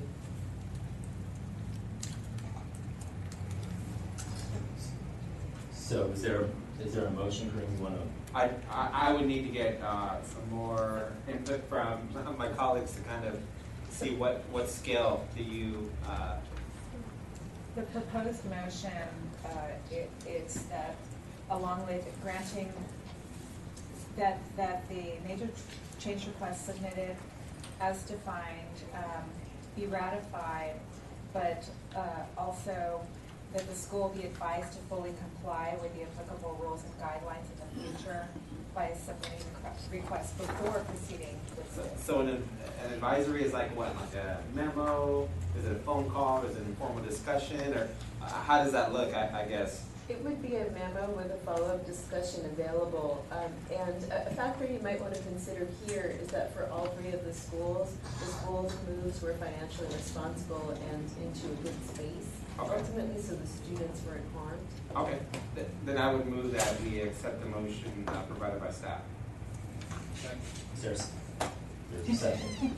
All those in favor? Aye. Those opposed? Okay, this, any abstentions? Great, this passes.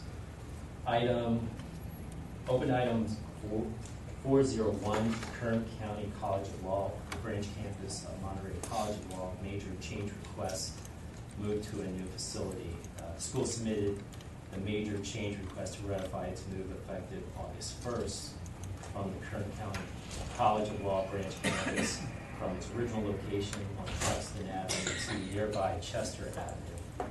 Um, Again, this is another uh, one of those requests uh, where the move was done um, to, the move was done before coming here to be here today. Uh, But as a reminder, the Kern County College of Law branch campus was was co-located within the Kern County Bar Association. Monterey College of Law moved the Kern County College of Law campus effective August first to ensure the move could be completed before the fall term began. Natalie, any other additional information? Move to accept the motion. I, I would, Discussion? yeah, I would amend that and, and make it consistent with the prior motion in that, uh, the request be granted, but they also be advised to fully comply in the future. I will adopt that friendly amendment, uh, uh, move to, uh, I move on the current proposed motion with the uh, comment noted by Madam Chair. Thank you. Is there a second? All those in favor, say aye. Aye. Any opposition? Any abstention?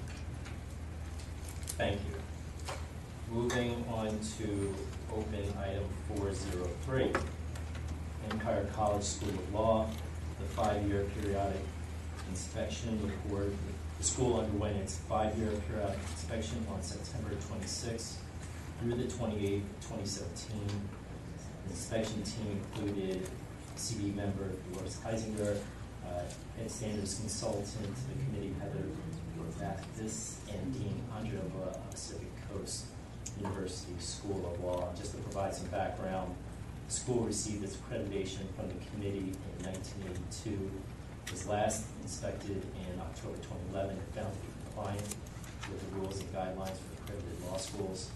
School offers uh, JD degree to students making currently enroll in a two-year NLS program. And at the time of inspection, the total enrollment was eighty-five uh, individuals. Um, I'm going to ask uh, Dolores if you, you were commenting earlier uh, about your experience, if you want to add anything about your experience.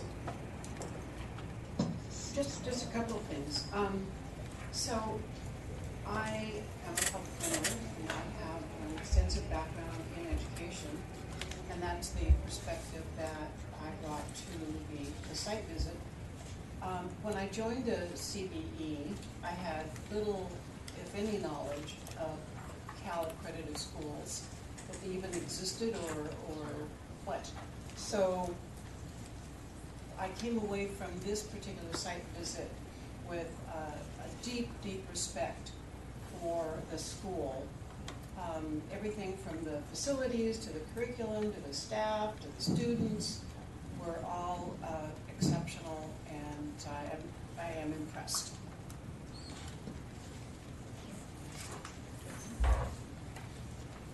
Any other comments? And I have to make one note, I apologize, I skipped over open item four zero two, but if we can stay with four zero three. Any other comments? I'll just add one staff comment worthy of note. Uh, We have here with us uh, the new dean of Empire College of Law, Brian Perchio, and uh, he walks into a school that received recommendations and acted upon and completed all of those recommendations even prior to uh, you receiving the report today. So hopefully that bodes well for his tenure and he enters a well-run, well-managed school. Welcome, to your Patilli. Thank you very much. May I make a brief comment on topics of the time? Um, First of all, I- I wanted to at least on the record thank everyone at Empire that was involved in all this. And not the least of which was my predecessor, Dee Mullins, who got all this done before I got there. I was very happy about that. And you may want to step up to the mic oh, so the viewers can also hear. But um, I, I wanted to, to thank Tracy Chidora, I know some of you worked with her, also Rebecca Lack, and Marie Cockrell, who are the main office folks, that Marie is the assistant dean. Uh, also Roy and Sherry Hurd, who are the executive officers of the college itself, and numerous other people, I'm sure, who worked with all of you to do such a good job to comply with this accreditation process. And I also want to thank those of you who were involved in making the report, because for me to try to get up to speed in, uh, I think it's eight days now, um, that report was, was crucial, and was really helpful. It laid out every aspect of the school.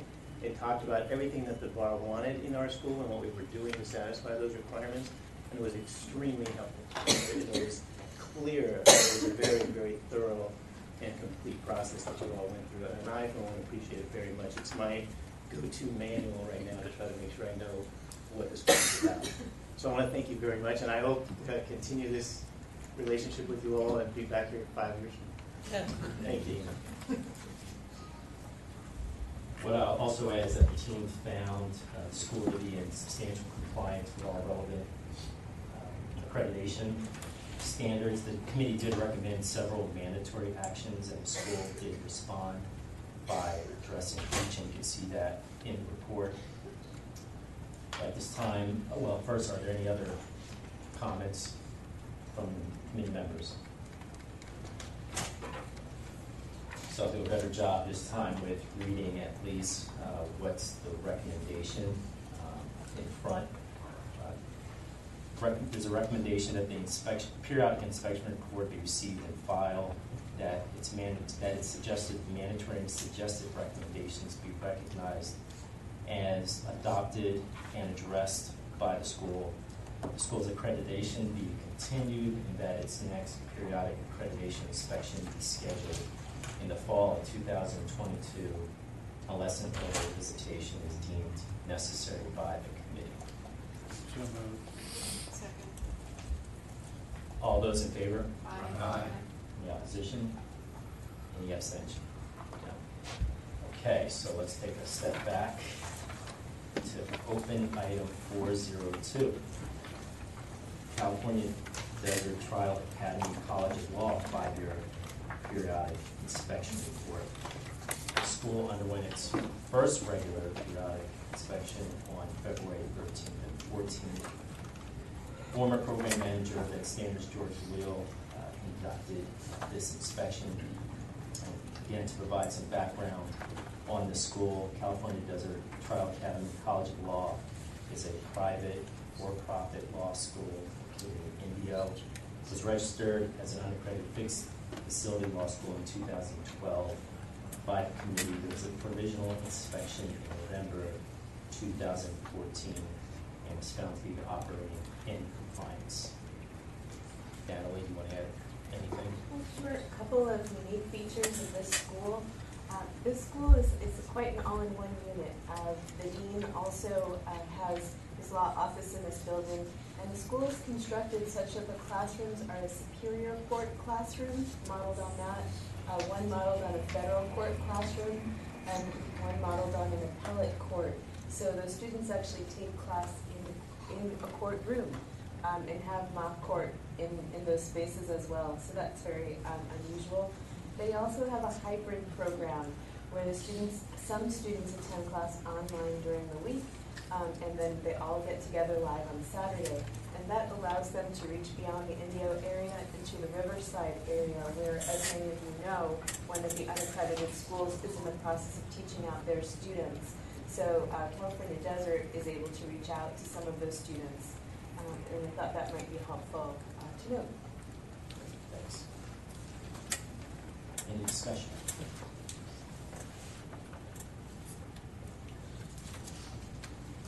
None?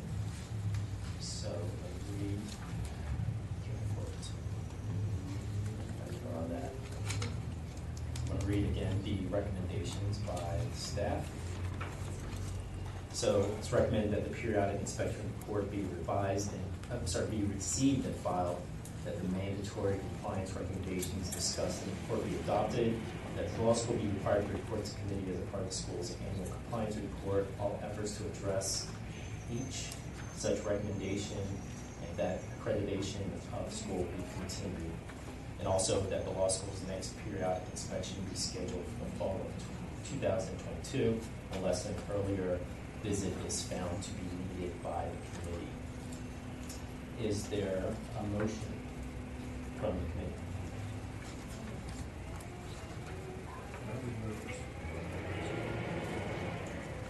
Le- Thanks, thanks, Esther. Is there a second? Second. All those in favor? Aye. Any opposition? Any abstention? Okay, so moved.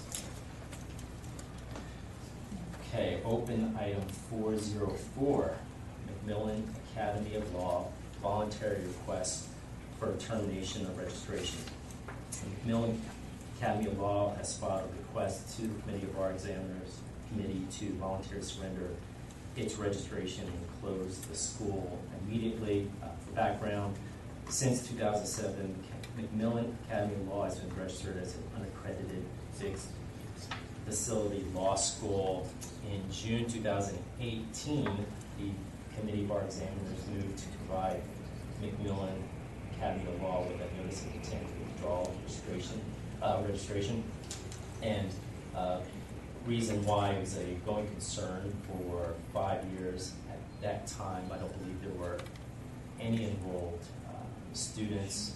Um, In response, uh, McMillan County Law uh, responded and advised that it did wish to voluntarily surrender registration and close the law school as soon as possible. Natalie, any other additional information? I think that covers it. There were some students um, that had just joined in the spring, uh, but they did not complete the semester, so by the time this voluntary request was received, the school had no students. And so closing this school on short notice would not harm students, and the teach-out plan is not required. Thanks, Natalie. Discussion from the committee? Any Questions? Thoughts? No? So there's a recommendation that McMillan Academy of Law's written request to voluntarily surrender its registration be received, filed, and granted effective September first, two thousand eighteen pursuant to Rule 4.268 the unaccredited law school rules, that the law school's name be removed from the list of registered unaccredited law schools as maintained by the State Bar of California. And Scott McMillan has agreed to be the permanent custodian of the law school's records and student transcripts. Is there a motion? So moved. Recommendation. Is there a second? All those in favor, say aye. Aye. Any opposition? Those opposed? So moved.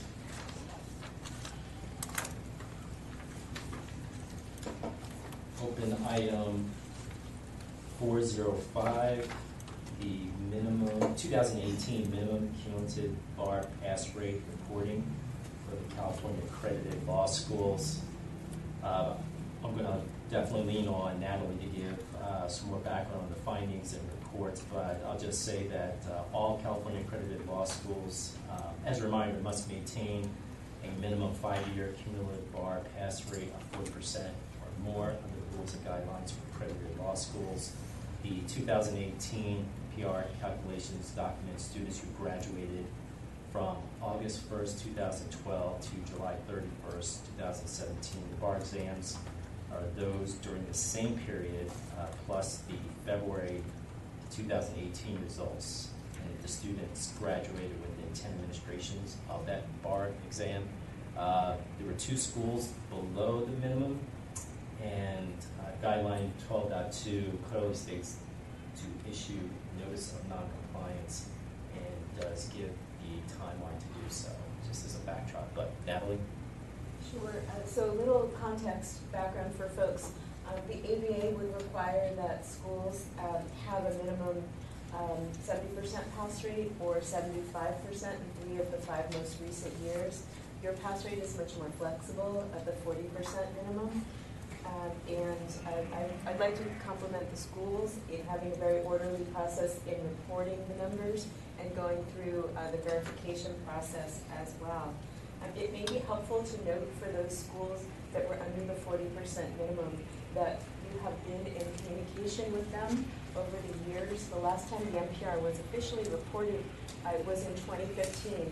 Both of those schools were under the minimum at that time, and there was an interim communication from the bar um, in the meantime from the state bar letting them know that this requirement would return at some point, and internal data suggested that they remained under the minimum.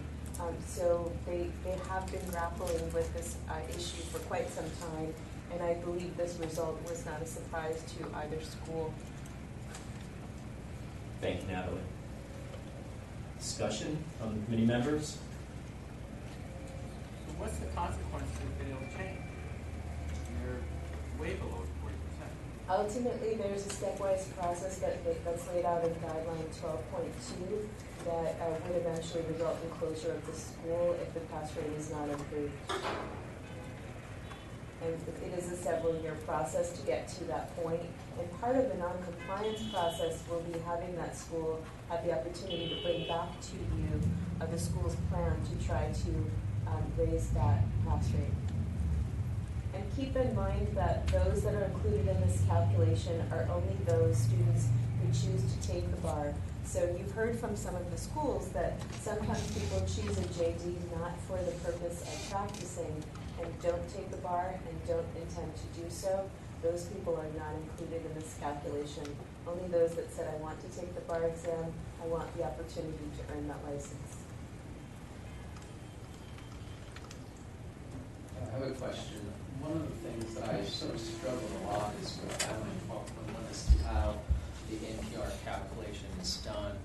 Um, Even though I have a master in electrical engineering, I struggle mightily how to come up with the numbers that we have. And, you know, I, I, I just don't know. Um, so that said, uh, one of the things that I wanted to see if, if you're free to sort of give us a presentation on is to really show us how to come up with the numbers. Because I think it's important for the committee to understand how we calculate the period uh, leading up to the uh, final number of percentage, uh, but also how we come up with individual numbers per examination. Because a lot of times I just look at what we published per administration and use those numbers, and I just can't come up with the numbers that we came up with. And so it sounds like there's some science and logic to it, and I, I I remember going to the back room and trying to get those numbers, but still, you know, it's not, it's not easy science. Sure, I, I would suggest that um, I don't subject you to an extemporaneous presentation in that regard, but that's something we could put together in the future, because it is important to note that this is a cumulative pass rate. So in theory, every member of this reporting period has had up to ten opportunities to take the bar, and so this is the bar passage result after ten opportunities. And so the actual pass rate exam to exam will be much lower uh, than this cumulative pass rate.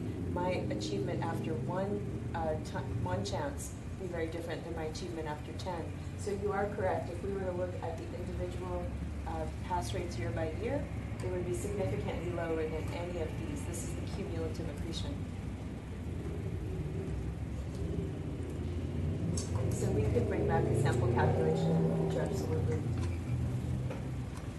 Yeah, very much appreciate it. Other comments or questions from the committee? So there's a recommendation that the CAL's minimum cumulative bar exam pass rates be received and filed, published on the state bar's website and approved for publication by the respective schools. It's also recommended that notices of non-compliance be issued to those CALs with an MPR below forty percent. Is there a motion? So moved. Second? Second. All those in favor? Aye. Any opposition? Any abstention? No? Great, that passes. Open item four zero six, notice of change of law school administrators. There are two notifications uh, addressed to the committee. The First notification is from an accredited law school that is Empire College School of Law. Dean Mullins has retired effective June 29th of this year and will be succeeded by Dean Brian Till effective August 15th. Dean Patil graduated from the University of San Francisco School of Law and has been a licensee of the State Bar of California since 1984. And the second notification is from the accredited law school, Irvine University College of Law. Interim Dean Nicholas E. Trent assumed the role of Dean Emeritus on August 15. He was succeeded by a familiar name George Leal. On that same day, uh, Dean Leal was a former manager for Standards, is a graduate of the University of San Francisco School of Law, and has been a licensee of the State Bar of California since 1980. Any comments, uh, discussions, not a voting item? uh, just have to make some t-shirt, or we to make sure that Dean Leal doesn't make t-shirts that say, UC Irvine. So Al- moved. Alex, you're- I'm sorry. You okay on time? Yes, okay, fine, we're good, thank you. So, uh, open item four zero seven. This is our 2017-18 goals for the Educational Standards Committee.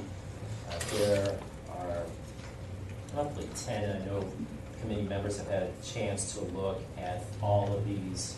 I don't think we need to go into great detail on each one, but I will highlight at least those that we have accomplished, but then also have a discussion, uh, to see if we need to add any more in the short time frame that we have left, uh, in the period, but, uh, we, we, we had this, uh, we had obviously a discussion earlier on WASC, and that's, uh, ongoing, uh, discussion, but, uh, we did, you know, goal number two, uh, reactivating the current suspension of guideline twelve-one, um, you know, we completed that, we reactivated that at the December second, two thousand seventeen, um, examination meeting.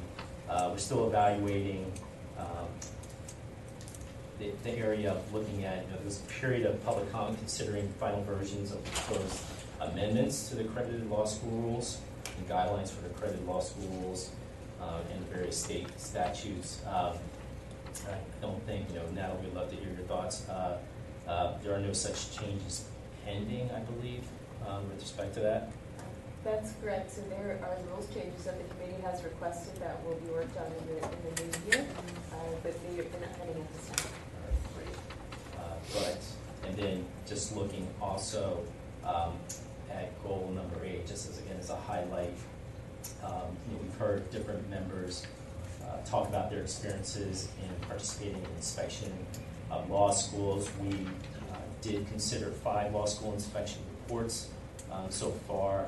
Uh, We'll be considering two more, or we did consider two more today, and I believe that we do have a follow-up inspection report related to that, uh, actually McMillan Academy of Law that was done uh, May 9th, 2018, uh, part of the notice of noncompliance. Uh, Just a friendly reminder that if at all possible, Matt, you can keep us in touch, uh, members in touch uh, with respect to, with respect to the WASC, WASC uh, accreditation site visits as well. Perhaps some of us may have an opportunity to show. Absolutely. Thank you. Any thoughts or questions or comments, additional comments that, I think, Natalie, do you have anything else? I, I would rest on the report. Madam Chair, I believe we are done. Great. Thank you. Um, thank you. So we'll move to the uh, open on examinations, and we'll go to the subcommittee back straight after that. So we cover uh, O200.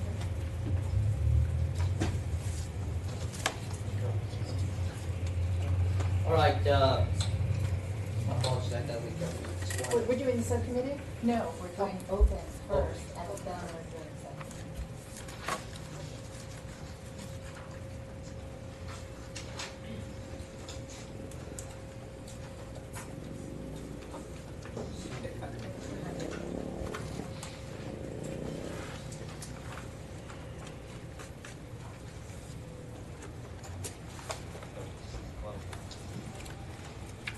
Okay, the, uh, this is the uh, 2017-2018 goals and accomplishments of the examination subcommittee. Have all of you had an opportunity to read and review uh, what was indicated uh, in the report itself? Is there any additions or corrections to, uh, to any of the, uh, of the uh, goals and accomplishments that's laid out here? No? Uh, One second, I had something. Then in that case, uh, I think we need a motion on that. I just want to thank all of you for your uh, sincere effort and hard work with the subcommittee.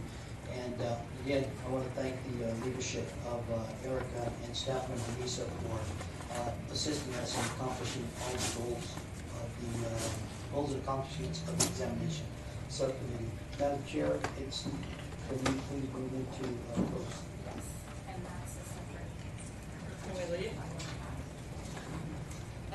So if you are not on the subcommittee on examinations, we need to leave the room because of its closed session. Is it gonna be for a long time? How much work do you get done? Um, Mr. Chair, I don't. Fifteen minutes.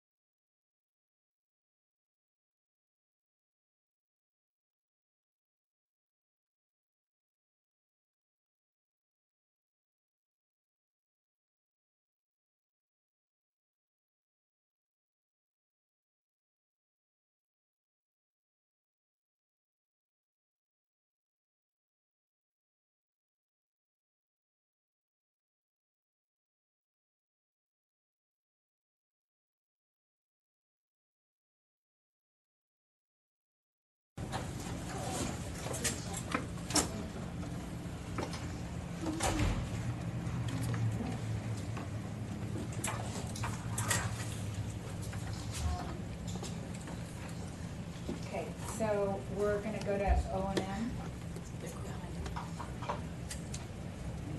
O three hundred.